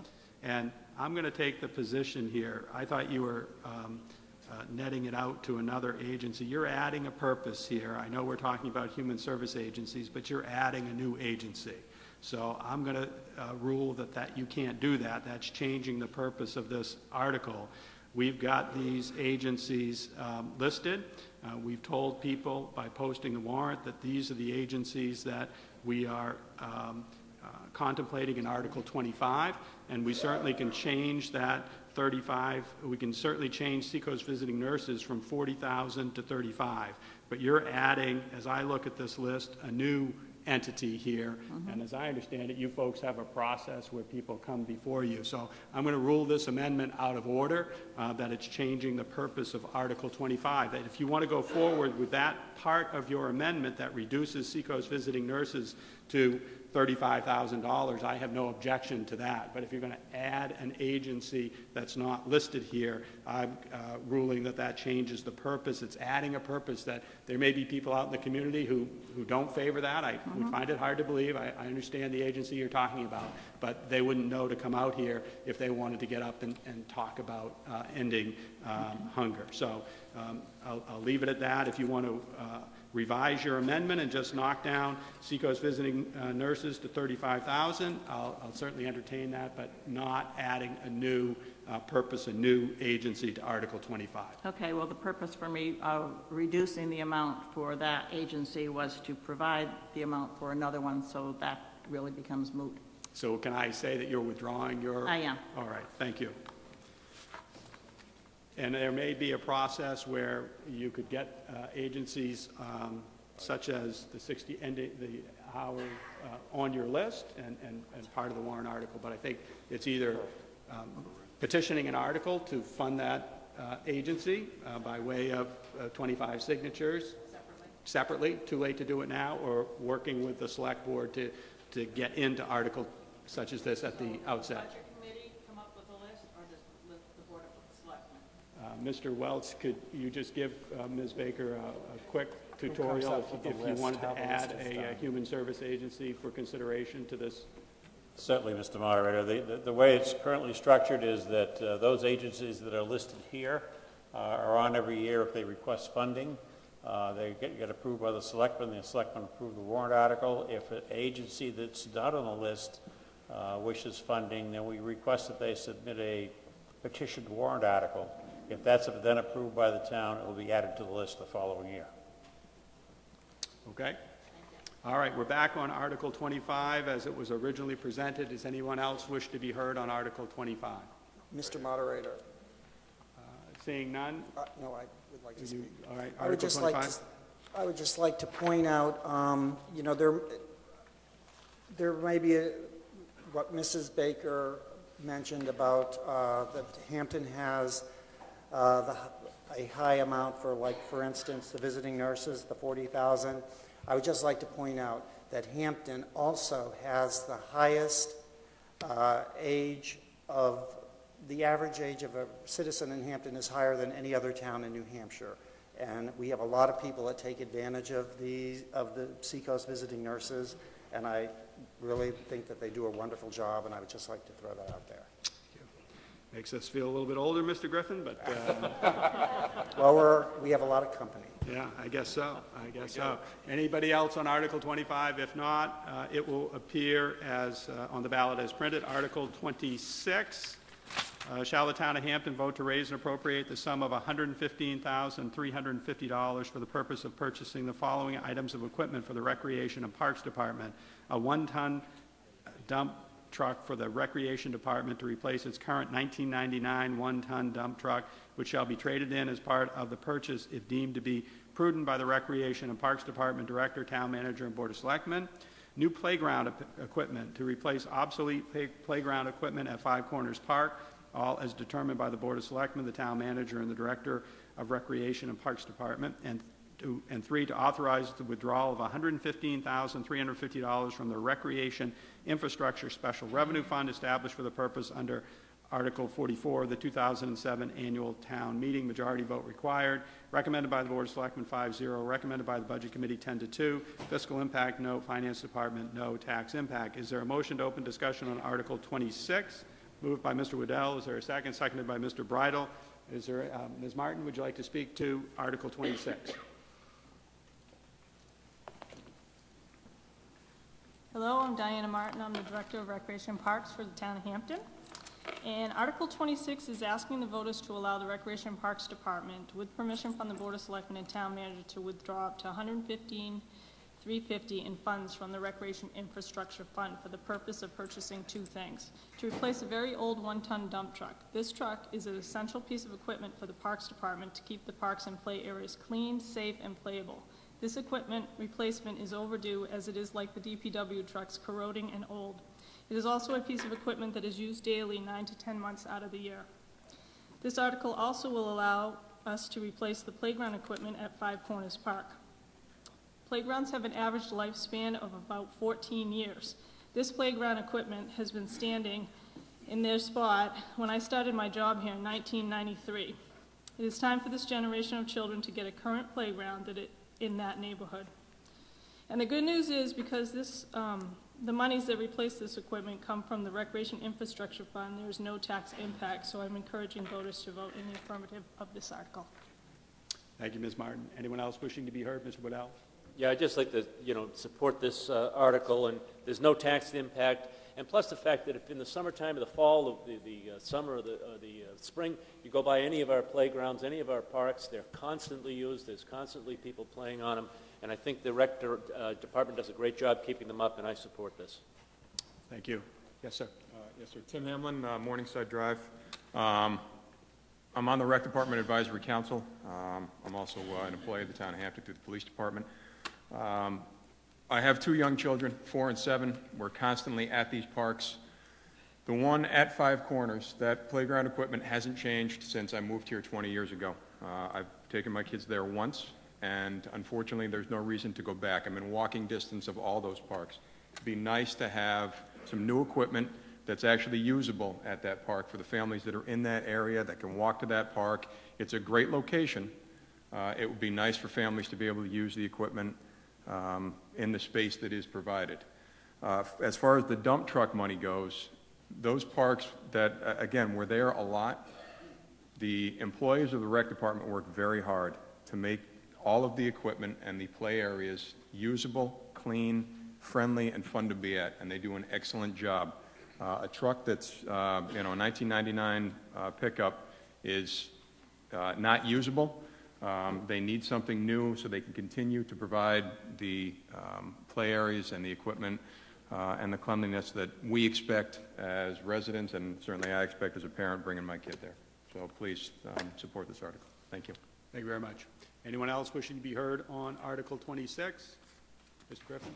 I'd just like to say that, again, this is another case of, uh, in past boards that I've been on, we have not uh, improved things like this uh, playground equipment, and like it's been stated here, this is not going to raise the taxes, and this is very important in trying to make sure that we have things like this for the kids of Hampton, and the- a lot of people use the, the parks that we have.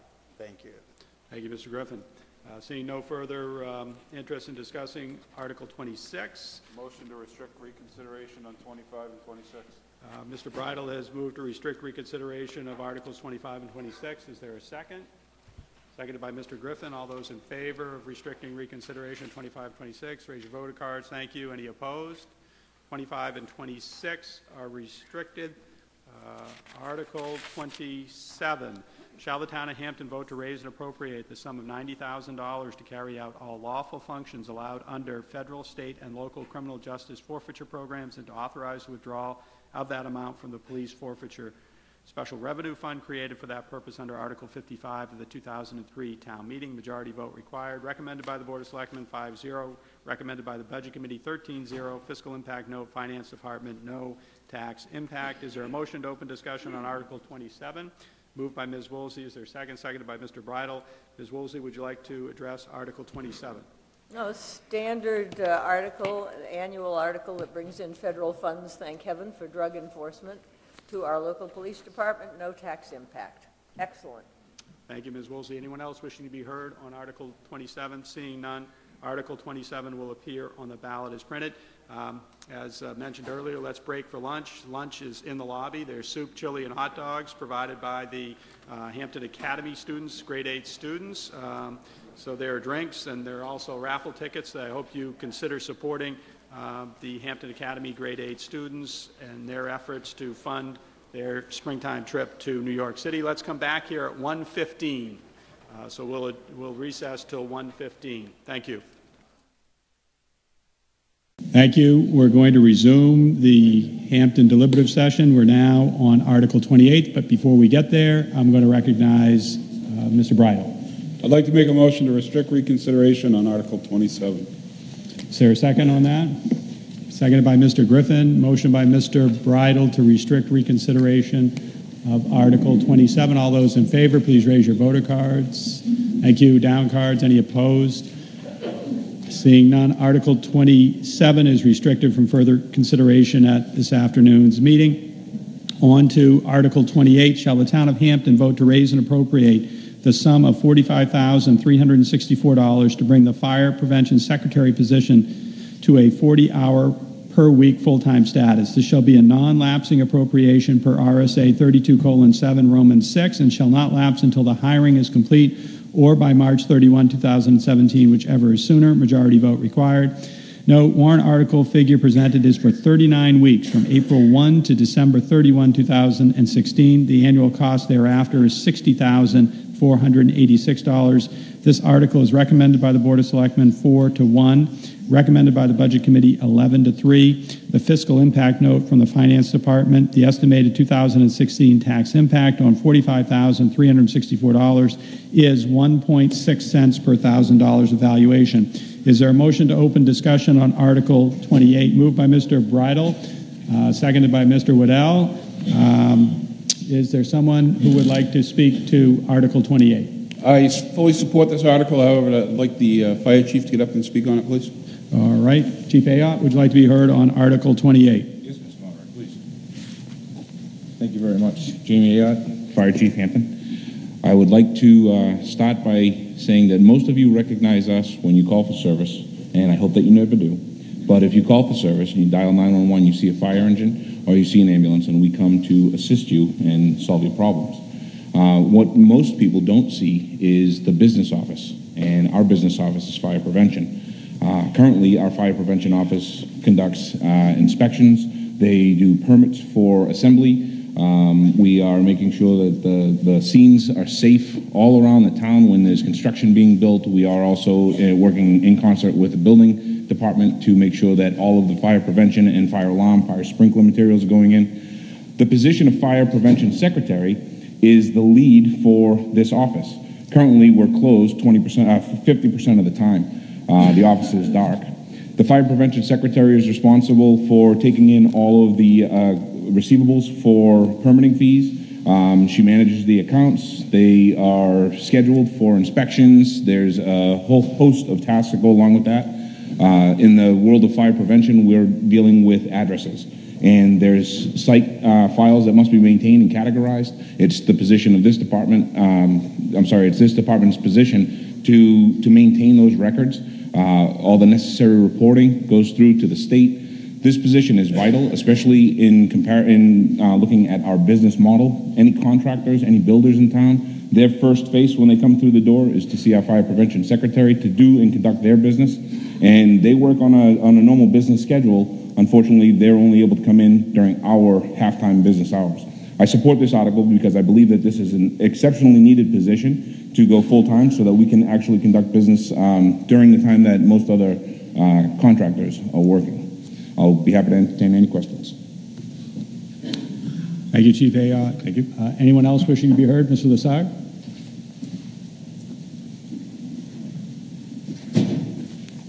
Good afternoon, Keith Lassard, Mill Road, Hampton. I rise in support of um, the fire department getting a full-time secretarial position. Um, this is a really needed position. At one time, we had a full-time secretary, and during the budget cutbacks and slow down the economy, maybe it was justified to reduce this position or eliminate it.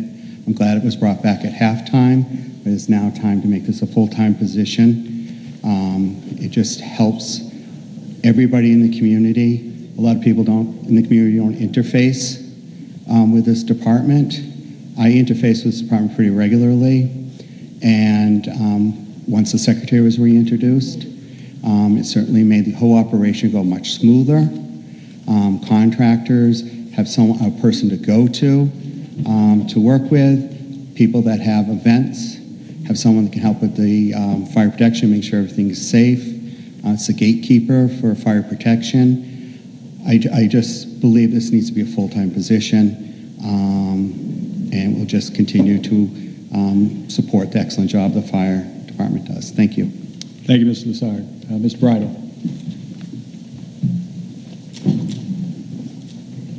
Thank you, Mr. Moderator. Nick Bridle, 225 Towle Farm Road. Um, on the Budget Committee, I, I fully supported this, uh, this warrant article. Um, some of the stuff, I asked the chief in depth, and I stopped by and talked to the, the fire prevention secretary as well. And I, I asked, like, give me a kind of a general overview of, of what they do. And the permitting and plans reviewed, fire code inspection reports, fire code inspections, assembly permits, fireworks inspections, public education, as far as our students getting reached, an investigation of fires in the town. Um, there is a lot of, of material that this job handles, this job entails. Uh, as far as education goes, we reached 458 students this year as, as far as the fire prevention office was concerned. Um, from what I understand, that was a dramatic increase from the year before. Um, there was a lot of revenue that this department took in. Not that that should be reflective of somebody's pay, but it is reflective of the workload that has come into this position. Um, where we don't have a fire inspector position in this town, um, that bureau is also taking under those responsibilities as well. And I know that the fire prevention officer is doing a wonderful job keeping up, but I also know that the fire chief and deputy chief have been help augmenting their um, their inspections and their uh, assembly permit investigations. Um, the scheduling of all these ins- inspections, so that way all three of these guys are working together, working seamlessly, working effectively and efficiently, um, is strenuous in and of itself. I fully support this uh, position and this warrant article, and I encourage you to do the same. Thank you. Thank you, Mr. Bridle. Anyone else wishing to be heard? Yes, sir.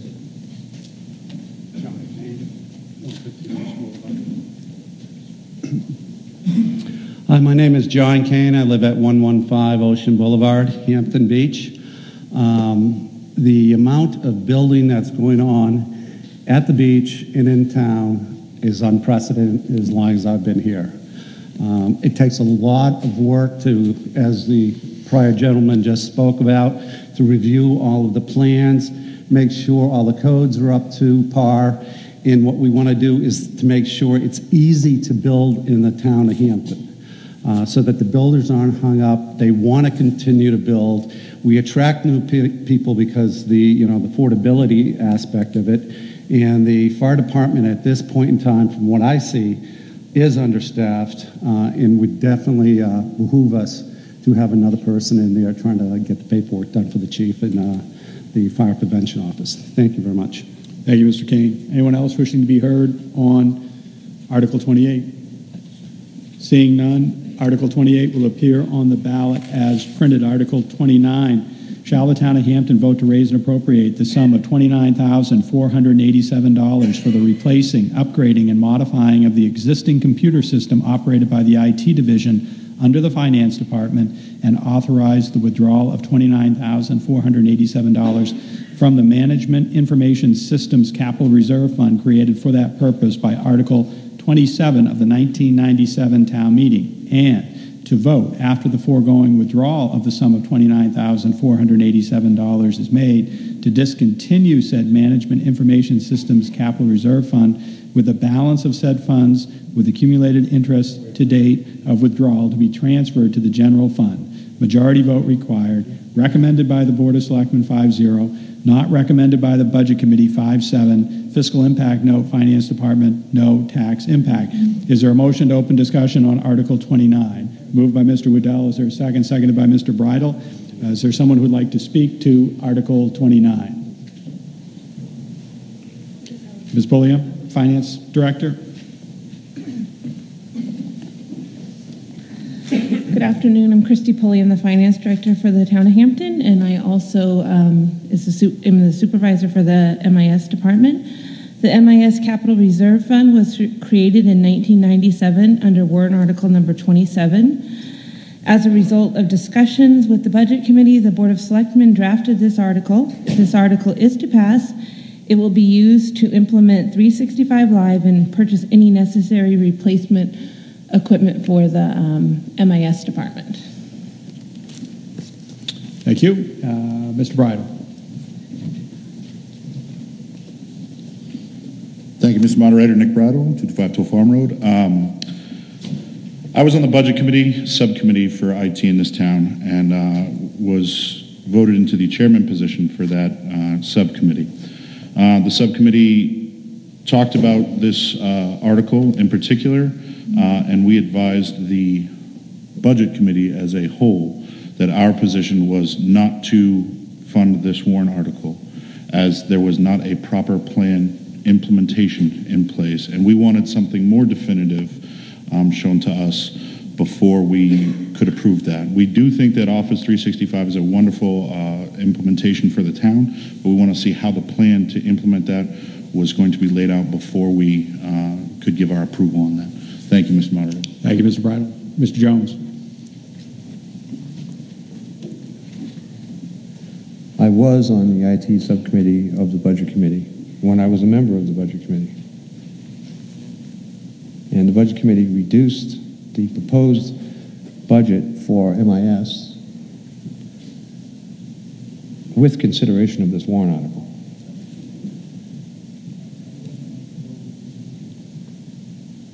MIS was uh, represented to us as basically wanting to do the same equipment purchases that they did the prior year, which is basically a 20 PC uh, per year replacement. With last year's budget, 2015, they purchased the 20 PCs. And with lowering PC prices, uh, we saw no reason to increase the dollar amount to achieve the same results in 2016. So we gave them in the budget line item the same dollar amount. When it came down to discussing this, uh, it has been reported in other forums that the Budget Committee recommended expending this MIS fund. That was never true. The Budget Committee never took such a position. In fact, when we voted on this, you can see it's 5-7, we voted against supporting this warrant article. We then took a subsequent vote by 5-7 to ask the Board of Selectmen to withdraw this article because this article is intending to put money back into the MIS budget, which has already been deemed sufficient. No one has disputed that the 2015 budget for 2016 in MIS was not sufficient. So there's no reason to add this to it. Zero reason. It's just taking money out of a fund that's intended to do something specific, and we have no specific plans with what to do with this money except pad a budget line item. I oppose this, as did the IT subcommittee, as did the budget committee. I urge everyone to oppose this. Thank you. Thank you, Mr. Jones. Ms. Pierce? Thank you. Mike Pierce, uh, 84 Locke Road, the last of the Mohicans on the IT bu- uh, subcommittee on the budget, uh, for the budget committee. Um, my feeling about this it violates a couple of my rules. The original warrant article inferred or said that it should be an MIS committee decide to do, who would decide what to recommend with the money in the fund. This violates that warrant article in my mind. Legal people will probably disagree, but when you have a warrant article says the MIS committee should recommend or not recommend, that's the way it should be as far as I'm concerned. Because I believe that warrant articles be taken the way they are written and the way they're passed by the legislative body. So back to this, I'm against that for principle on that issue. The second issue is we had no plan for 365 that was ever presented to us. That is quite a change from what we normally do. I've been in the computer business since the beginning of time, and you always have a plan, and sometimes a lot of detail. In fact, Microsoft had a piece of software just for planning, and they sold it for years. And we haven't, we didn't see any planning. We didn't know how they're going to do it. We only know we have so many people that work for the town and so many people that have computers. That's basically all we achieved in that arena as far as a plan. So I'm against this 100%. Thank you. Thank you, Mr. Pierce. Anyone else wishing to be heard? Ms. Woolsey? Predicated on the information that we received, and I wasn't really tuned into what the Budget Committee representatives had to say, but I really appreciate their comments. I will move that the Board of Selectmen be directed to withdraw this article from the warrant. Well, we can't do that, Ms. Woolsey, because every article that's here on a warrant has to appear. What you do have the uh, ability to do is shape to a certain extent what that article is going to look like. But Article 29 is going to appear on the ballot on March 8th. Can we move to zero the total? Is that acceptable? you can do that. That's a permissible amendment. And if that is your amendment, I would look for a second, um, uh, second by Mr. Kravitz, and I understand your amendment. I'd ask it for, in writing for the town clerk, is to change 29,487, uh, wherever it appears, um, to zero. Um,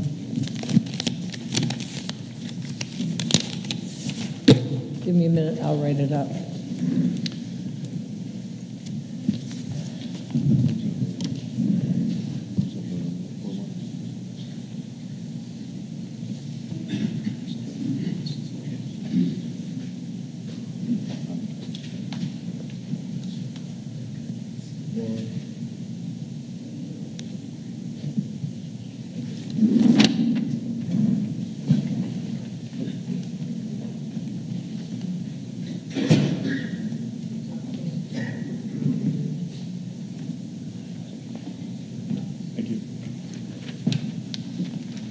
Do you wish to speak to your amendment, Ms. Woolsey?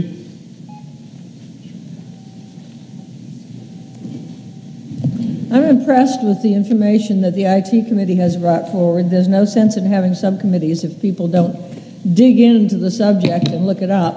Uh, I wish I had uh, understood their position more clearly before this went on.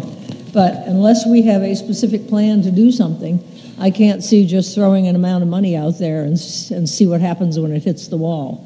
So I would be more comfortable zeroing it out for this year and then try to approach it next year on a more uh, orderly and, and uh, calculated basis.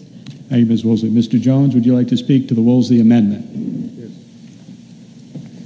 I appreciate the intent of the amendment, uh, but I'm concerned that it's not going to uh, effectuate the desired result. By, reducing these numbers to zero, you still have verbiage that says, after the foregoing withdrawal of the sum of zero is made, to discontinue the MIS capital reserve fund, with the balance of said funds, which would be all of it, uh, to be transferred to the general fund. So it's still going to get emptied out, only instead of going to the MIS budget, it's going to go to the general fund. Am I reading that correctly, Mr. Moderator? I believe so, Mr. Jones. So I'm going to, uh, going to go to Ms. Woolsey to see if she would like to adjust her um, amendment. Um, Is, Mr. Myers, is the the intent of the article to move zero on all the existing line, all the existing sums within the article? That was my understanding was that um, the uh, intent of the amendment was not to do what was set forth in Article 29. So not to take the money out, not to put it in the, uh, uh, in the uh, general fund, Right. uh, not to discontinue the fund, to Mr. Jones's point. Um, So if that is the intention, then in that second section that Mr. Jones has identified, um, after it says zero, um, then we might replace the word discontinue and insert the word maintain. Um, And then um, we'd have to strike the language about um, transferring the money to the general fund. Yes.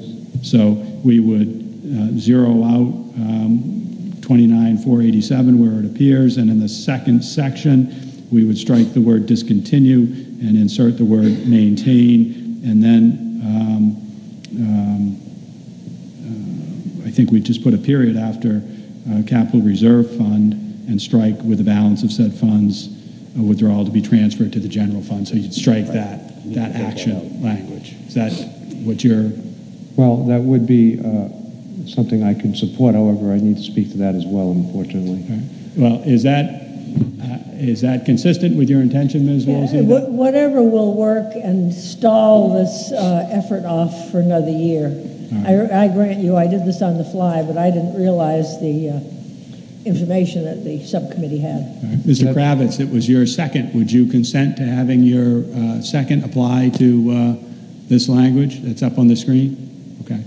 All right, so we have a uh, motion, uh, an amendment made by Ms. Woolsey, seconded by Mr. Kravitz to, to essentially um, not undertake the effort of Article 29 as it's Mhm. presented.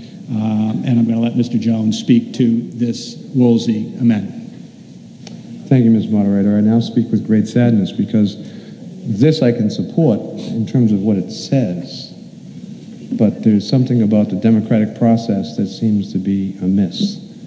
I interpret this change to be a substantive change to the original warrant article.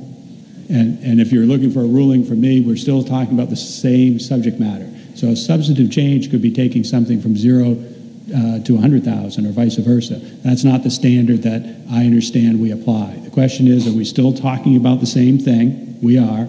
We're just adjusting what's uh, going to be done with the dollars. And we're, we're zeroing it out, uh, which we're permitted to do. And there's some action language at the end that we are uh, impacting as well. Well, Mr. Moderator, with your ruling giving me some degree of process comfort, and I can support this amendment, uh, and I won't move to overrule you, even though I disagree with you.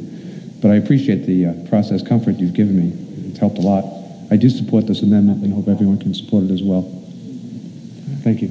Anyone else wishing to be heard on the Woolsey amendment? I, um, I would Mr. like Griffin? to say I'm supportive also. You're in support of the Woolsey Yes. amendment? All right. Uh, Anybody else wishing to be heard on the Woolsey amendment?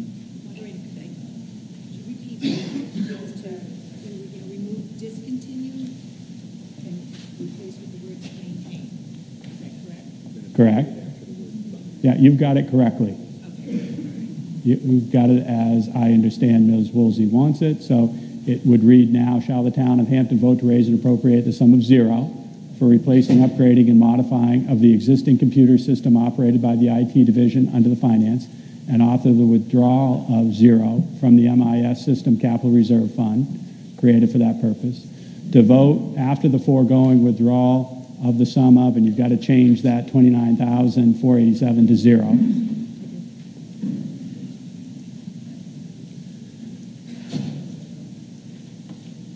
To maintain the Management Information Systems Capital Reserve Fund.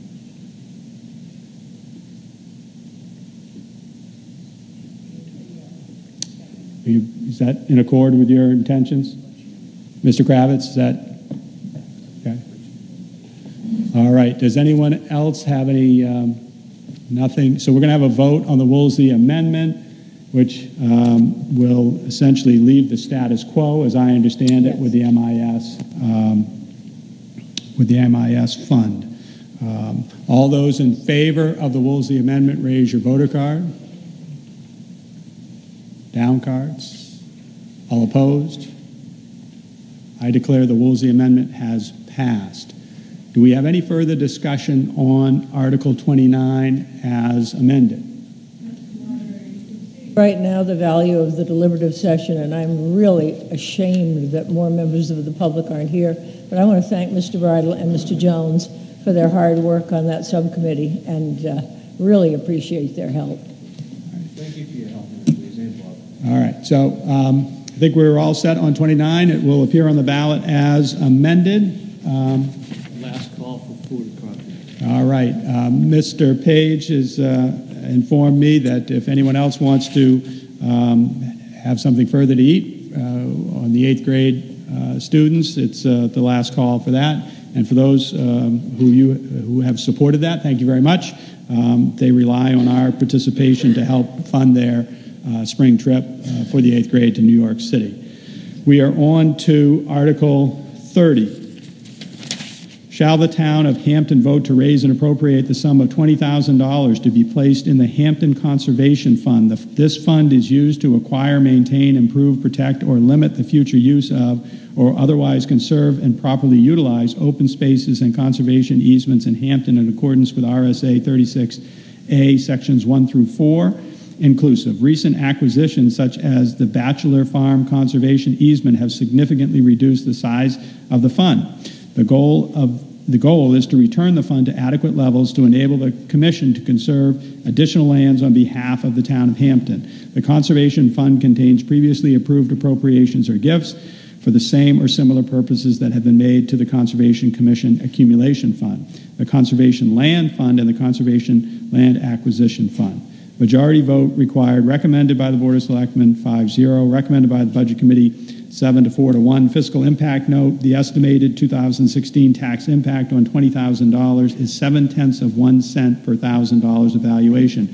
Is there a motion to open discussion on Article 30, moved by Ms. Woolsey? Is there a second? Seconded by Mr. Waddell. Ms. Woolsey, would you care to be heard on Article 30? This is an ongoing fund, and what it does is help the Conservation Commission to have some cash available if a property comes up for sale or acquisition. We have got to be more focused on preserving open spaces and wild places in this community. We tend to build on every inch of land, and it's really doing a terrible disservice to the community. So I am and have always been a very strong proponent of the Conservation Fund, and I ask you to be kind enough to vote in favor of adding the $20,000 to the existing fund. Thank you, Ms. Woolsey. Uh, Mr. Diener, would you like to be heard on uh, Article 30? thank you. Hi, I'm Jay Diener, 206 Woodland Road. I'm the current chair of the Conservation Commission.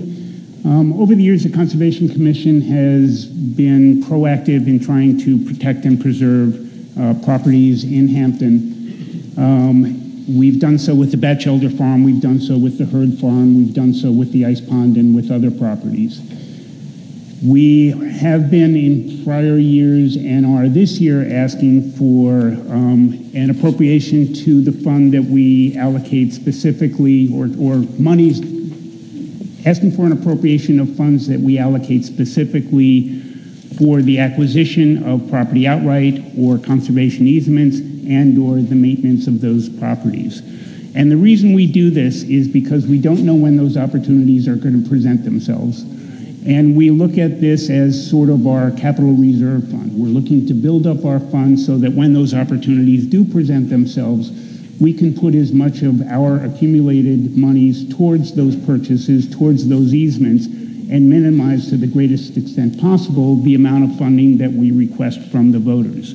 Yes, there is a tax impact from each one of these appropriations, but if we do this incrementally, the impact to each property owner in, in town is minimal on an annual basis as opposed to waiting for a big hit when an opportunity does present itself for acquisition of property or an easement. Um, so that's why we ask for these appropriations on an annual basis so we can build up that fund and take advantage of those opportunities when they do present themselves to us.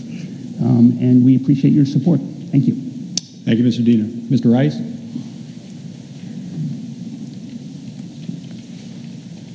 Thank you, Mr. Moderator. Fred Rice, 15 Heather Lane. I support the idea of putting $20,000 into the uh, conservation fund. Um, but I have a little bit, I think there's a better way to do this uh, than what we're looking at right now. If, if everybody will look forward to Article 32, uh, that is going to call for the uh, taking the money that's currently in the Heritage Fund, $5,329.58, and putting that back into the general fund. I approve, I agree with that too. The Heritage Fund, the Heritage Commission is no longer in existence, and this money should go someplace. Um, I would suggest that uh, per perhaps a better way of doing this is to take that money from the Heritage Fund and put it into the Conservation Fund, which would then lessen the amount of the increase in taxes. It ain't much, but there's a principle involved here of let's use some economy uh, where we can and avoid any uh, option of uh, raising the taxes. So um, I would suggest that we change the $20,000 figure to 20,000 minus $5,329.58. And then when the other one comes up, I will then make a motion to move that money into uh, the conservation fund. Well, I'm gonna, I'm gonna address that suggestion. That's not going to be permitted because that's a new purpose to that article. So I'm gonna stay on 30, but if that's the intent of reducing the 20, uh, I'm not going to entertain that motion because there are people out there who would read 32 and say, do I, am I okay with money in the Heritage Fund going to the general fund? And they might be, but they know that's the, the purpose of that article. If you, um, and I'm going to use some descriptive language, if you hijack that to conservation, that's an entirely different story, and they may feel differently about heritage money going to conservation. So um, I'm going to certainly allow you to manipulate that $20,000 figure in Article 30, but I'm not going to entertain that change of purpose in 32. Um, Question, Mr. Moderator, where does the uh, funding come from, uh, other than through uh, a tax increase to uh, go to the, the conservation fund? Is that, it's in and out of the general fund, in effect, is it not? Uh, I don't know. I've got an article before me that uh, is presented, uh, and it seeks to raise $20,000 for stated purposes, conservation purposes that Mr. Diener has spoken of. That's the article that's um, under discussion, and certainly um, we can amend that amount. We can make it more. We can make it less if the body is uh, in agreement, um, but that's the purpose that we're, we're Don't, don't, wa- I don't want to impact the net amounts in any of these. I think it's good to have the 20,000 in here. I think it's good that the five grand in the, in the conservation, in the heritage uh, fund goes away. I'm just trying to short circuit one step so that we make it easier without having, instead of raising taxes seven cents per thousand, uh, on this one, we only raise it uh, uh, five cents, four or five cents per thousand. That's not uh, procedurally okay? not, uh, we're, we're on Article 30, but I, I'm just trying to foreshadow because I don't want you to be disappointed if we get to 32 and you say, I wouldn't have reduced it to 15 if I knew I couldn't pick it up in 32. 32 says heritage to general fund, and that's what we're going to deal with uh, in 32. I'm disappointed that we can't do that and save people a couple of cents on their tax rate. Thank you. Okay. Uh, Ms. Kaiser?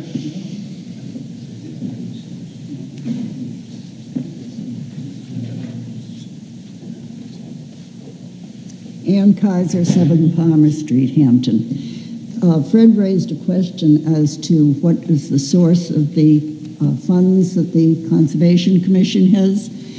And the only source right now that I'm aware of is the percentage of the land use change tax that is contributed to the, uh, that goes by states, uh, towns rules to the Conservation Commission but there hasn't been any land use change tax recently since Smuttynose, and prior to that, I just heard from Jay that there was very little that uh, they received. So I would say that this is a good warrant article, and I'm in favor of it as it stands.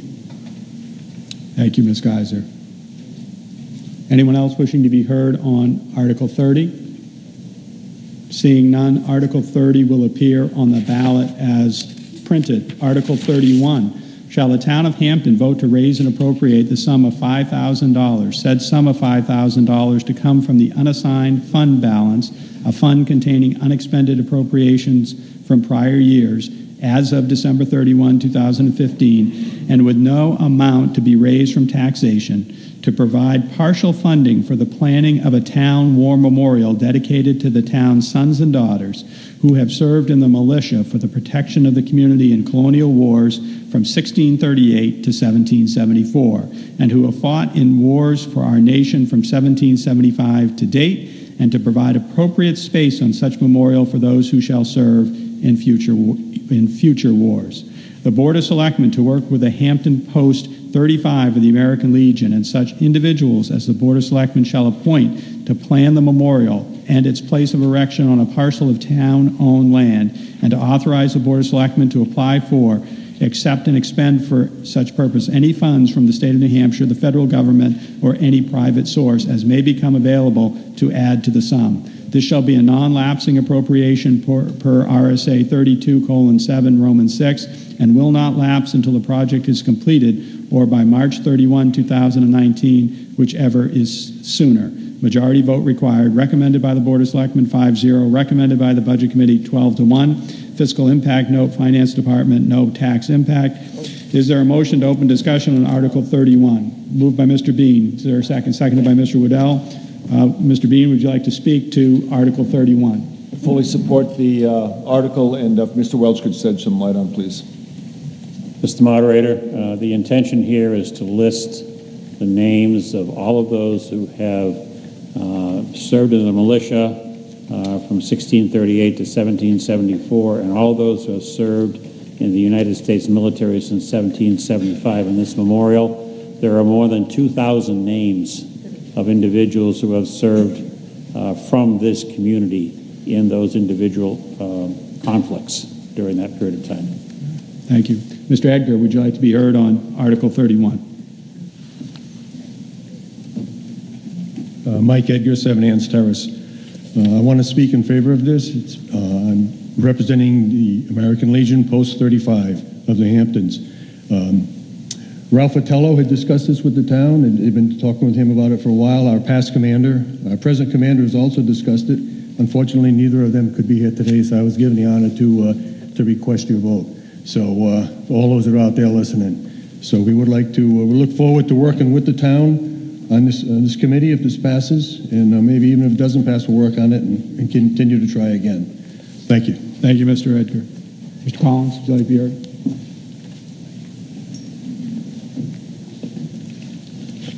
Good afternoon, Pat Collins, Boar's Head.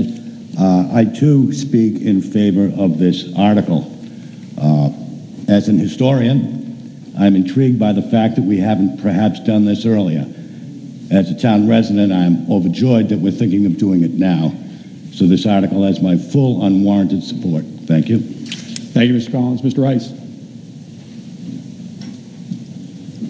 Thank you, Mr. Moderator. Fred Rice, 15 Heather Lane. Uh, I'm also, I also rise in full support of this article.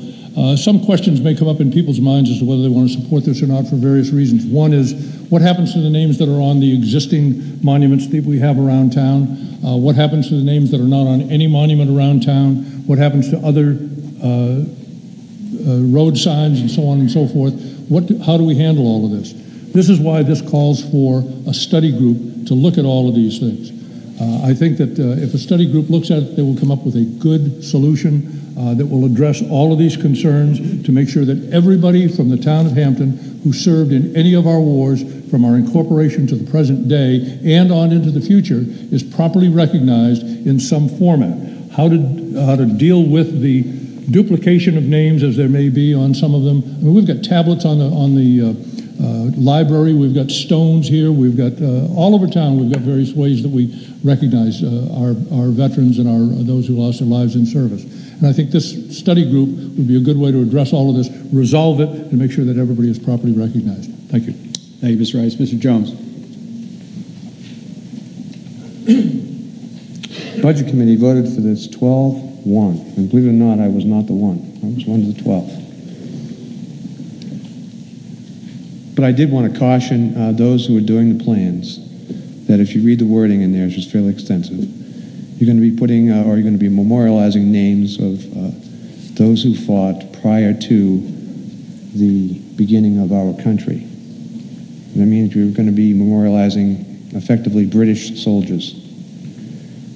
Now, obviously, they were protecting the colonies, which is the same place geographically, and I don't have any objection to that. But we need to keep in mind that when you're putting those names on, some percentage of those names fought against the American Revolution. They continued to fight with the British side during the American Revolution. Those names should not be included in the memorial.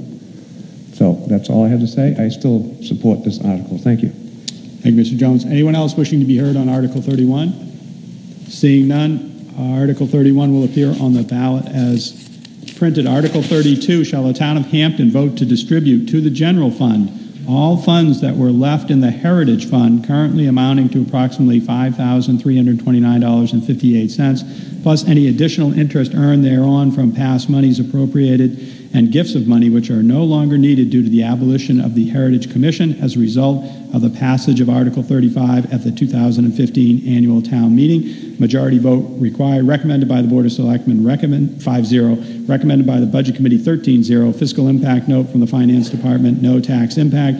Is there a motion to open discussion on Article 32? Moved by Ms. Woolsey. Is there a second? Seconded by Mr. Bridle. Ms. Woolsey, would you like to be heard on Article 32? Oh, It just seems like a common sense thing to do, Mr. Moderator. All right, thank you, Ms. Woolsey. Anyone else? Yes.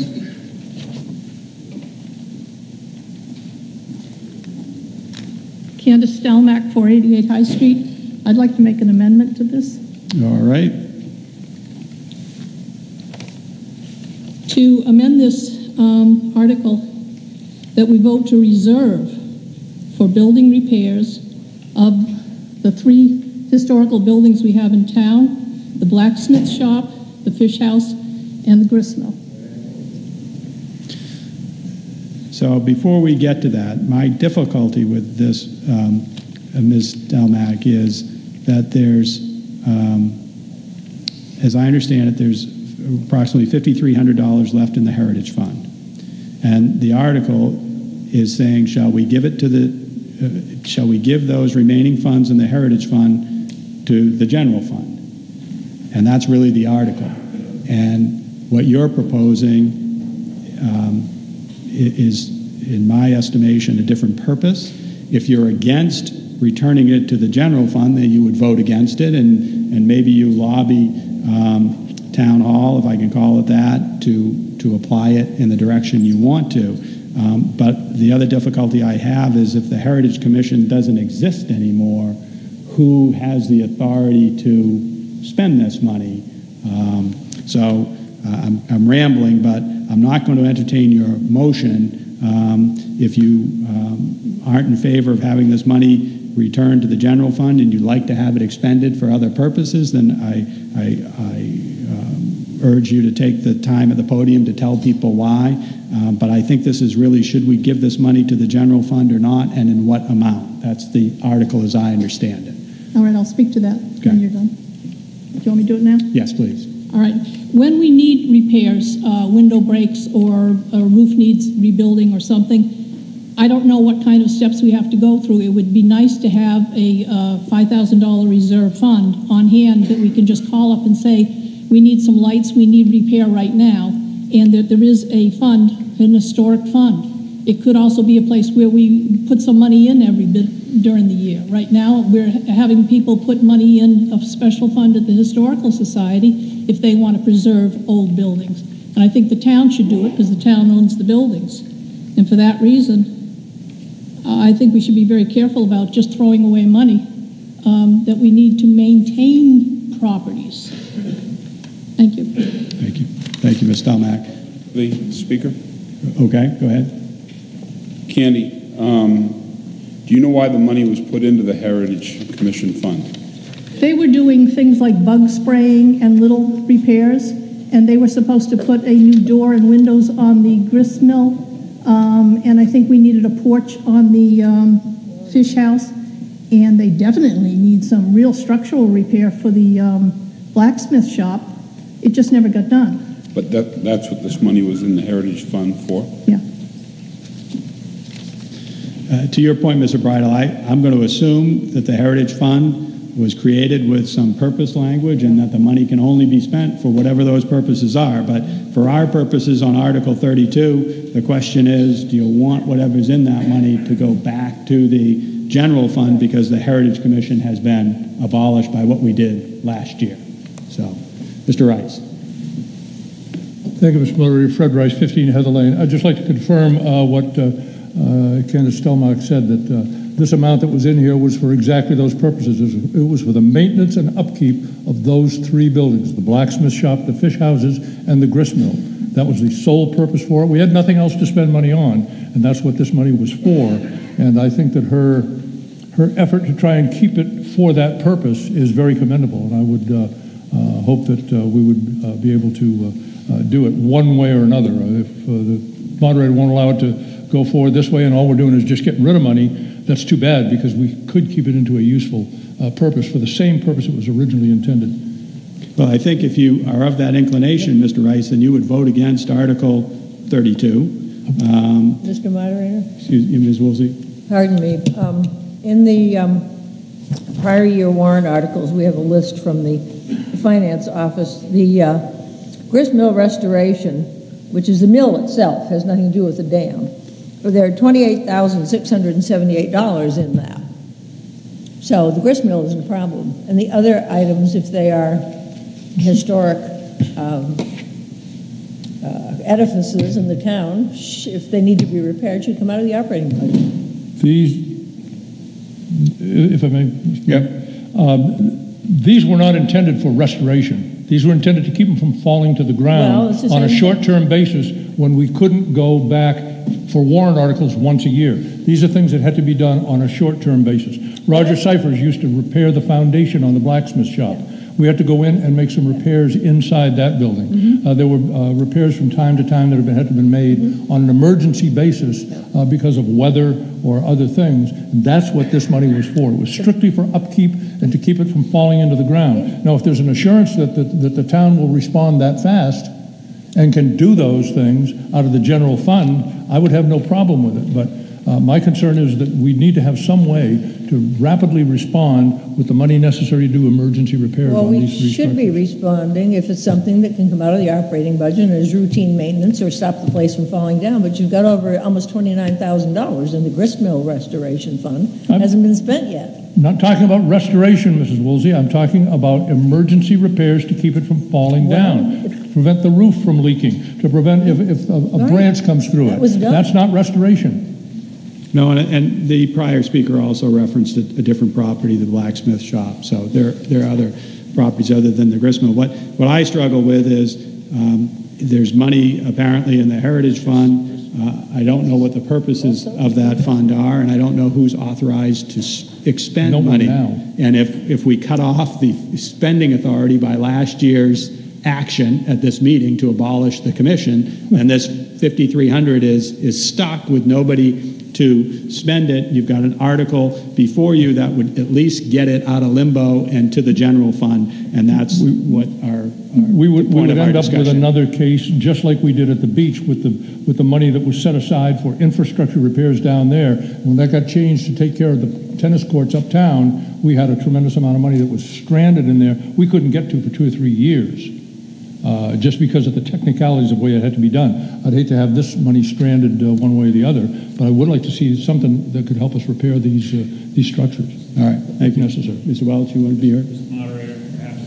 I can answer two questions. The one was raised before and one's raised now. Uh, These funds would go to the general fund, that is, they would be a revenue. They would reduce taxes, and I I would think that uh, uh, we could think of that as, as um, we had previously said, could we transfer these funds to pay off something else? In essence, that's what we're doing, because they're going to be a revenue and they're going to decrease appropriations. As far as the repairs of those buildings are concerned, anytime anybody has notified us, we have sent Public Works over there to do work. We have asked for a number of times for lists. We have not received them. Uh, and since we have not received them, we haven't done the work. But Public Works is capable of going over there and doing the work that's necessary keep those buildings in proper repair, and I would think that's their function. Thank you. Anyone else wishing to be heard on Article 32? Seeing none, we'll move on to, Make a motion to restrict 28, 29, 30, 31, and 32. So, uh, and that's to restrict reconsideration of Articles 28 through 32? Correct. Moved by Mr. Griffin, seconded by Ms. Woolsey. All those in favor of restricting those articles, raise your voter card, down cards. Any opposed?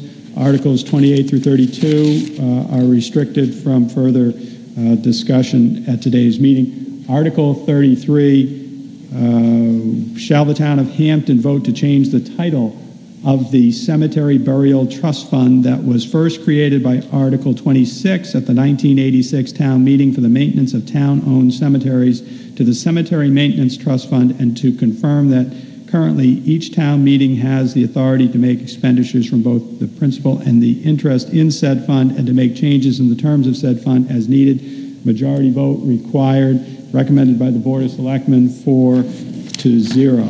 Um, Is there a m- uh, motion to open discussion on Article 33? I have a motion and amendment. Oh, All right, Mr. Bridle. I hereby move to amend the warrant Article 33 by striking the current language and replacing it with the following language.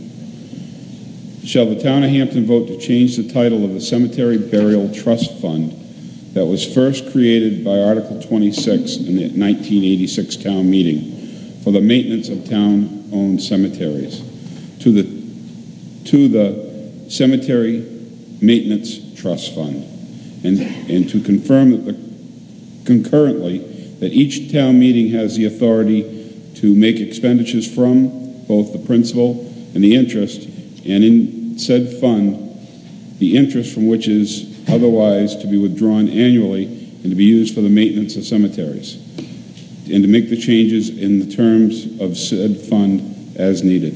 Two-thirds vote required. Second. So we've got a motion by Mr. Bridle, a second by Ms. Woolsey to amend Article 33 as stated by Mr. Bridle. Mr. Bridle, would you like to speak to your amendment? I- I- I'd refer to the town manager or counsel. Uh, Mr. Welch or Mr. Gearreald? Yes, um, Mr. Moderator, this was an article that's essentially a housekeeping article in that the uh, Article 26 from the 1986 town meeting uh, established a burial ground trust fund uh, for the maintenance of cemeteries.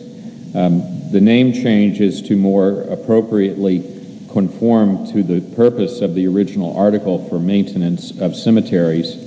And when this article, which is, even though it's not an appropriation article, was brought to the attention of the Department of Revenue Administration, uh, the department took the position that it was a change of purpose and as such required a two-thirds vote under uh, a section of the RSAs relating to capital reserve funds. So uh, in order to avoid a difficulty with uh, after-the-fact action by DRA, uh, we uh, essentially changed this to a two-thirds vote required. All right, anyone else wishing to be heard on Article 33? All right, so we're going to take a vote on the, I guess it's the Bridle amendment. Uh, All those in favor of the Bridle amendment, raise your voter card. Thank you. Down cards, all opposed?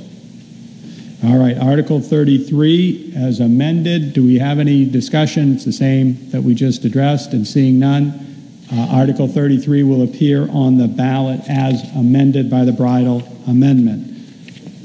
To restrict reconsideration for Article 33.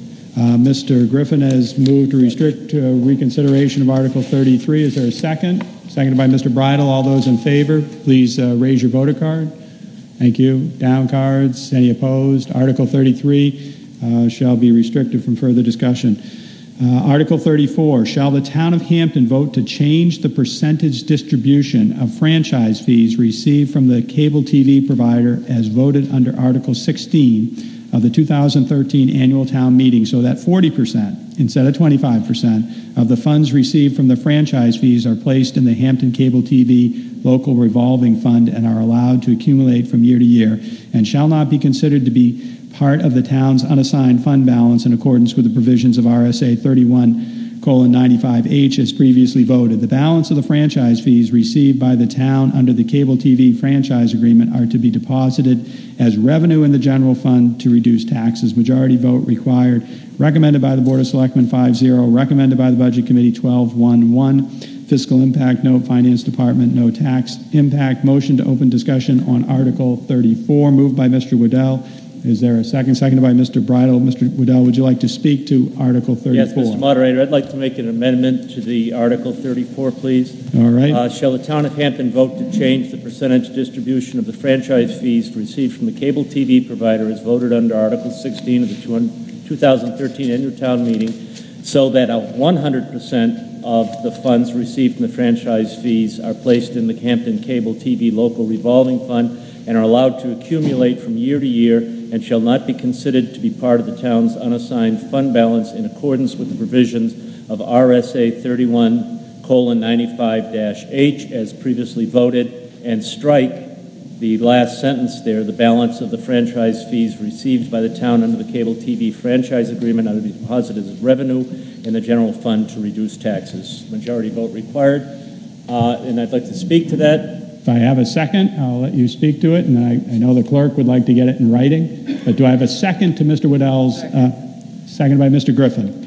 All right, Mr. Waddell, you, uh, as I understand it, we're we're moving from 40% to 100%, and since there won't be any excess, we're striking the last sentence. Yes, the two, two reasons that I bring this up. One reason is that the uh, Channel 22, the responsibilities are expanding tremendously. Last year, the school had Channel 13 come on board, and a lot of money from the Channel 22 fund goes to Channel 13 also. And the second reason, I think, and maybe one of the more important reasons, are that when people pay this franchise fee, that franchise fee is to support local cable TV. It is not a sales tax to go into the general fund. And I think that's important, that, uh, that if people are paying a franchise fee for to support local TV, that that's where it goes, to local TV, and it does not go into the general fund. So those are my reasons, and uh, Thank you, Mr. Waddell. Mr. Jones, would you like to be heard? And this is on the Waddell amendment to move it from 40 to 100. Yes, uh, this competes with an amendment by Mary Louise Lo- Woolsey earlier today as one of the finest amendments I've ever heard. I want to thank Selectman Waddell for correcting what has been a wrong for, for a few years. It always was 100% going into this fund. It got changed a few years ago and got changed into what is in effect a sales tax. Selectman Waddell is actually correcting uh, that wrong and getting rid of this sales tax from the town of Hampton. I strongly urge everyone to support this amendment and when it passes, to support this warrant article. Thank you. Thank you, Mr. Jones. Anyone else wishing to be heard on the Waddell amendment? Ms. Woolsey? Yes, I'm opposed to the article, uh, the amendment to the article in this context. We're just getting used to Channel 13 now. We have expanded the cable service. It's a wonderful service to the community, but I would like to see us take a few steps in the process in upgrading. Take two or three years to see what it, it is actually going to cost to run those channels, see what the equipment costs, kind of like the MIS fund that we dealt with a little earlier. I'd like a little better plan before we go ahead and jump from 25% to 100%. It's not going to hurt anybody. The money's going to go into the general fund, uh, what's left over, the, the remaining uh, 60%. So I'd like to do a little bit more gradually. All right. Uh, Mr. Pierce on the uh, Waddell amendment. It's going from 40 to 100. Thank you. I agree with uh, Mr. Waddell on this particular issue. Because when you pay your Comcast bill, which I'm sure most of you, not all of you, but a lot of you realize that it's very expensive to start with. But putting that aside, the franchise fee is one of the little gotchas when you look towards the total of your bill.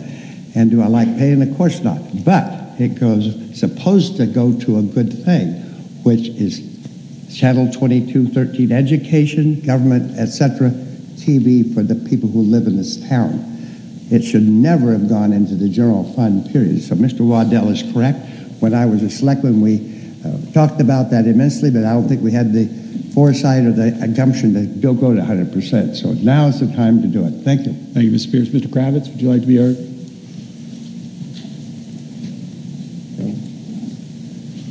If I'm not mistaken, the, the fund is about eighty-two thousand dollars a year that you get from. Can someone, Mr. Welch? Yeah. I mean, Channel thirteen is not really community television, it's SAU ninety. I mean, to, to put hundred percent of the the revenue into, you know, I would like to see Channel thirteen a community TV. And then I could understand spending the money. But I mean, this way, I don't, uh, at this point, I Manager has can't to- see changing it until you know what's, what's gonna get you money. All right. Thank you, Mr. Kravitz. We have the amount here. Yes, Mr. Welch? Mr. Moderator, the amount of round figures is $328,000 Of franchise, annually of franchise fees? of franchise fees. Okay. So 100% of 328 is 328. Mr. Waddell?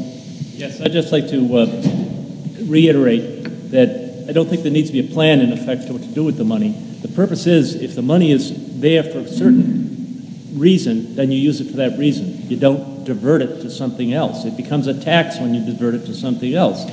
Uh, you know, that's, that's what people complained about with the gas tax, that it was not going to roads and, and uh, bridges, it was going to other methods. So it, it's a franchise fee to support local TV, it's to support local TV, not to reduce the tax rate.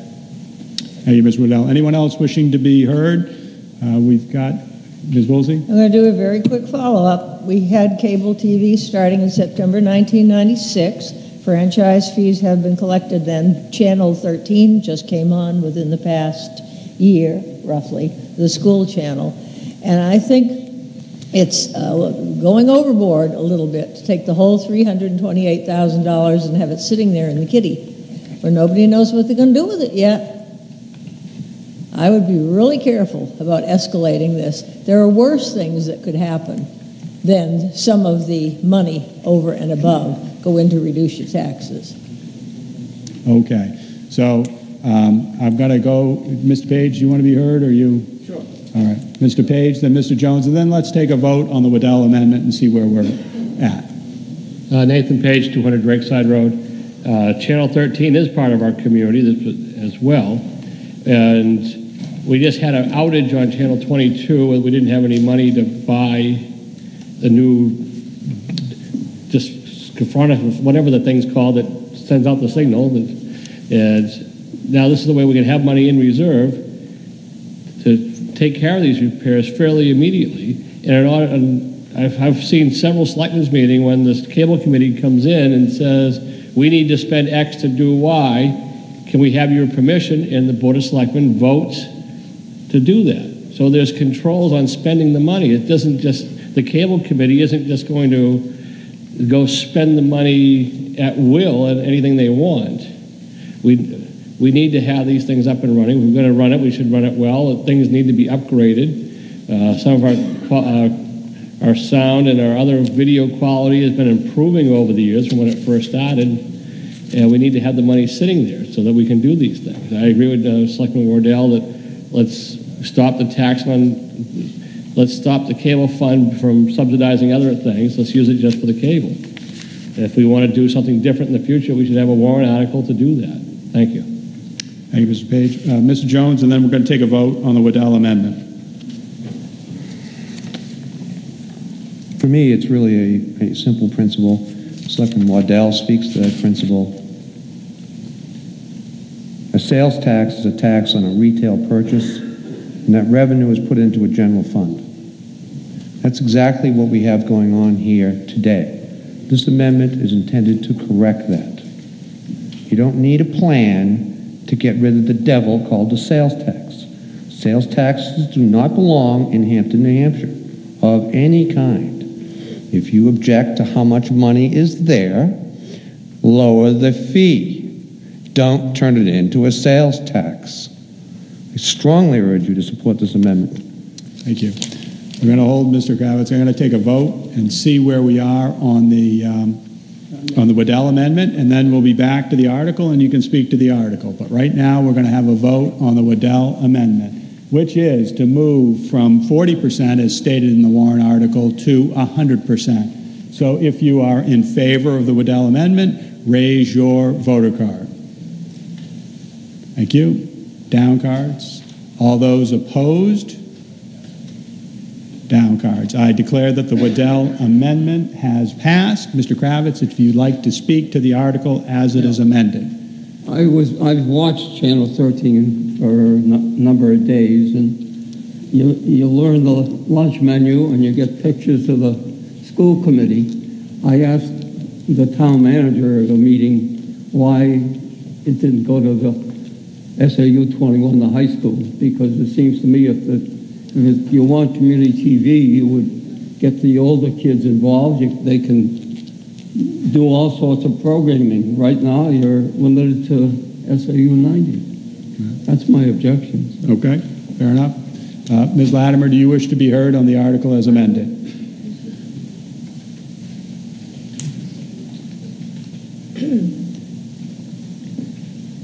Speaking on this amendment, it's a good amendment to go to 100%. I want to point out that maybe you're aware or not aware of.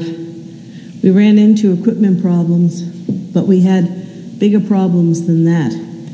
The video is becoming, of sorts, a town record because a lot of our committees and the Board of Selectmen have secretaries who are now remote, which means they're taking their minutes from that recorded meeting. When the cable went down, it created an enormous problem. And it appears that equipment's been needed through the years. I w- I'm not going to stand here and say everything has been fine. There's been perpetual um, complaints about volume, about sound, about picture. And I think that this amendment will put a little bit more money into the hands of cable and perhaps um, increase the quality. And certainly the people that are being paid right now for being on the job every night and recording this and not making very good sums, um, and it may enhance things there.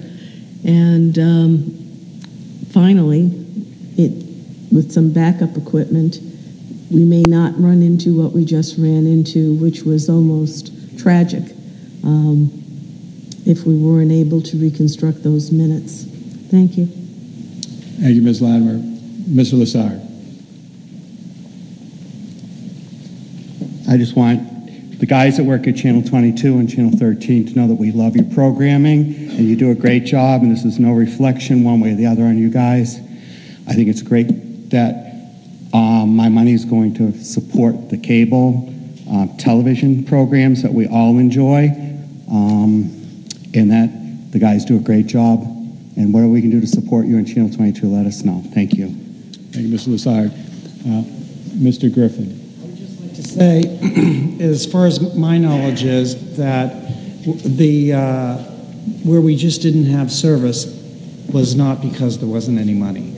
Um, The guys that work with Channel 22 have gone out of their way to save money for the people uh, in the past. And they don't like to waste money, but they've always been given and full support from the Board of Selectmen. I think a number of years ago, when um, the warrant article was made to put the money somewhere else, that, you know, the, there might have been a lack of support at that point. But the, um, Channel 22 has pretty much always gotten everything that they've asked for since I've been here uh, serving the town. I've not seen any cases where they didn't get what they asked for. Thank you. Mr. Bridle. Yes, thank you. Uh, And and just to make it clear, I know uh, Channel 22 had some sound issues. Um, As far as I know, at that, this point, they have, they have got the replacement piece.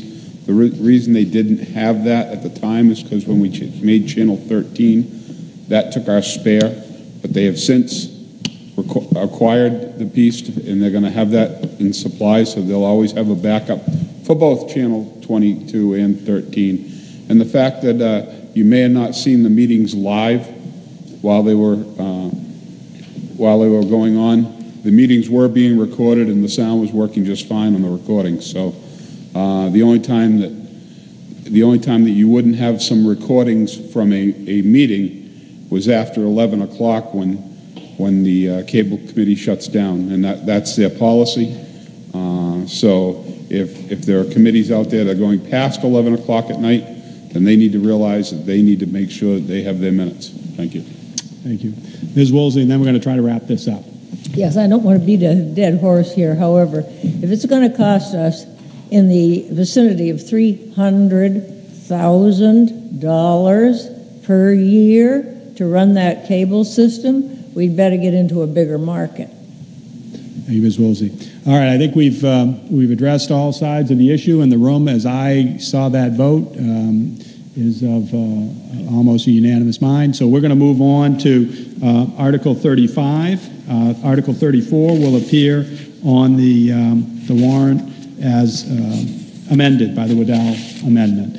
Uh, Article 35, shall the town of Hampton vote to amend Article 2, Section 1 of Chapter 469 of the Hampton Code, the disposal of surplus town equipment and materials ordinance adopted under Article 30 of the 2012 annual town meeting as follows. Amend Chapter 469, Article Roman 2, Section 1, exclusions by adding the following language at the end of the list of exclusions in this section between the word herein and the period surplus and no longer usable equipment or equipment containing scrap metals that can be sold to a metals or junk dealer by the town for sums in excess of its auctionable value as determined by the town manager or his designee and approved by the Board of Selectmen. Majority vote required, recommended by the Board of Selectmen 5-0. Is there a motion to open discussion on Article 35? Moved by Ms. Woolsey, seconded by Mr. Bridle. Ms. Woolsey, would you like to speak to Article 35? I think it's a common sense article. I will hark back to when I came back on the board in 2013, and uh, a couple of us were over at Public Works, and there are at least five pieces of major equipment, including the Old Town sweeper, just parked off to the side, sitting there rotting. And rusting on the premises.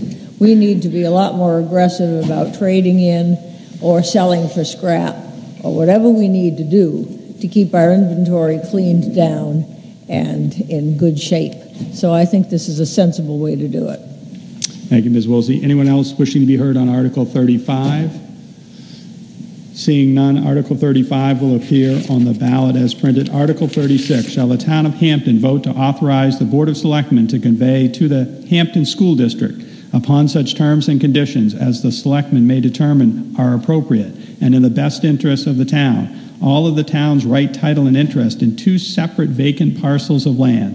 The first commonly known as the Arnold property, tax map 161-51, which has been under lease to the town of, excuse me, under lease to the Hampton School District for the purpose of an off-street bus loading, unloading area in accordance with Article 43 of the 1988 annual town meeting and the second commonly known as the Martell property, a part of tax map 176, lot 14, subdivision may be required, over which the Hampton School District has an easement for a travel lane, also in accordance with said Article 43 from the 1988 annual town meeting, both located on Academy Avenue. These conveyances are contingent upon the successful passage of the currently proposed bond issue for renovations to the Hampton Academy and the carrying out of that project, and are further to be made subject to a reverter of title to the town of Hampton of said parcels should they no longer be needed by the Hampton School District for school district for school purposes. Majority vote required, recommended by the Board of Selectmen 5-0. Is there a motion to open discussion on Article 36? Moved by Ms. Woolsey, seconded by Mr. Bridle. Ms. Woolsey, would you like to speak to Article 36? Yes, ladies and gentlemen, I had the distinct pleasure of serving on the advisory committee for Hampton Academy that was set up by uh, SAU 90. A remarkable committee, a remarkable cross section of people, and I am very proud of the product that they came up with. Uh, we do need to support renovating the academy. One thing that I was concerned about uh, with this article is the town land, which is the purpose of the article. If the academy bond passes, then we will be able to uh, give the land to the SAU 90 school district for their permanent use. If the article should not pass, and I truly hope that's not the case, then that land will revert to the town. I don't want to be giving away town land unless it's for a specific purpose. So I'm very pleased uh, with this article. Uh, I will say that my oldest son used to deliver the Portsmouth Herald to the two properties in question a long time ago. And uh, I think that this is a very good way to, to solve the problem, to help the school district, and ultimately to help the young people in the community. Thank you, Ms. Woolsey. Anyone else wishing to be heard on Article 36? Mr. Kravitz. You come to the podium, please. So to Ms. Woolsey's point, while Mr. Kravitz is coming to the podium, uh, out in the hall may still be there were plans uh, of the Hampton Academy renovation, the bond, and um, I hope you had a chance to look at those. If they're still there, I hope you uh, take a moment to look at those before you leave. Uh, and Principal O'Connor was here earlier, and uh, Mr. Lassard is here, and um, I think they may be able to answer questions that you might have about it. Mr. Kravitz. Yeah. I, the reason I want to speak on it is SAU 90 came before the budget committee. They say that they, they hired an engineering com company to look at look at the possibilities of rehab or new construction. I went to a meeting at the academy where they spoke, and I totally agree that the academy is inadequate the way it's structured now. But what I suggested was at that meeting that they consider building onto the Center Street School. Center Street School is the oldest public school building in New Hampshire. is tied to the recreation land. There's a baseball diamond. There's all sorts of field. If you put the re, if you rehab the academy, the the site's too small to begin with. They, they, they don't really have playing fields you know, it, it, made more sense to me. You've got the, they own some land on Talfour Road that, that, they didn't want, which I can understand. But to it seems to me that it would make more sense to build on behind the Center Street, tie it into the Center Street School, because they just poured another half a million dollars into it last year. You know, you could build a, a beautiful facility there, brand new. The engineers said uh, they recommended a rehab.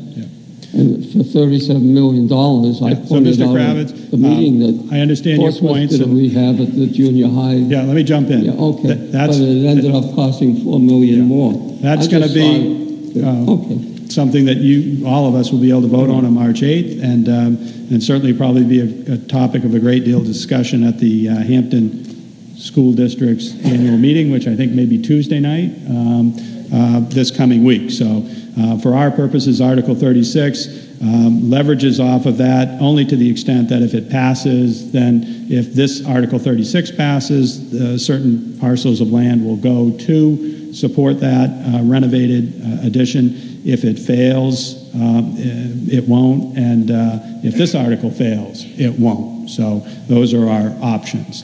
Um, Seeing no further discussion on Article 36, we're going to move on to. Mr.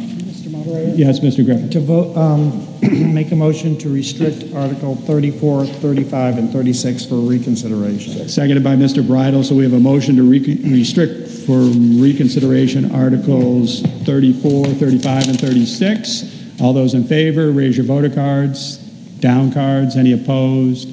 34 through 36 are restricted from further discussion, and we're on to Article 37. Shall the town of Hampton vote to accept, as is, the lettered streets A through Q and the streets in White's Island, so-called known as, uh, in the streets in White's Island, so-called, known as Atlantic Avenue, Bradford Avenue, Concord Avenue, Dover Avenue, Epping Avenue, Haverhill Avenue, and River Avenue as Class 5 town highways, said highways having been surveyed by Parker Survey Associates and filed on the Rockingham County Registry of Deeds as Plan D-12567, sheets 1 through 5, and as Plan D-12566, sheets 1 and 2, respectfully, and constructed by the Hampshire Beach Improvement Company on town property under a lease approved by town meeting, said lease dated and signed on April 24, 1897. Acceptance action having not been taken by a prior town meeting, these acceptances shall be at no cost to the town. Majority vote required, recommended by the Board of Selectmen 5-0. Is there a motion to open discussion on Article 37? Moved by Mr. Bean. Is there a second? And seconded by Mr. Waddell. Uh, Mr. Bean, do you wish to be heard on Article 37? Mr. Welch, please. Mr. Moderator, uh, the purpose of this article is to continue our efforts to legally have accepted as public highways certain streets in the town that have not been previously accepted by a town meeting under the statute. These streets are all owned by the town, but they've never been certified as Class 5 highways. It's strictly a bookkeeping matter because of the statutes, and uh, we'd like the town to approve it in that respect. Thank you, Mr. Welch. As a housekeeping matter, should it be the Hampton Beach Improvement Company instead of the Hampshire? It should be, sir. Yeah, so can we just get a, can we do an editorial amendment on that and just change that to, change Hampshire to Hampton? It's a good idea. Um, Yes. Uh, Ms. Barnes, on Article 37. Regina Barnes, 95 Presidential Circle. I actually have a question on this one. Why is Boston Ave not on there?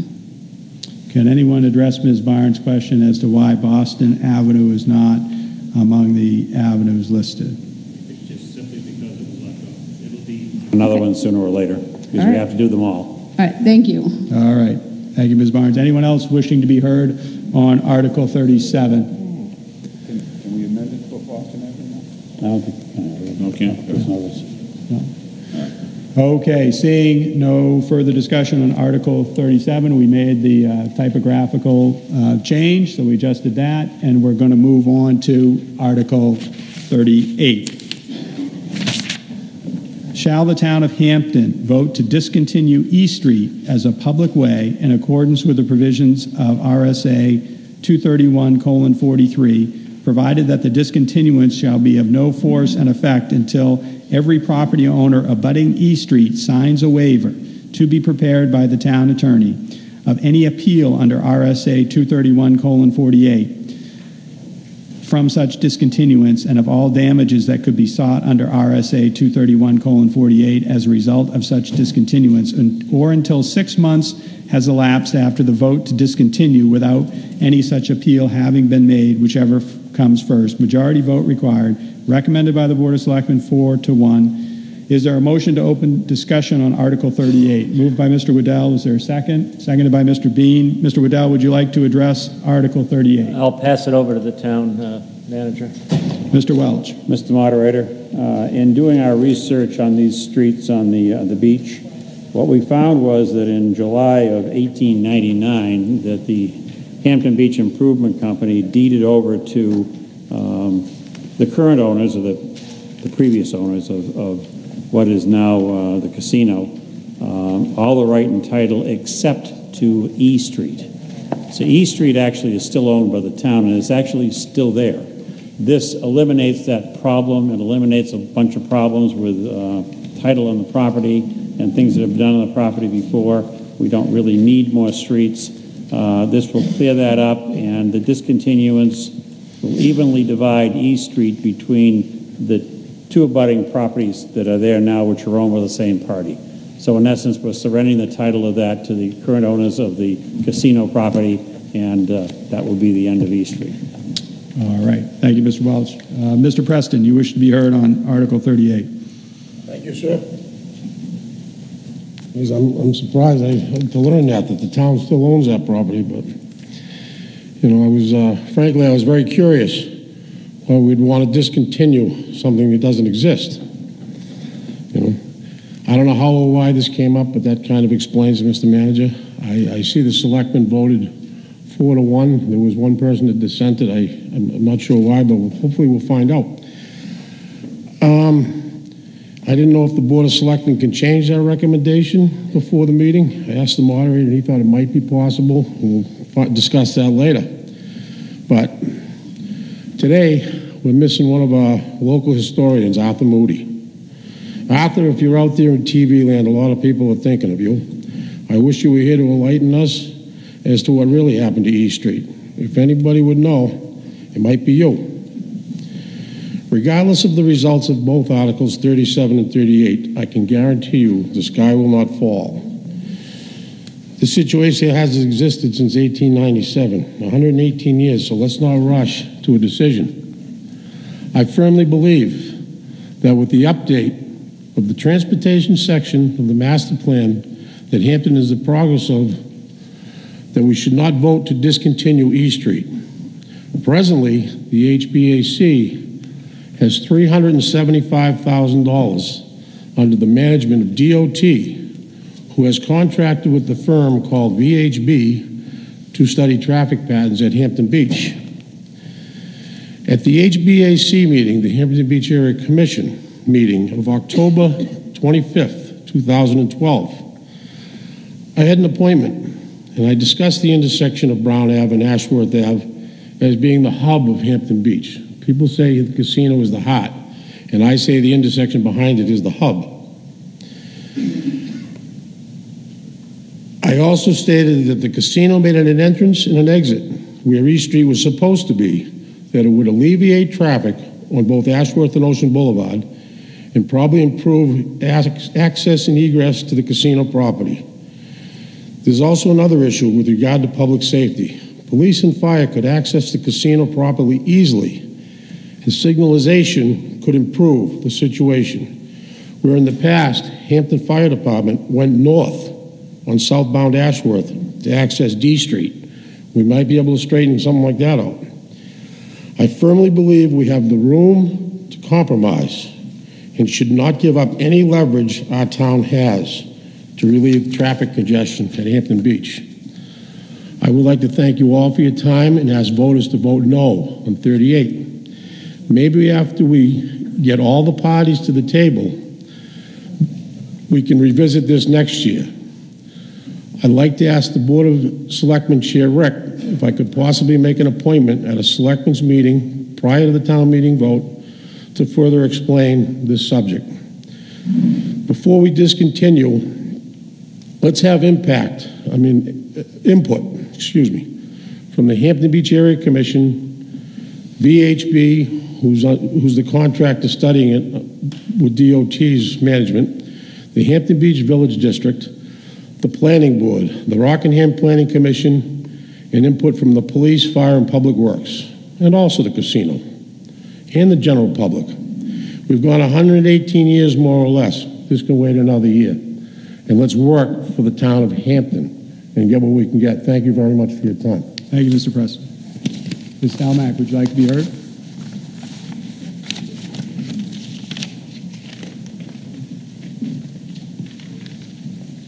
Andy Stelmack, 488 High Street.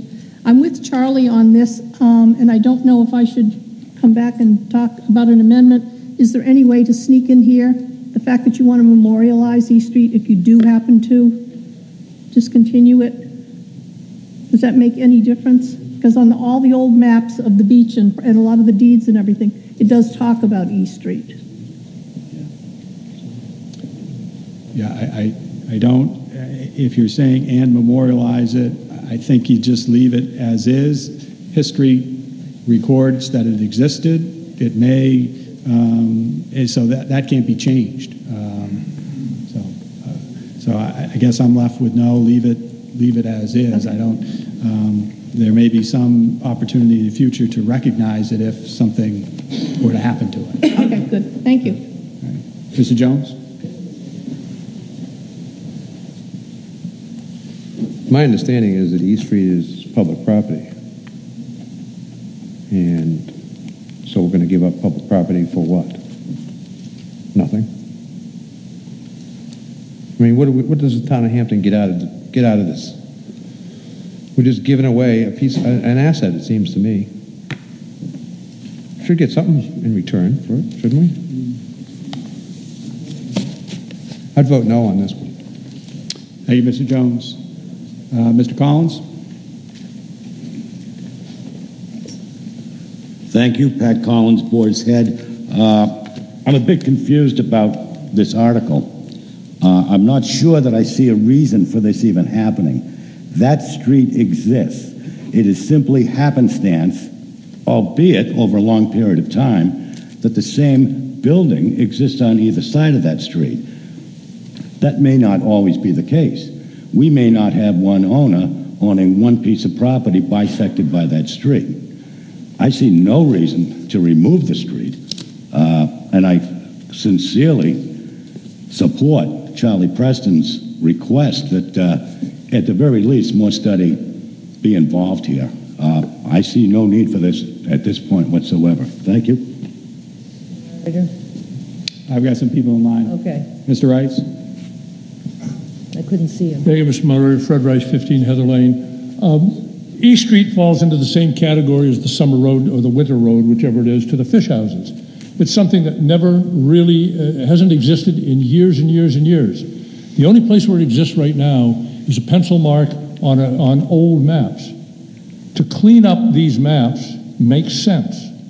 I don't think that, eh, that the current owners of the casino and the casino property uh, between uh, D and F Street uh, want to have any part of their, their title clouded by some obscure reference to a, to a paper street that never ever really existed to begin with. It doesn't exist as if this was a street that was there and we're now taking it away. This never was, never existed anyway. Uh, the casino was built before any of these things. There was a provision made to have all of these lettered streets all the way down the length of the beach, but this one was the one that never existed. So to, to say that we need to keep it, I think is like, I think we ought to keep swords and uh, things like that, and uh, you know, uh, sorcery fires and things like that. A lot of things that are historical that are nice, but uh, this is not one of them. And I think that we ought to clean up our, our paperwork and get this done. If you want to put, put a post there along Ashworth Avenue that says this was the location of the former paper street, 99% of the people don't know what a paper street is, uh, this is the location of a former paper street called E Street. It's never done anything. It's never achieved any fame for anything. Uh, so I, I, think that we just need to move this thing along and uh, get rid of the E Street designation. Thank you. Thank you, Mr. Rice. Ms. Woolsey? Yes, Mr. Moderator, it is a refreshing concept that the government makes sense. However, I will say that I absolutely agree with Mr. Preston. I was the no vote on this article. I am still the no vote. Act in haste, repent at leisure. Mr. Preston, would you like to speak? If there's no one else who wants to be heard for a first time on, on Article 38. Uh, I'll, I'll make it very brief, Mr. Moderator. Um, I have no problem with articles going forward as written. I think that's the way things should be done. And I just would ask the voters to vote no, and we can come back and revisit this next year. But in, in this year's time, it's just a very time-sensitive thing with what's going on with trying to do what we're doing at Hampton Beach. And um, we can work this out, and we can work a good deal, and we can get easements down there that work for both sides, for everybody. There is room for compromise, and we can, and we can do this right. Thank you very much, Moderator. Thank you, Mr. Preston. Anyone else wishing to be heard on Article 38?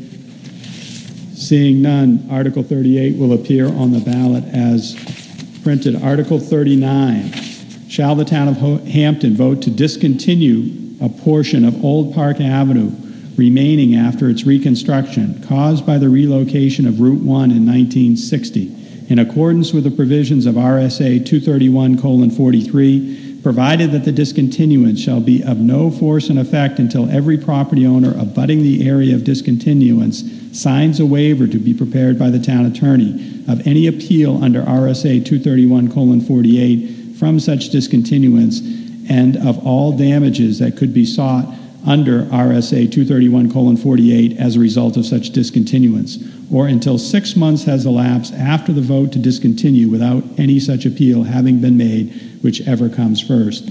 Recommended by the Board of Selectmen, four to one. Is there a motion to open discussion on Article 39? Moved by Mr. Bridle, seconded by Mr. Waddell. Mr. Bridle, would you like to speak to Article 39? Uh, I will leave it to the town manager to explain it. it I- I'll just say that there, there's uh, two pieces of property this, this affects. It was a street that was put in long before I can remember, when they changed Park Ave around. And uh, this is, again, just cleaning up some, some stuff that's been in the area. Mr. Welch? Mr. Moderator, uh, the owners of property at number 19 Park Avenue approached us. Uh, They wanted to discontinue this short section of the old Park Avenue uh, and combine it with their property. Uh, On examination, we found that number 25, which is the street to the southerly side of that particular uh, leftover section of Old Park Avenue, uh, in fact, if that were done, would have no frontage anywhere and would have no way to get off their property at all, which sort of said to us that something differently needs to be done. So what we're proposing here is to allow the, uh, the Old Park Avenue to basically to be divided in half. The original front half of, of what is now currently Park Avenue to be left there. So there would be, in fact, frontage for the folks at number 25. The gentleman at number 19 wants to build a garage, and he doesn't have enough land without this discontinuance to perform that function. So what we're doing here is we're actually discontinuing two small pieces of property, and at the same time putting them back on the tax rolls and allowing someone to build a garage and someone to allow themselves to have continued access to the public highway. That's it, sir. Thank you, Mr. Welch. Anyone else wishing to be heard on Article 39? Yes, sir.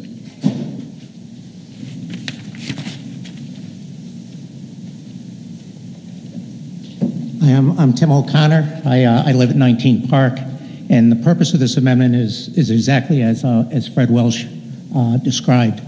Um, I wanted to build a garage uh, on my land, and when I went to the town, I found out, geez, there's a road underneath there.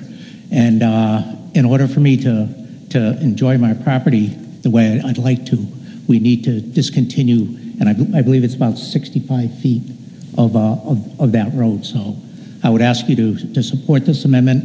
It's a very, it's a, when you think of Park, Park Road, people think of Park Avenue. This is a very short stub between my property, 19 Park Avenue, and Janet Peepgrass's property, 25 Park. Uh, both of the abutters uh, will approve this. We've ar- I've already approached them, and uh, I just ask for your support to do that. Thank you. Thank you, Mr. O'Connor. Anyone else wishing to be heard on uh, Article 39? Seeing none, Article 39 will go on to the ballot as printed. I make a motion to restrict Articles 37, 38, 39, please? Mr. Griffin has moved to restrict reconsideration of Articles 36, 30, no, 37, 38, and 39. Seconded by Mr. Bridle. All in favor of that motion? Thank you. Down cards. All opposed? Uh, 37, 38, and 39. Those articles are restricted from further discussion uh, at today's meeting. Article 40, on the petition of John and Judith Doherty and at least 25 Hampton registered voters, shall the town of Hampton vote to remove deed restriction number four relating to allowing only one single-family dwelling to be placed on the lot. This request is for the limited purpose of allowing these owners of two seasonal dwellings at 3 Toppin Street, Hampton Tax Map Number 132, Lot Number 7, to replace one existing and failing seasonal dwelling with a properly built year-round dwelling, such that the owners can then relocate and retire to the town of Hampton. The new dwelling will meet all local building and zoning codes. There are currently two dwellings on said lot. Further, to authorize and direct the selectmen to execute, deliver, and record notice of this vote at the Rockingham County Registry of Deeds at no extra cost to the town. Majority vote required. Uh, motion to open discussion on Article 40. Can I get a motion to get this on the floor? Petitioner's here, I'm happy to second him. Uh, yes, yes, he is here. uh, So I will be happy to second. he's not a Hampton resident. So Oh, he is not, I'm sorry, then I'll be happy to move. Moved by uh, Ms. question. Woolsey, seconded by Mr. Waddell. Mr. Doherty, would you like to speak to Article 40? Thank you. Uh, As a bit of housekeeping, I have an amendment to the article. May I have permission to uh, Yes. do that? Okay. uh, The article describes 3 Toppin Street as Hampton tax member, map number 132, lot number 7. The updated uh, map and tax and lot number are map number 134, 134, and lot number 86, 86. Oh. So Mr. Bridle's made the motion to uh, update the, um, the map, the tax map and lot number. Do I have a second on that? Seconded by Ms. Woolsey. Um, Housekeeping matter, all those in favor of uh, that amendment, raise your voter card. Down cards. All opposed? All right, so we've, we've amended that um, article. Yes? I just uh, ask a question of clarification for uh, the gentleman while he's here. Yeah. Uh, The restriction number four that you're talking about in your deed actually has two sentences. Uh, The second sentence says, "No commercial use shall be made of the premises except that which is in existence on the execution of this deed." I think you're not intending to remove that restriction, are you? It's just the first sentence that talks about the only structures permitted?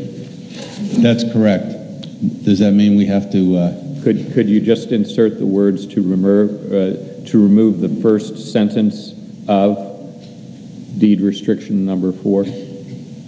So he's trying to make sure you're not going to try to operate some commercial. Hot dog stand or something? Yeah, so, so we Yeah. would remove just the first sentence of deed And the restriction. first sentence is the one that deals with the two dwellings? Okay, I'm, I'm good with You that. okay with that? So if I can get, Mr. Bridle is going to make that amendment, seconded by Ms. Woolsey. All those in favor of clarifying the limited nature of the deed restriction release sought? Down cards? Any opposed? All right, Mr. Doherty, I think we got through the housekeeping, so All right. on to the, to the substance. Thank you. Uh, Again, my name's John Doherty. My wife Judy and I are the owners of 3 Toppin Street in Hampton. Thank you for the opportunity to speak on behalf of our petition. We are asking Hampton voters to vote yes on this article. The article requests that be, we be permitted to remove restriction number four from our deed, or I should say the first sentence of restriction number four. This restriction relates to allowing only one single-family dwelling to be placed on the lot.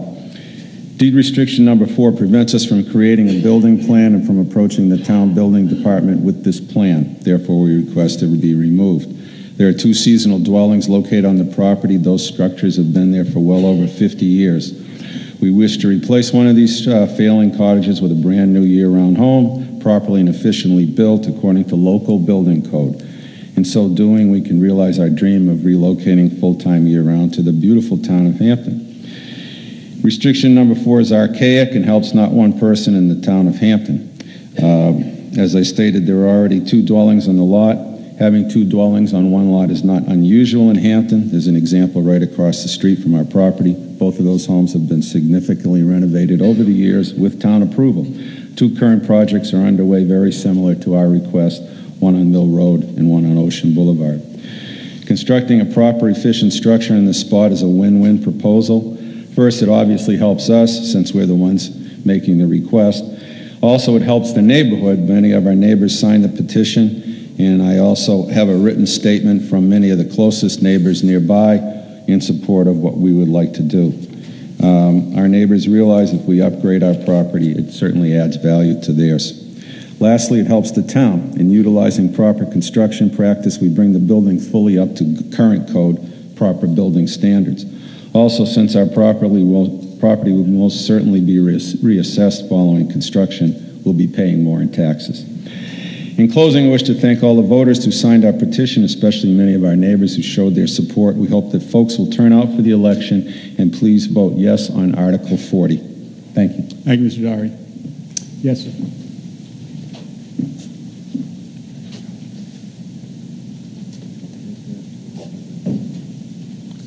Bill McLaughlin, 29 Hampton Town Estates.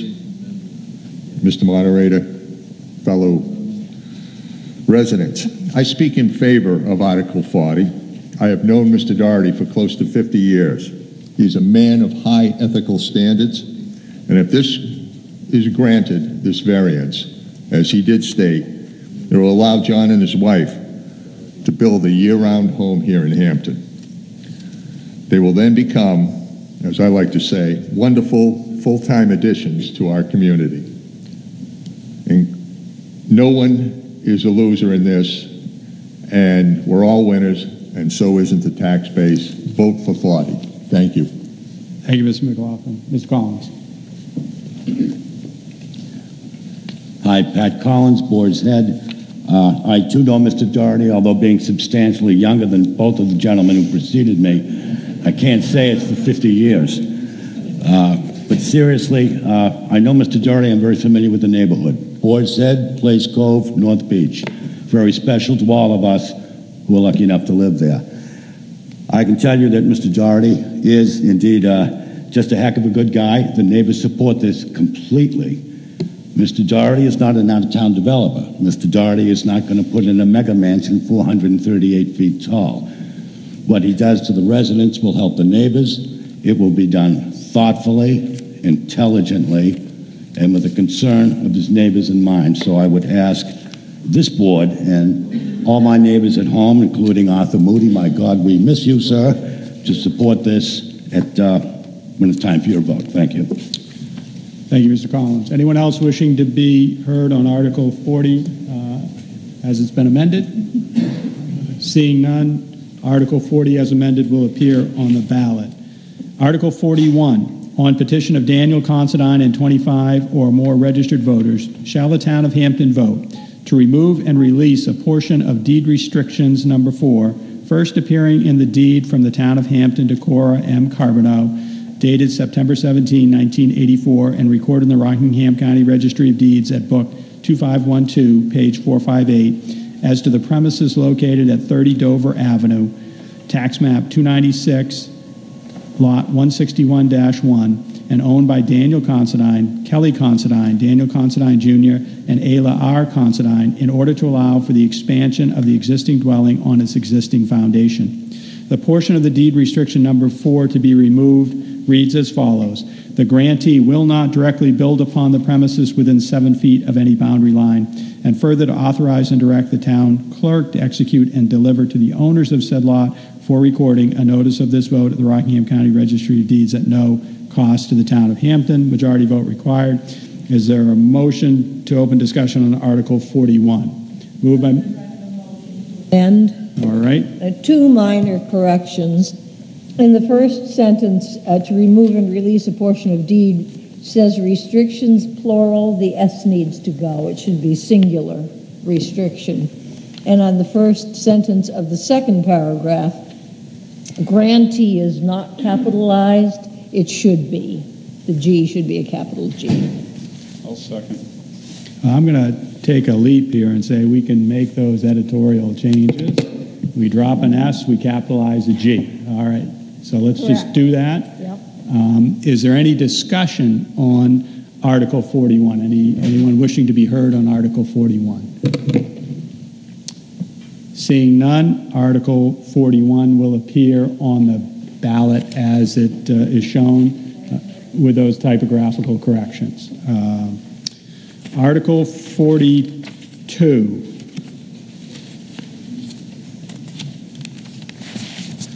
On petition of Stephen Joyce and at least 25 registered voters, we direct the Board of Selectmen to not approve any special event requests that result in the closure of any road in the town of Hampton. The only allowed exceptions are the annual seafood festival, neighborhood block parties, and parades. Majority vote required. Is there a motion to open discussion on Article 42?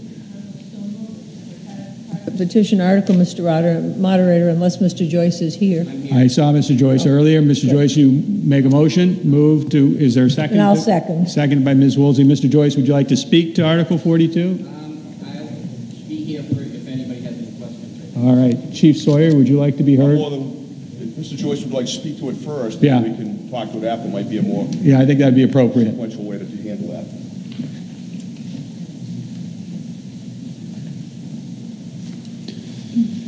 Thank you, Mr. Moderator. Yes. Steve Joyce, 12 Dover Ave. Um, I wrote this in reference to um, incident that happened in October where basically uh, Ocean Boulevard and Ashworth Ave were closed down for upwards of six hours for a race. Um, many people I talked to from uptown were very upset that they weren't allowed to go about their normal Sunday duties, whether at church or work, uh, laundry, shopping, whatever. We were basically locked out. You couldn't go anywhere. Um, so I'm hoping to get the support of the town to get these events stopped where the roads are actually closed. Um, most people have no problem with the races we have where, uh, you know, the roads aren't closed, but when you close down the roads, people can't go about their normal duties. So that's pretty much the premise of this. Thank you. All right. Thank you, Mr. uh, Joyce.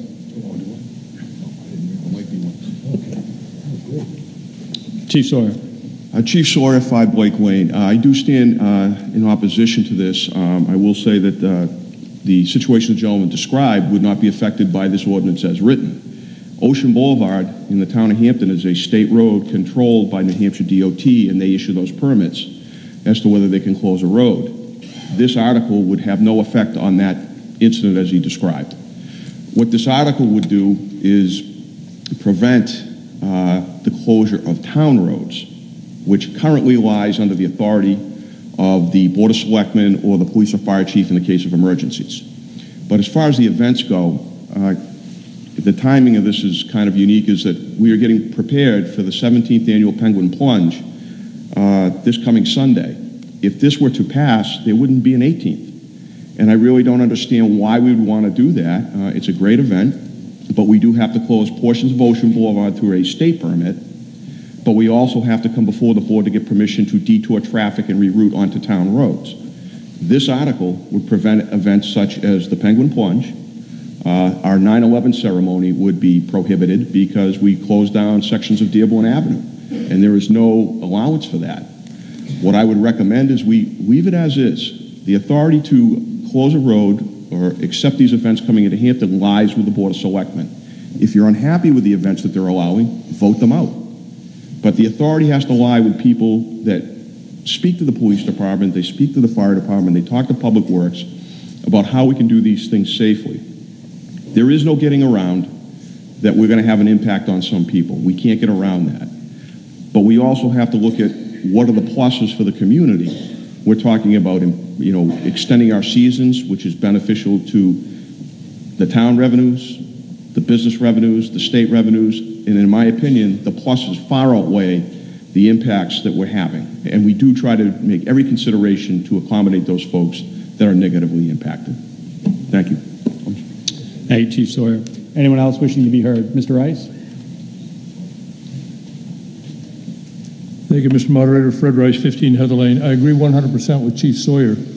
Um, the role of government is not to pick winners and losers in anything.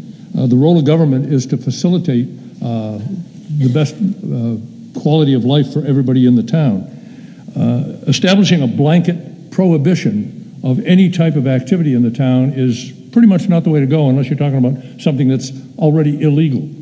Um, I think the solution to this is, is much, would be much better handled eh, by leaving it in the, in the hands of the police, the selectmen, and other appropriate agencies so that they can modify the route of a, an activity or limit the time or whatever. A very good friend of mine who lives on North Shore Road uh, complained to me about the, the, one of the uh, races that they had there. He couldn't get in or out of his house for three or four hours one day. So I understand what the frustration is. But this, the, there's, it's not either that or close everything off and never allow any of these things to happen. The solution is to work together to find something that has some flexibility so that you can still hold the event, but run it on roads or at times where it will have the minimal impact on the most people. So I would, uh, I would be in opposition to this, uh, uh, this uh, uh, warrant article. Thank you. Thank you, Mr. Rice. Mr. Bridle, and then uh, Ms. Stelmack.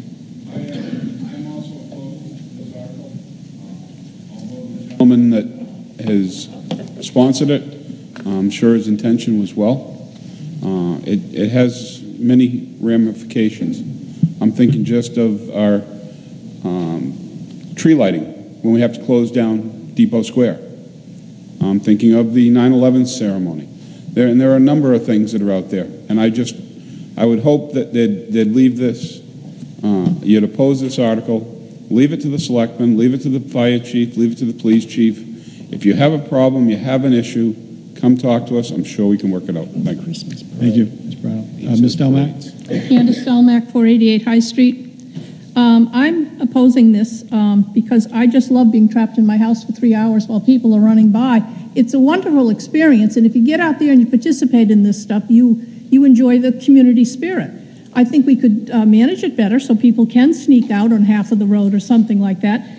But the hotels are filled up by these people that participate. The restaurants have a, an extended year. The hotels have an extended year. You know, these poor people have three months to make a year's wages. I don't think excluding races, road races, and things like that is the spirit that we want. People come to this town and they say, God, we'd love to live here. You people are so lucky. And we are. So let's enjoy it. Thank you. Thank you, Ms. Stelmack. Mr. Bridle?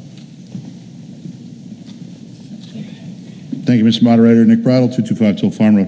I'd like to echo Ms. Stelmack's comments. Um, for a long time, the beach has been trying to extend its season. Uh, not only does it create revenue for private business, but I know the parking lots gain a lot of extra revenue from concerts and, and races and uh, the catamaran events down there. Um, in addition to the the, um, the, tree lighting and some of the other parades, and uh, the, the first thing that came to my mind when I heard of this warrant article was uh, Chief Maloney's funeral procession that came through the town. Uh, this whole neck of the state banded together in order to make that happen. I would hate for that to fall into one of the cracks, for us to honor somebody who, who gave such a sacrifice to fall under such a blanket statement. Um, I think that the system we can do is uh, a little more notification. I, th- I, think the problem just needs to be finely tuned. I don't think it needs to be blanketly overwritten, and I would oppose this uh, warrant article. Thank you, Mr. Moderator. Thank you, Mr. Bridle. Ms. Martin? Diana Martin, Director of Parks and Recreation. Um, and I also rise in opposition to this article as it affects recreation in this town by excluding future road races and special events. The selectmen have a policy in regard to these entities, and I would like to see it stay with them to make the decisions on the events as they come in. This would exclude longer road races and events that our town recreation and parks department put on, and one of the missions of parks and recreation is exercise and quality of life. Running has become a very popular form of exercise, which all ages can participate in, and races are a fun event that thousands of people participate in in this town. I can also say that at least one of those companies that provide the longer races donates money back to a number of organizations in this town. I'm also opposed to this, as stated earlier, because it also excludes special events. So, so, so far, our department has been able to run events with minimal effect on the roads, but an example of a program that would most likely have to stop would be the town tree lighting ceremony because it grows every year. And I would hate to see that um, have to go away because of this article. So again, I'm opposed to this, and I hope that everybody sees it that way. Thank you, Ms. Martin. Ms. Barnes? Regina Barnes, 95 Presidential Circle. I'm going to keep this real quick because the past five or six people have pretty much touched on everything that I wanted to touch on.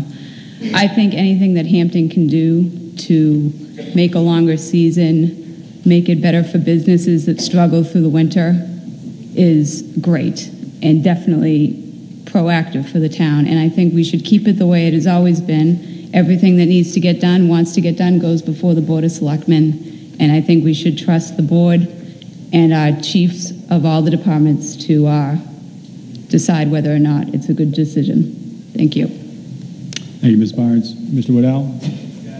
Say uh, just quickly that uh, the system works as is. We had a group come in last year at one point to the Board of Selectmen asking to uh, run a race, and the chief came in and didn't agree with the plan they had, and we turned that group down. And they, they were pretty upset about it, but we turned them down. So I think the system works. Plus, I would like to say that the majority of the road races are contributing money to charities, which I think is a big deal for the, uh, for the town. I know that uh, Local Sports works very closely with the Rotary Club and contributes an awful lot of money to charities. So I think we would be cutting out a lot of funding for charities if we were to restrict the uh, road races. Thank you. Thank you, Mr. Waddell. Mr. Hammer? Tracy Emerick, 207 North Shore Road. Uh, I'm one of the ones of the October event that's highly affected. Uh, on a Sunday morning on North Shore Road, you have no exit until approximately 10, 10 a.m. The roads are closed. It doesn't say uh, reduced use, it doesn't say limited use, it says closed. And it is enforced by police officers. So you, I can't go north on 1A, I can't go, uh, I can't get off North Shore Road, I can't go south, and I, I have no motion at all. This may be saying there's a fly on the baby's head, get the sledgehammer. I agree with that. But I also think we cannot allow road races in the town that close entire sections of the town. I have no problem with restricted access. I that's fine with me. But this closure, and there's posted notices all over our end of town that said road closed from this to this, road closed from this to this. If you go around and look at all those signs, they overlap each other, which basically says you're stuck. Have a good day. And they've done it every Sunday and the first Sunday of October for years. And I got to tell you, it's very annoying when a police officer tells you you can't go to church because a road race is on its way here. It's not here yet, it's on its way. But you can't get off North Shore. I don't support this article as it's written, but I support the concept. Thank you. Thank you, Mr. Hammer. Mr. Newton? Thank you, Mr. Moderator. Um, One thing I might want to point out is, uh, needs a little correction there. It says 25 registered votes. Might want to be voters. Right, yeah. Um, I stand in opposition of this article, uh, mostly because my wife is a runner, and if I didn't, she'd kick my butt. Um, I think that it's a well-intentioned article, but as Mr. Waddell said, the uh, system seems to work as it is. We did have uh, some opposition to different road race, races, and it was taken into consideration and adjusted very, very fairly, I believe. So I am uh, in opposition of this article. Thank you, Mr. Newton. Yes, ma'am. Wooded Pinio, 15 Darrell Ave. I would like to elaborate on that particular article, what happened last year. All the other years before, 45 minutes, an hour, and they were gone. This year, they shut down the bridge. They put metal gates all the way through Ocean Boulevard and Ashworth Ave. And the way they had the opening, it was you kind of had to zigzag back and forth. If you were can't see in the dark because they started at five o'clock in the morning, or you're an elderly person and you get and you get confused, you wouldn't know where you're gonna go.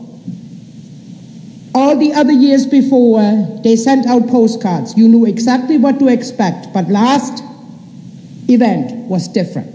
They shut the bridge down a little after six o'clock in the morning, and they didn't reopen it till almost noontime. And the concept, the way it's written, is a little different, not what I would like, but you can't shut down the roads. What if your mother-in-law has a heart attack and you want to go to the, the, the ER, to the hospital? I mean, they got to do it a little different. They shut everything down. That's all I have to say about it. Thank you, Ms. Pinio. Yes, Chief. Jim Sinea, Fire Chief, and as a point of order, sir, I'm not a resident, so I won't be speaking in opposition or support. However, I would like to say that in my tenure as Fire Chief, what I have seen uh, in the recent years is the level of planning that's gone into any of the road closures has been in, uh, including police and fire significantly more, and I think that the level of professionalism has certainly been brought to bear. And I feel that uh, they have been doing a tremendous job, whether it's the, the vetted process that we have for town um, road closures or for outside um, entities to come in. They've certainly been doing a much better job, and we certainly do appreciate all of their help. Thank you, sir. Thank you, Chief Ayotte. Mr. Tilton? Peter Tilton, 125 Landing Road. My first uh, thought was I wanted to make sure that this is legally binding on the selectmen if it should pass. Is it a legally binding article? I was wondering about that. I think this article is uh, not legal under RSA 41 colon 11 that is left to the selectmen re- may regulate the use of all public highways, sidewalks, and commons in their towns. Uh, New Hampshire is a state where we have only that authority that state law gives us. Uh, that it is not left to the uh, townspeople in this forum to regulate the use of public highways. It's left to the selectmen. I wondered about that. I do, I do support the concept of it, though. Um, unless it's a, uh, an emergency, I don't think that there's any reason that you should be telling people that they can't leave or go to their homes. Um, we live in a town. It isn't Disney World, the whole thing. This is a residential community, too.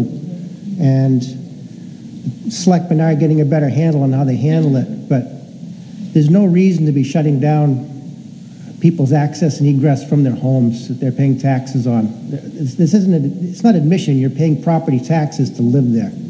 So I really hope you guys really mind it because the, the earlier person that said, or perhaps it was you, somebody said, if they don't like it, vote them out. Because I haven't been affected, but I would be really, really irate if I was told by a police officer, no, two hours, you can go to your house, but go someplace else now. Thank you, Mr. Tilton. Mr. Rainier?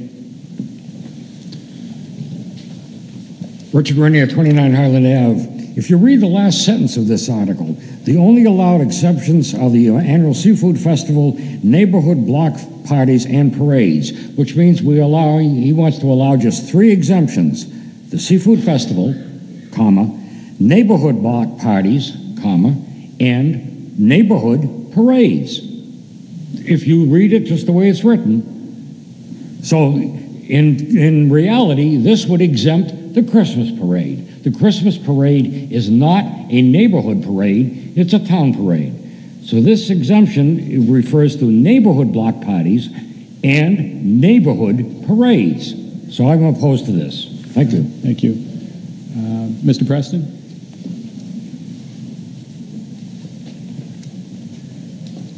I'd just like to, I'd just like to say I learned something here a couple minutes ago. I didn't realize that bridge was shut down for six hours. That's a little much. Um, I'll be honest, I signed this petition, I signed it for one reason, Steve Joyce.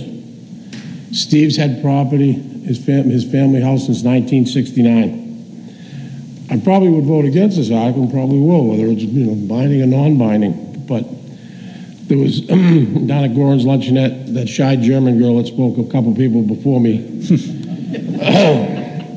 One of her customers, you know, was trying to get us going, and he, and he said, uh, Steve, ask Charlie. He, he probably wouldn't sign it. He goes, no, I'd sign it. I signed it because of Steve Joyce. Whether I believed it or not, I believe in things going forward like that to the ballot. It's a non-binding, so the selectmen still have the thing. You know, Steve's a good guy. We've known each other since we were teenagers. Steve did time, well, I mean served, Jay, on the Conservation Commission. You know, he's a good guy. He's very well intentioned. I think the Board of Selectmen has a very tough job. I think the first time this happened, you know, everybody got so many complaints about this race that it was media was canceled. Then was then the people, I believe, and please correct me if I'm wrong, um, but it, it became the race. People said, then we'll just pull out. And then the business people said, no, you don't want to do that, which I understand. They, they bring a lot of people, they fill a lot of motel rooms. So they, business came in and lobbied the selectmen, and, and it was brought back. And that, I think what happened is we missed some communication. I think Tracy hit the nail on the head, Mr. Emerick. And I think we just need a little bit more communication with, with the people at the beach because that, I was shocked to just find out now that it was six hours. Personally, I did get the notice. They sent a thing, roads closed. It's sitting on my dash now. I went down to the Cape for the weekend now, you know. So Steve's got good intentions. We can tweak this. You know, maybe the selectmen can ask the village district to work with the residents down here and see if we can tweak this a little bit and, you know, to get less complaints for everybody. But thank you very much. Thank you, Mr. Preston. Mr. Joyce? No? All right. Okay. Um, Mr. Bridle and Ms. Woolsey. Can I just get a friendly amendment to change the votes to voters? I think we can do that just by, um, just by doing it. We- That's clearly the intention was to describe 25 registered voters. Change it to what? What are we Voters. doing? Change the votes to There was a voters, typographical error. 25 registered voters. Better voters, good. Ms. Woolsey? I'll second that if you're. No, no, we don't need an amendment. Okay, correct. All right. I had a huge number of calls and complaints with that situation at the beach that Uda explained. And uh, I certainly appreciate where Mr. Joyce is coming from on this. We understand as selectmen that we can't interfere with the state roads. But this isn't a matter of being mean and not extending the beach season and whatever. We have in October and March every year um, private companies who make money from all this. Yes, the people do come. Yes, they stay in hotels. Yes, they spend money locally. That they are tying up roads. And I will say that as a taxpayer, myself and every one of my constituents has a right to the use of the public roadways. And we need to tailor a little bit a little bit differently. So this company donates to charity. That's very nice. I like to see everybody donate to charity. But you are inconveniencing and annoying a huge number of residents, including, as Mr. Emerick said, the residents on the same routes over and over and over again, blocking people from accessing their property. And that is, that is intolerable. I will be looking forward to the public vote on this article. At least this will give us a flavor of where the public's coming from. And I'm hoping for good feedback so that as a board, we can go ahead and start making perhaps a few adjustments in what we're doing, authorizing these road races. All right, thank you, Ms. Woolsey. We've had um, healthy discussion on Article uh, 42, and, and seeing uh, that we've come to a conclusion on that, we're going to move on to Article 43, and Article 42 will appear on the ballot as it was corrected uh, with that typo. Article 43, on the petition of John Nyan and at least 25 Hampton registered voters, shall the town of Hampton raise and appropriate $3,000 to pay to Experience Hampton, Inc., the organizer of the 2010 to 2015 Hampton Christmas Parades, to help defray the expenses of the 2016 Christmas Parade and related activities. Majority vote required. Recommended by the Board of Selectmen 5-0. Recommended by the Budget Committee 13-0. Fiscal impact note from the Finance Department. The estimated 2016 tax impact on $3,000 is one-tenth of one cent per thousand dollars of valuation. Is there a motion to open discussion on Article 43? So moved. Moved by Mr. Bridle, is there a second? Seconded by Mr. Waddell. Does anybody want to be heard on Article 43? Mr. Preston. Mr. Preston. Hi, Bob Preston, 339 Ocean Boulevard. Um, This always gets passed by the town, so I want to thank the voters for doing that again. Uh, The last parade that we had uh, cost Experience Hampton $15,000, so $3,000 does go a long way to help. In addition, Experience Hampton spent uh, $22,000 on the pathway. So any money that the town gives us certainly comes back to you in one way or another.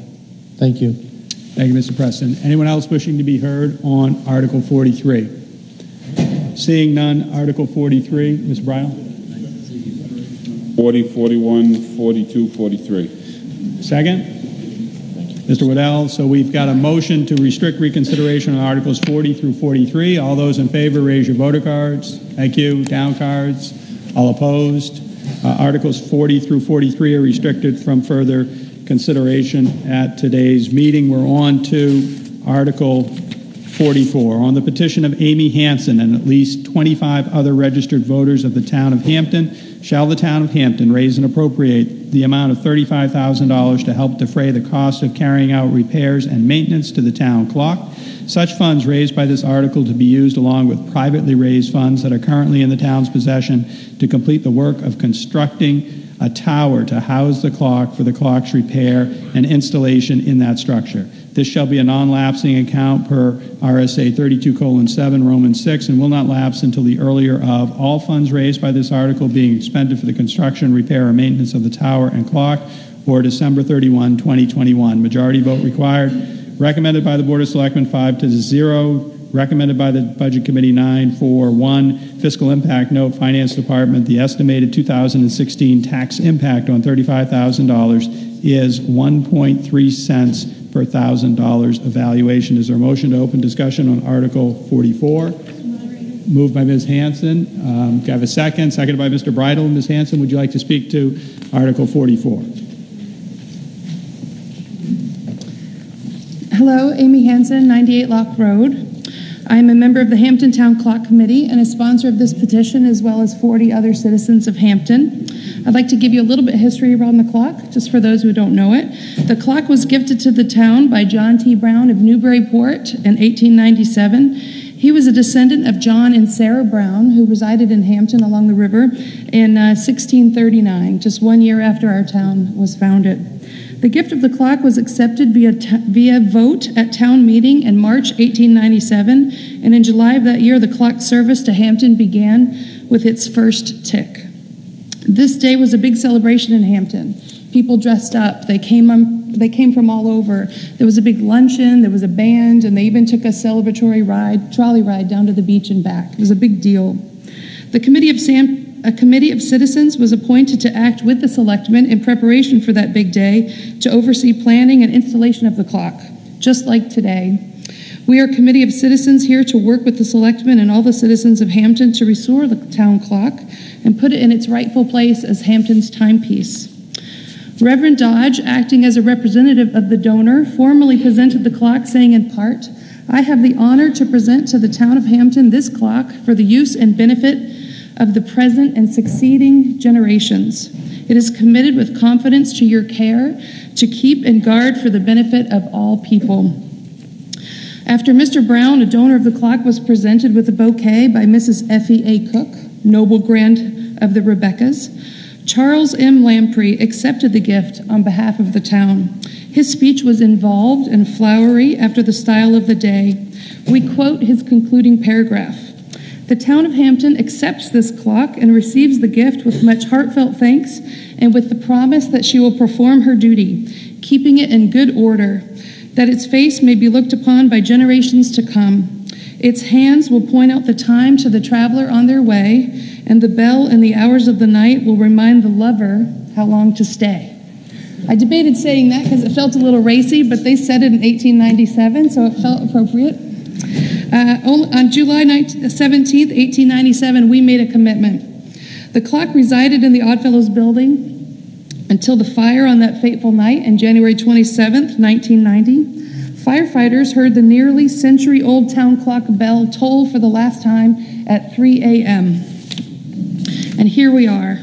Just like in March of, 1897, when the town approved the clock to go into the Oddfellows Tower, in March of 2012, 115 years later, the town voted and approved the installation of the clock at Center School.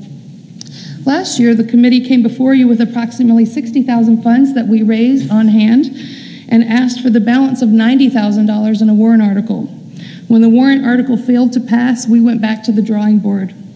We heard the voters loud and clear, and we were determined to do better, and we believe we have. We redesigned the clock structure to honor the tower of the Oddfellows building. We also intensified our fundraising efforts and increased our on hands funds from $60,000 to $110,000, of which is being held in account by the town. This $110,000 will fully pay for the structure for the clock. They, we are asking the town for $35,000 to complete the actual restoration of the clock itself and the installation of the clock on site in the new structure. Uh, upon the approval of this warrant article, the clock will be installed in its new home in the summer of 2016, this year. The tax impact, as you saw, is uh, one uh, and one third penny, and on an average home of $350,000, that's $3.50 for one year only. Am I right?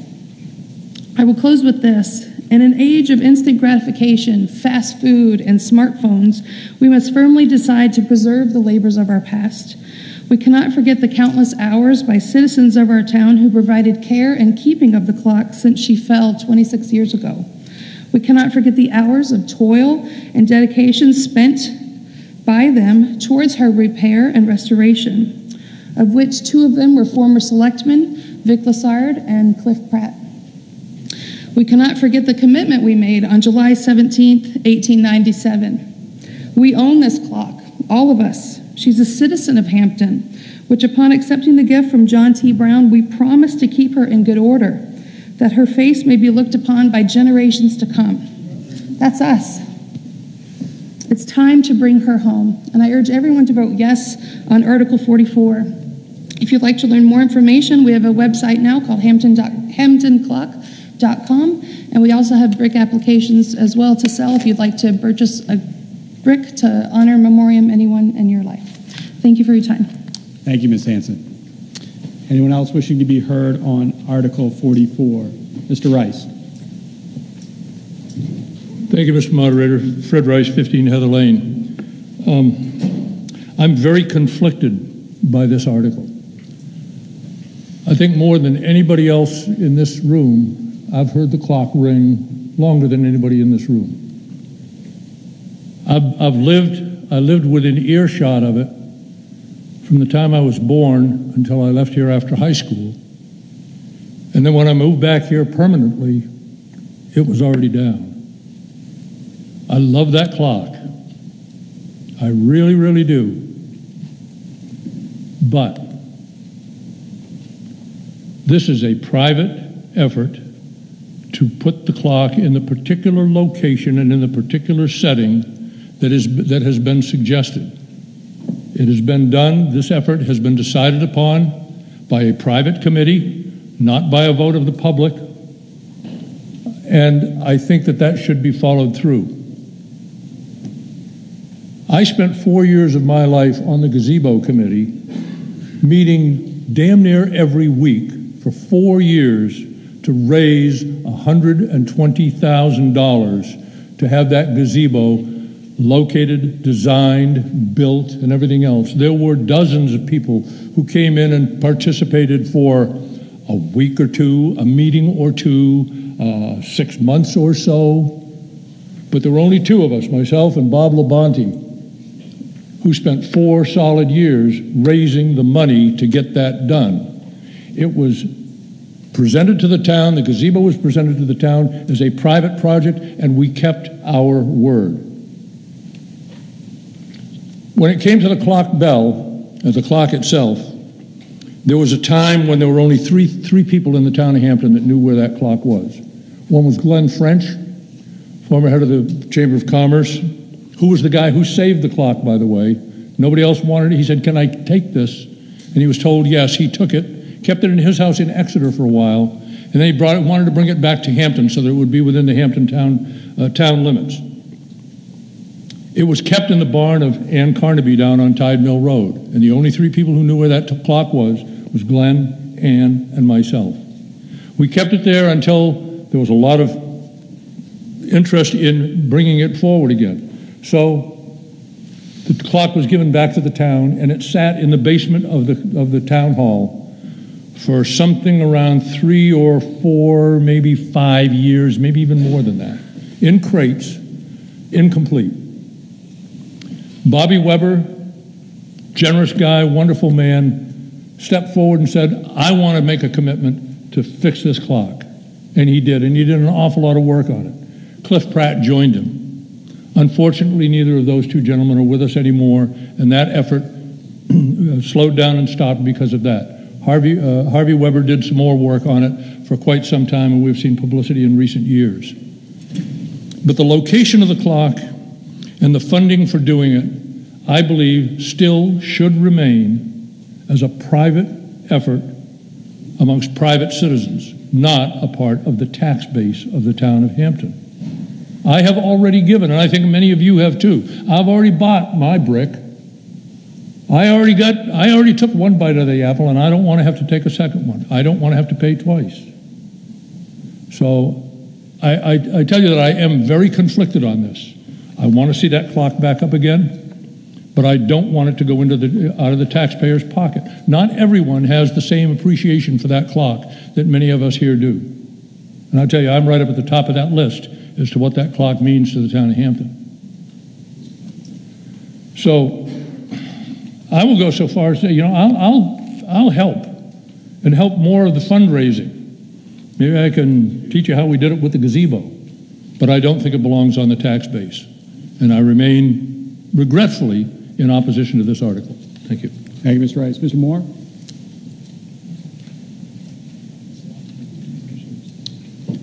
Uh, ben Moore, Ocean Boulevard.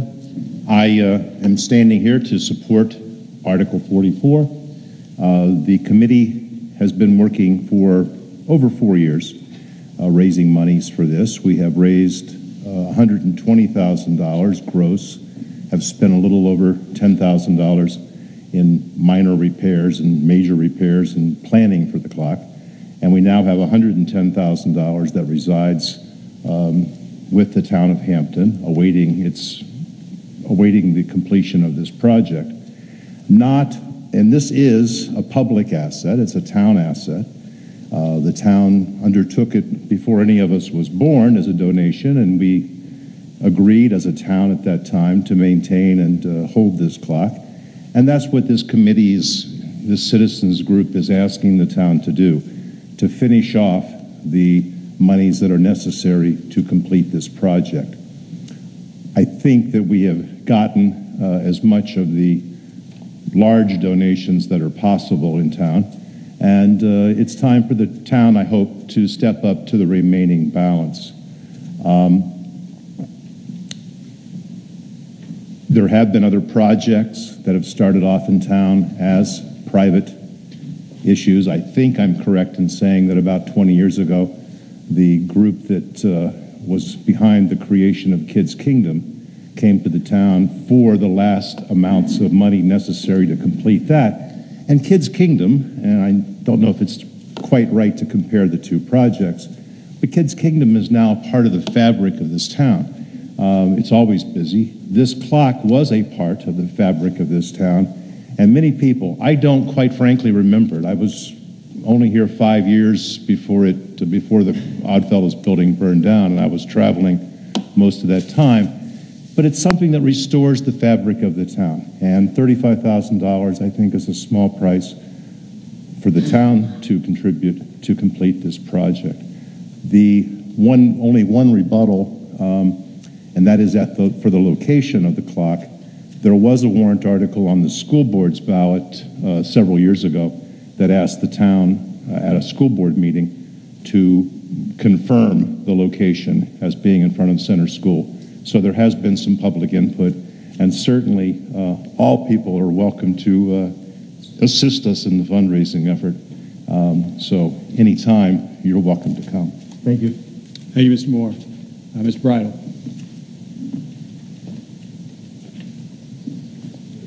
Yes, thank you. I come up in support of the clock.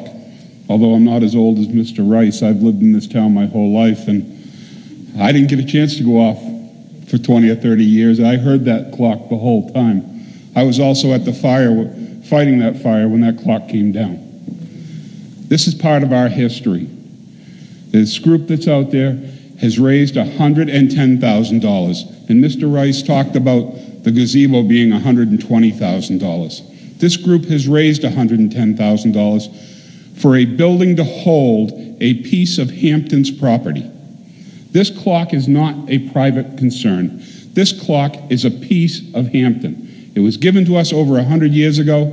It was given to us. It was accepted by the Board of Selectmen at that time, and was, we- they, we, they had their word that they would protect it, save it, preserve it. That's all we're asked, that's all this, this committee is asking to do, is for the town to, pay- they, they've already paid for the building. The building's all paid for.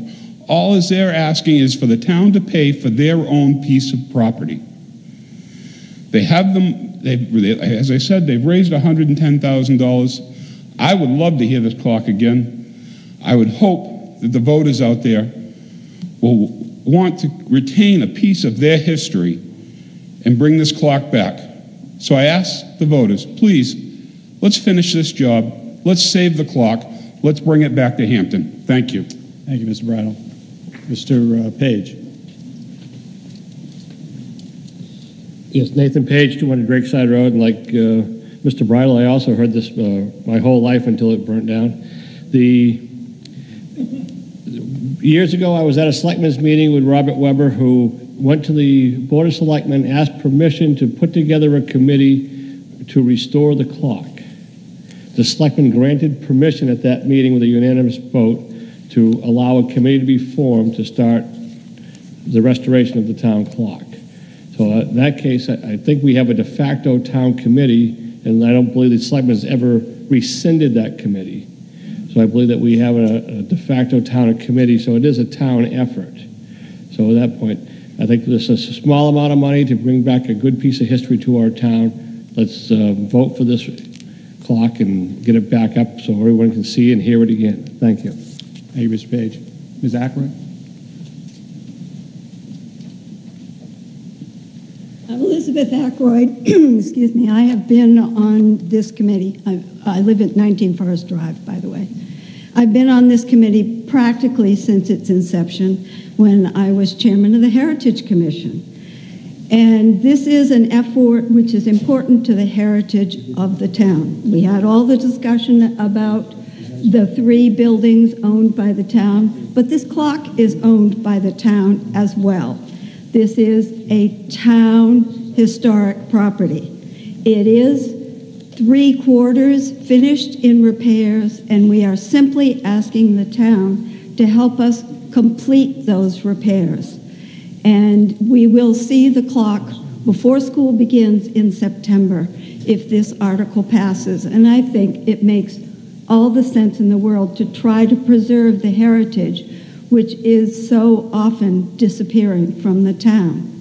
I would also like to reiterate what Amy said that uh, this is partly in memory of Cliff Pratt, who was chair of this committee until his death, and of Vic Lassard, who was a former selectman and an enthusiastic supporter and was prepared to dig in and help us with the project. And for more information, you can see the designs on our new website, which just came up this week, hamptonclock.com. Thank you very much. Thank you, Ms. Ackroyd. Uh, Mr. Lassard. Good afternoon, Keith Lassard, 173 Mill Road. I raise in support of this article. We have very little history that can be preserved this way.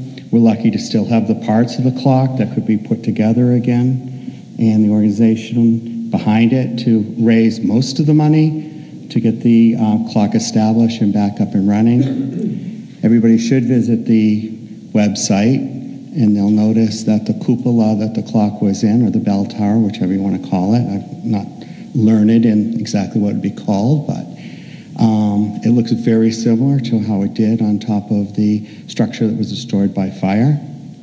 I think that everybody will enjoy the clock when they drive by it, and um, I think it's a positive thing for our community and it should be preserved. Please support the article. Thank you, Mr. Lassard. Mr. Jones?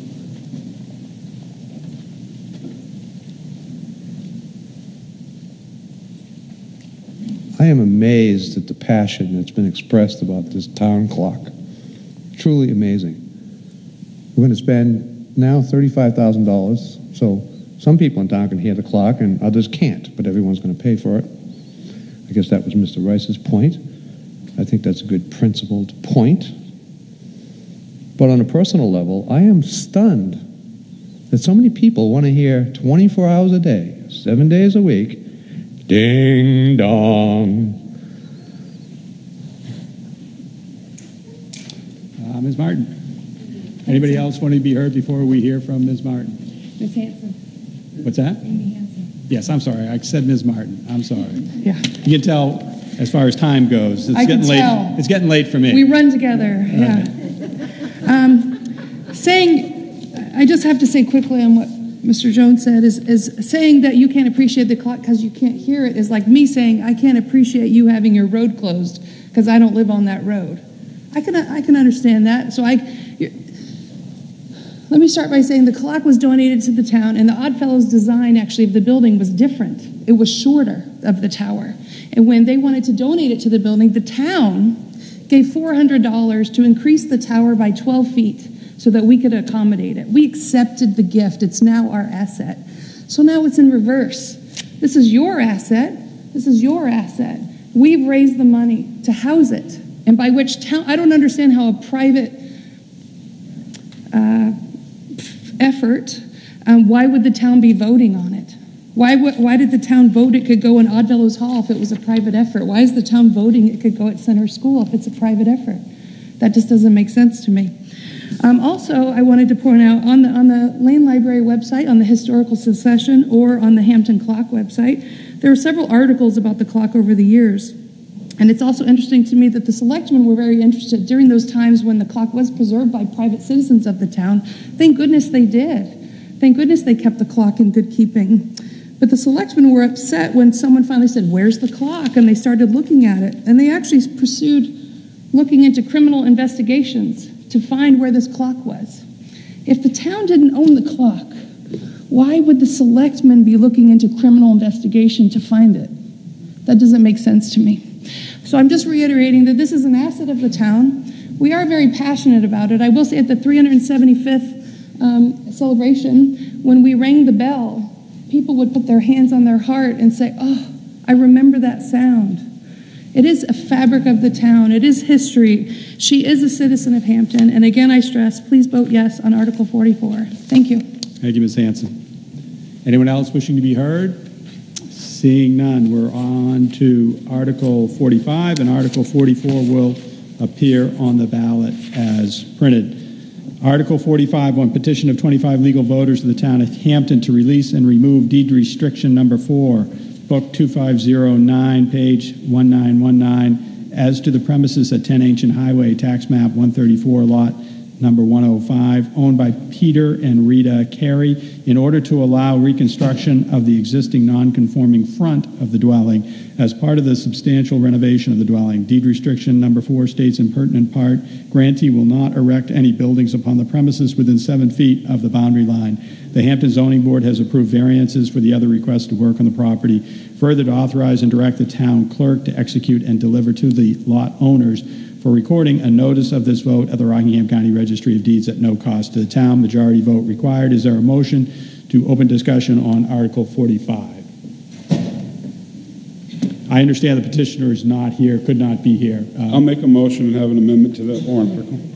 Okay, all right, so it's uh, moved and and seconded for a discussion. Do we, do we have a uh, amendment? I hereby move to amend warrant article, warrant article 45, 45 by striking out the current wording and by substituting therefore the following. Um, on petition 25 legal voters of the town of Hampton to release and remove a portion of deed restriction number four, uh, BK 2509, page uh, 1919, as to the oceanfront side only of the premises at number 10 Ancient Highway, tax map 134, lot 105, owned by Peter and Rita Carey, in order to allow reconstruction of the existing non-conforming oceanfront side of the dwelling as part of the substantial renovation of the dwelling. The portion of the deed restriction number four to be removed as to the oceanfront side of the dwelling only reads as follows. The grantee will not directly build upon the premises within seven feet of any boundary line. The Hampton Zoning Board has approved variances for the other requested work on the property further to authorize and direct the town clerk to execute and deliver to the lot owners uh, for recording a notice of this vote at the Rockingham Registry of Deeds at no cost to the town. Is there a second? Seconded by Mr. Bridle for the Waddell amendment. Um, Mr. Gearreald, did you want to speak to the uh, Waddell amendment? Yes. As with uh, Article 4, as with Article 41, uh, this purports to uh, remove a deed restriction, but only in part. And it's important to note that this uh, deed restriction not only has this first sentence, which talks about uh, the seven foot of the boundary line restriction, but also in the second portion of it talks about the premises not being subdivided. And then there's a further sentence about outbuildings being connected with and attached to the dwelling house. And so uh, it's important when we were talking about these town owned deed restrictions that have been in place for many years to be uh, quite precise about what it is that's to be removed. And the purpose of this amendment is simply to uh, focus in on what the uh, petitioner is seeking to get relief from.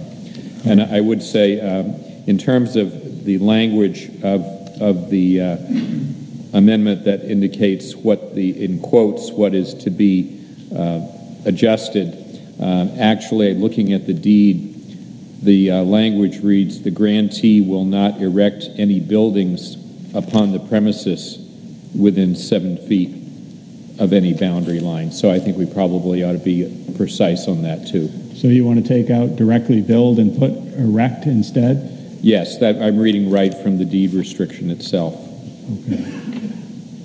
So, Mr. Wood, uh, Mr. Waddell, I lost him, but uh, so it would read the grantee will not erect upon the premises? Erect any buildings upon the premises. Erect any building.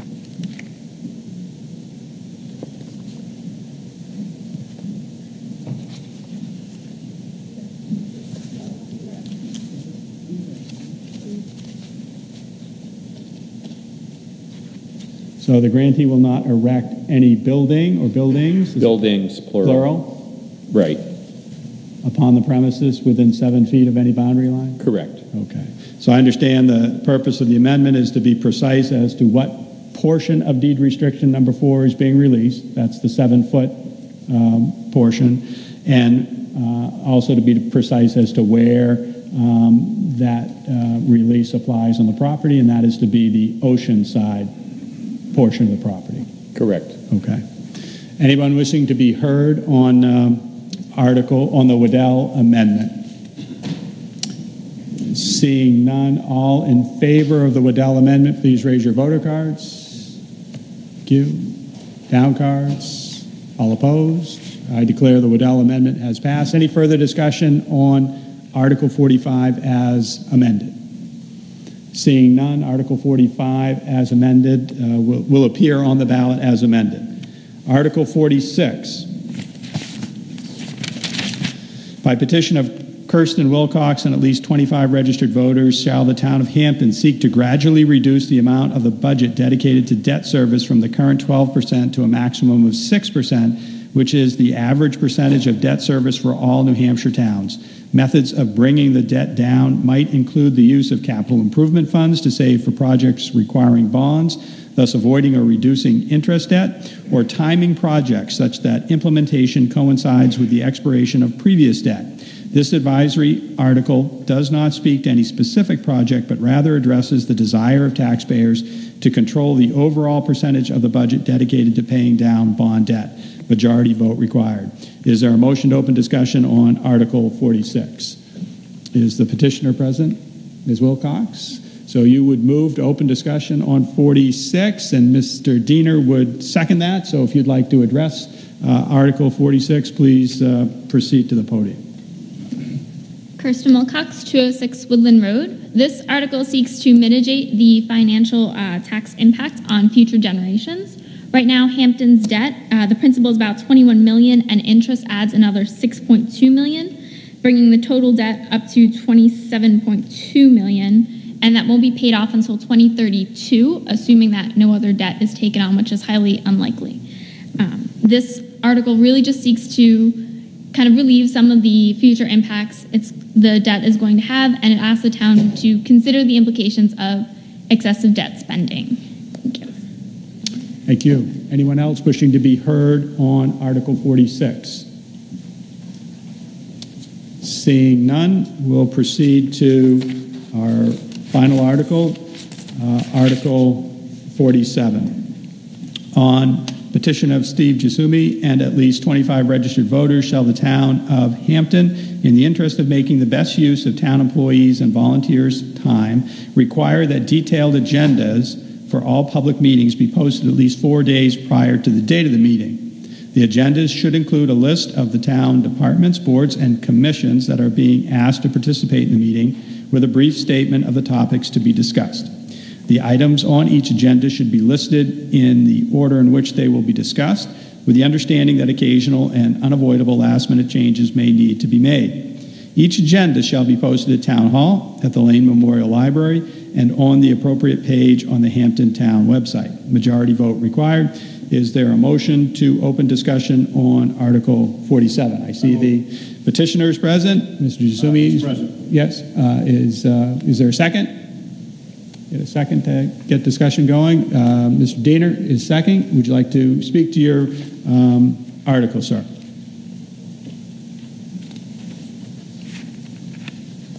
Uh, Just, uh, thank you, uh, Mr. Moderator. Just for the record, my name is Steve Giselle. I live at 11 111 North Shore Road. I'll be very brief. Uh, This uh, article simply requires that all boards and commissions publish a more or less detailed agenda in advance of any such meeting, as required by law anyway. And I only, and I'll only note that I've had occasion in the past stop by town hall and see meetings posted on the walls with very little information as to what is going to be talked about and in what order. And um, as such, I think this is more or less just a housekeeping item. Thank you. All right, thank you. Uh, Ms. Stelmack?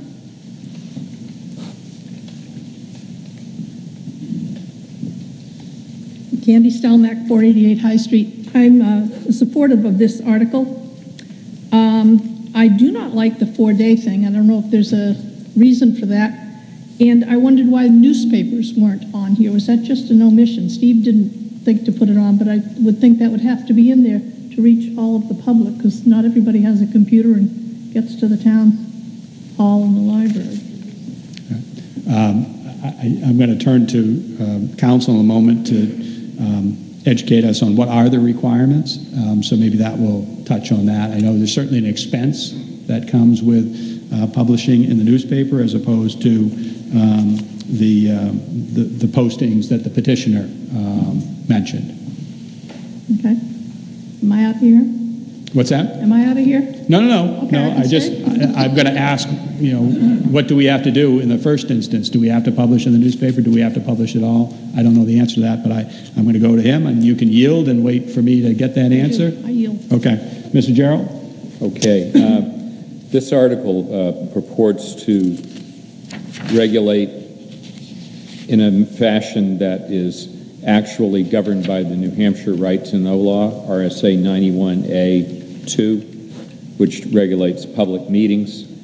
Uh, as such, I believe it's merely advisory and would not be enforceable.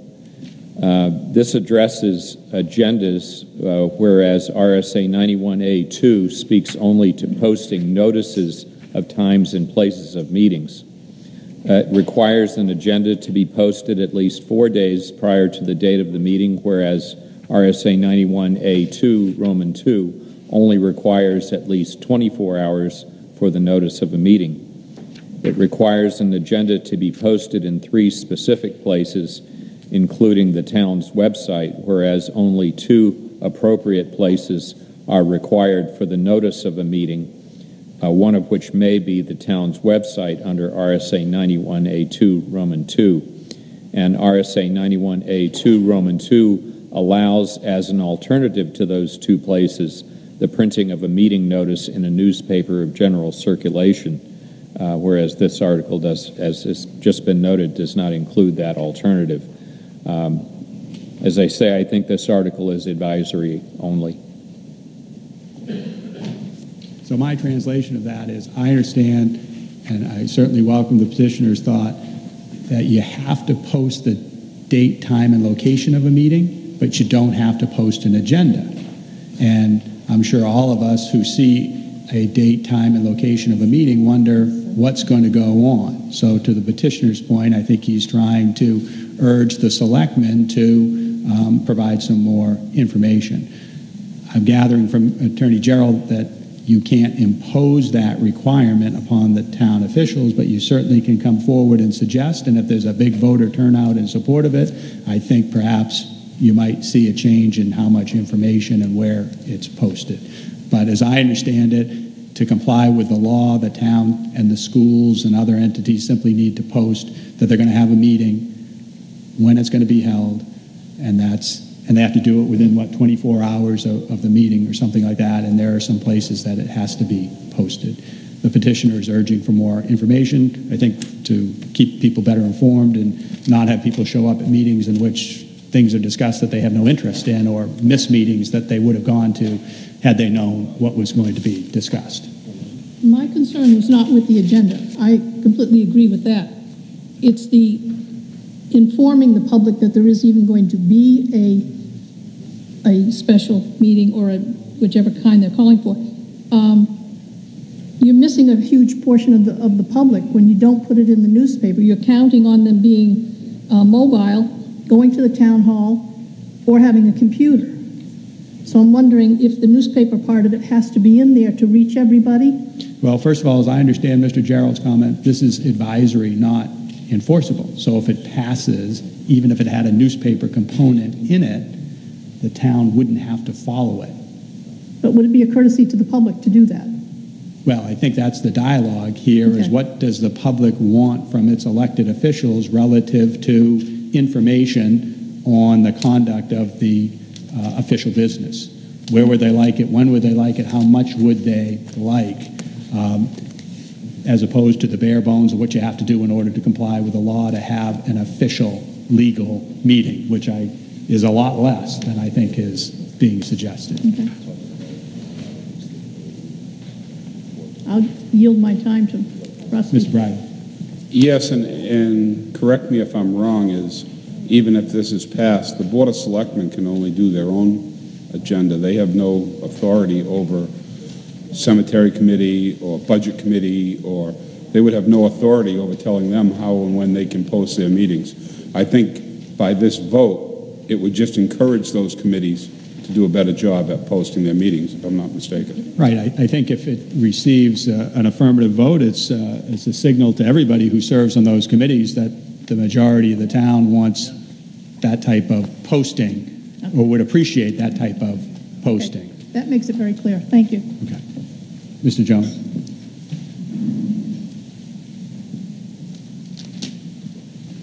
Uh, I, I, do not support this uh, warrant article. Uh, I think that the intent of the warrant article makes sense, but it needs to be sculpted a bit better. and as far as the newspaper is concerned, putting a four-day requirement on a newspaper that publishes once a week doesn't make a whole lot of sense now, does it? So I think we could uh, work something out for next year, but I don't, I don't support this particular warrant article as written. Thank you. Thank you, Mr. Jones. Anyone else wishing to be heard on Article 47? Seeing none, that brings us to the Consideration on 44, 45, 46, and 47. Second. Um, move to restrict uh, to the remaining articles 44 through 47. All those in favor, raise your voter cards. Down cards. Any opposed? Those are restricted before we adjourn. February 9th, I'm sure you've all heard about it. We have an election. It's going to be at Winnacunnet, so I look forward to seeing all of you um, passing through the dining hall at Winnacunnet High School from 7 a.m. to 8 p.m. for the presidential primary. The business that we looked at today will be voting also at Winnacunnet on March 8, Tuesday, March 8, same time frame, 7 a.m. to 8 p.m. Mr. Emmert? A parliamentary inquiry, Mr. Moderator. Uh, on the articles that changed, like got zeroed out for bud, uh, for funding, does the vote of the uh, Board of Selectmen and the uh, uh, Budget Committee remain the same? No, I, as I understand it, both bodies have an opportunity now to meet between now and when the ballot is prepared to um, adjust if they so desire. They may leave them the same, or they may they alter them. So if we have nothing further, I want to thank um, thank you all for coming. I appreciate the commitment to uh, to this process, and uh, certainly thank Winnacunnet for allowing us to be here, and and those folks in the back who uh, have recorded it for the uh, cable committee, and and my particular personal thanks to Mr. Kilroy, Mr. Page, and Mr. Mosher, and Mr. Ross for helping out tonight. So uh, remember to vote, and uh, thank you again for coming. This meeting stands adjourned.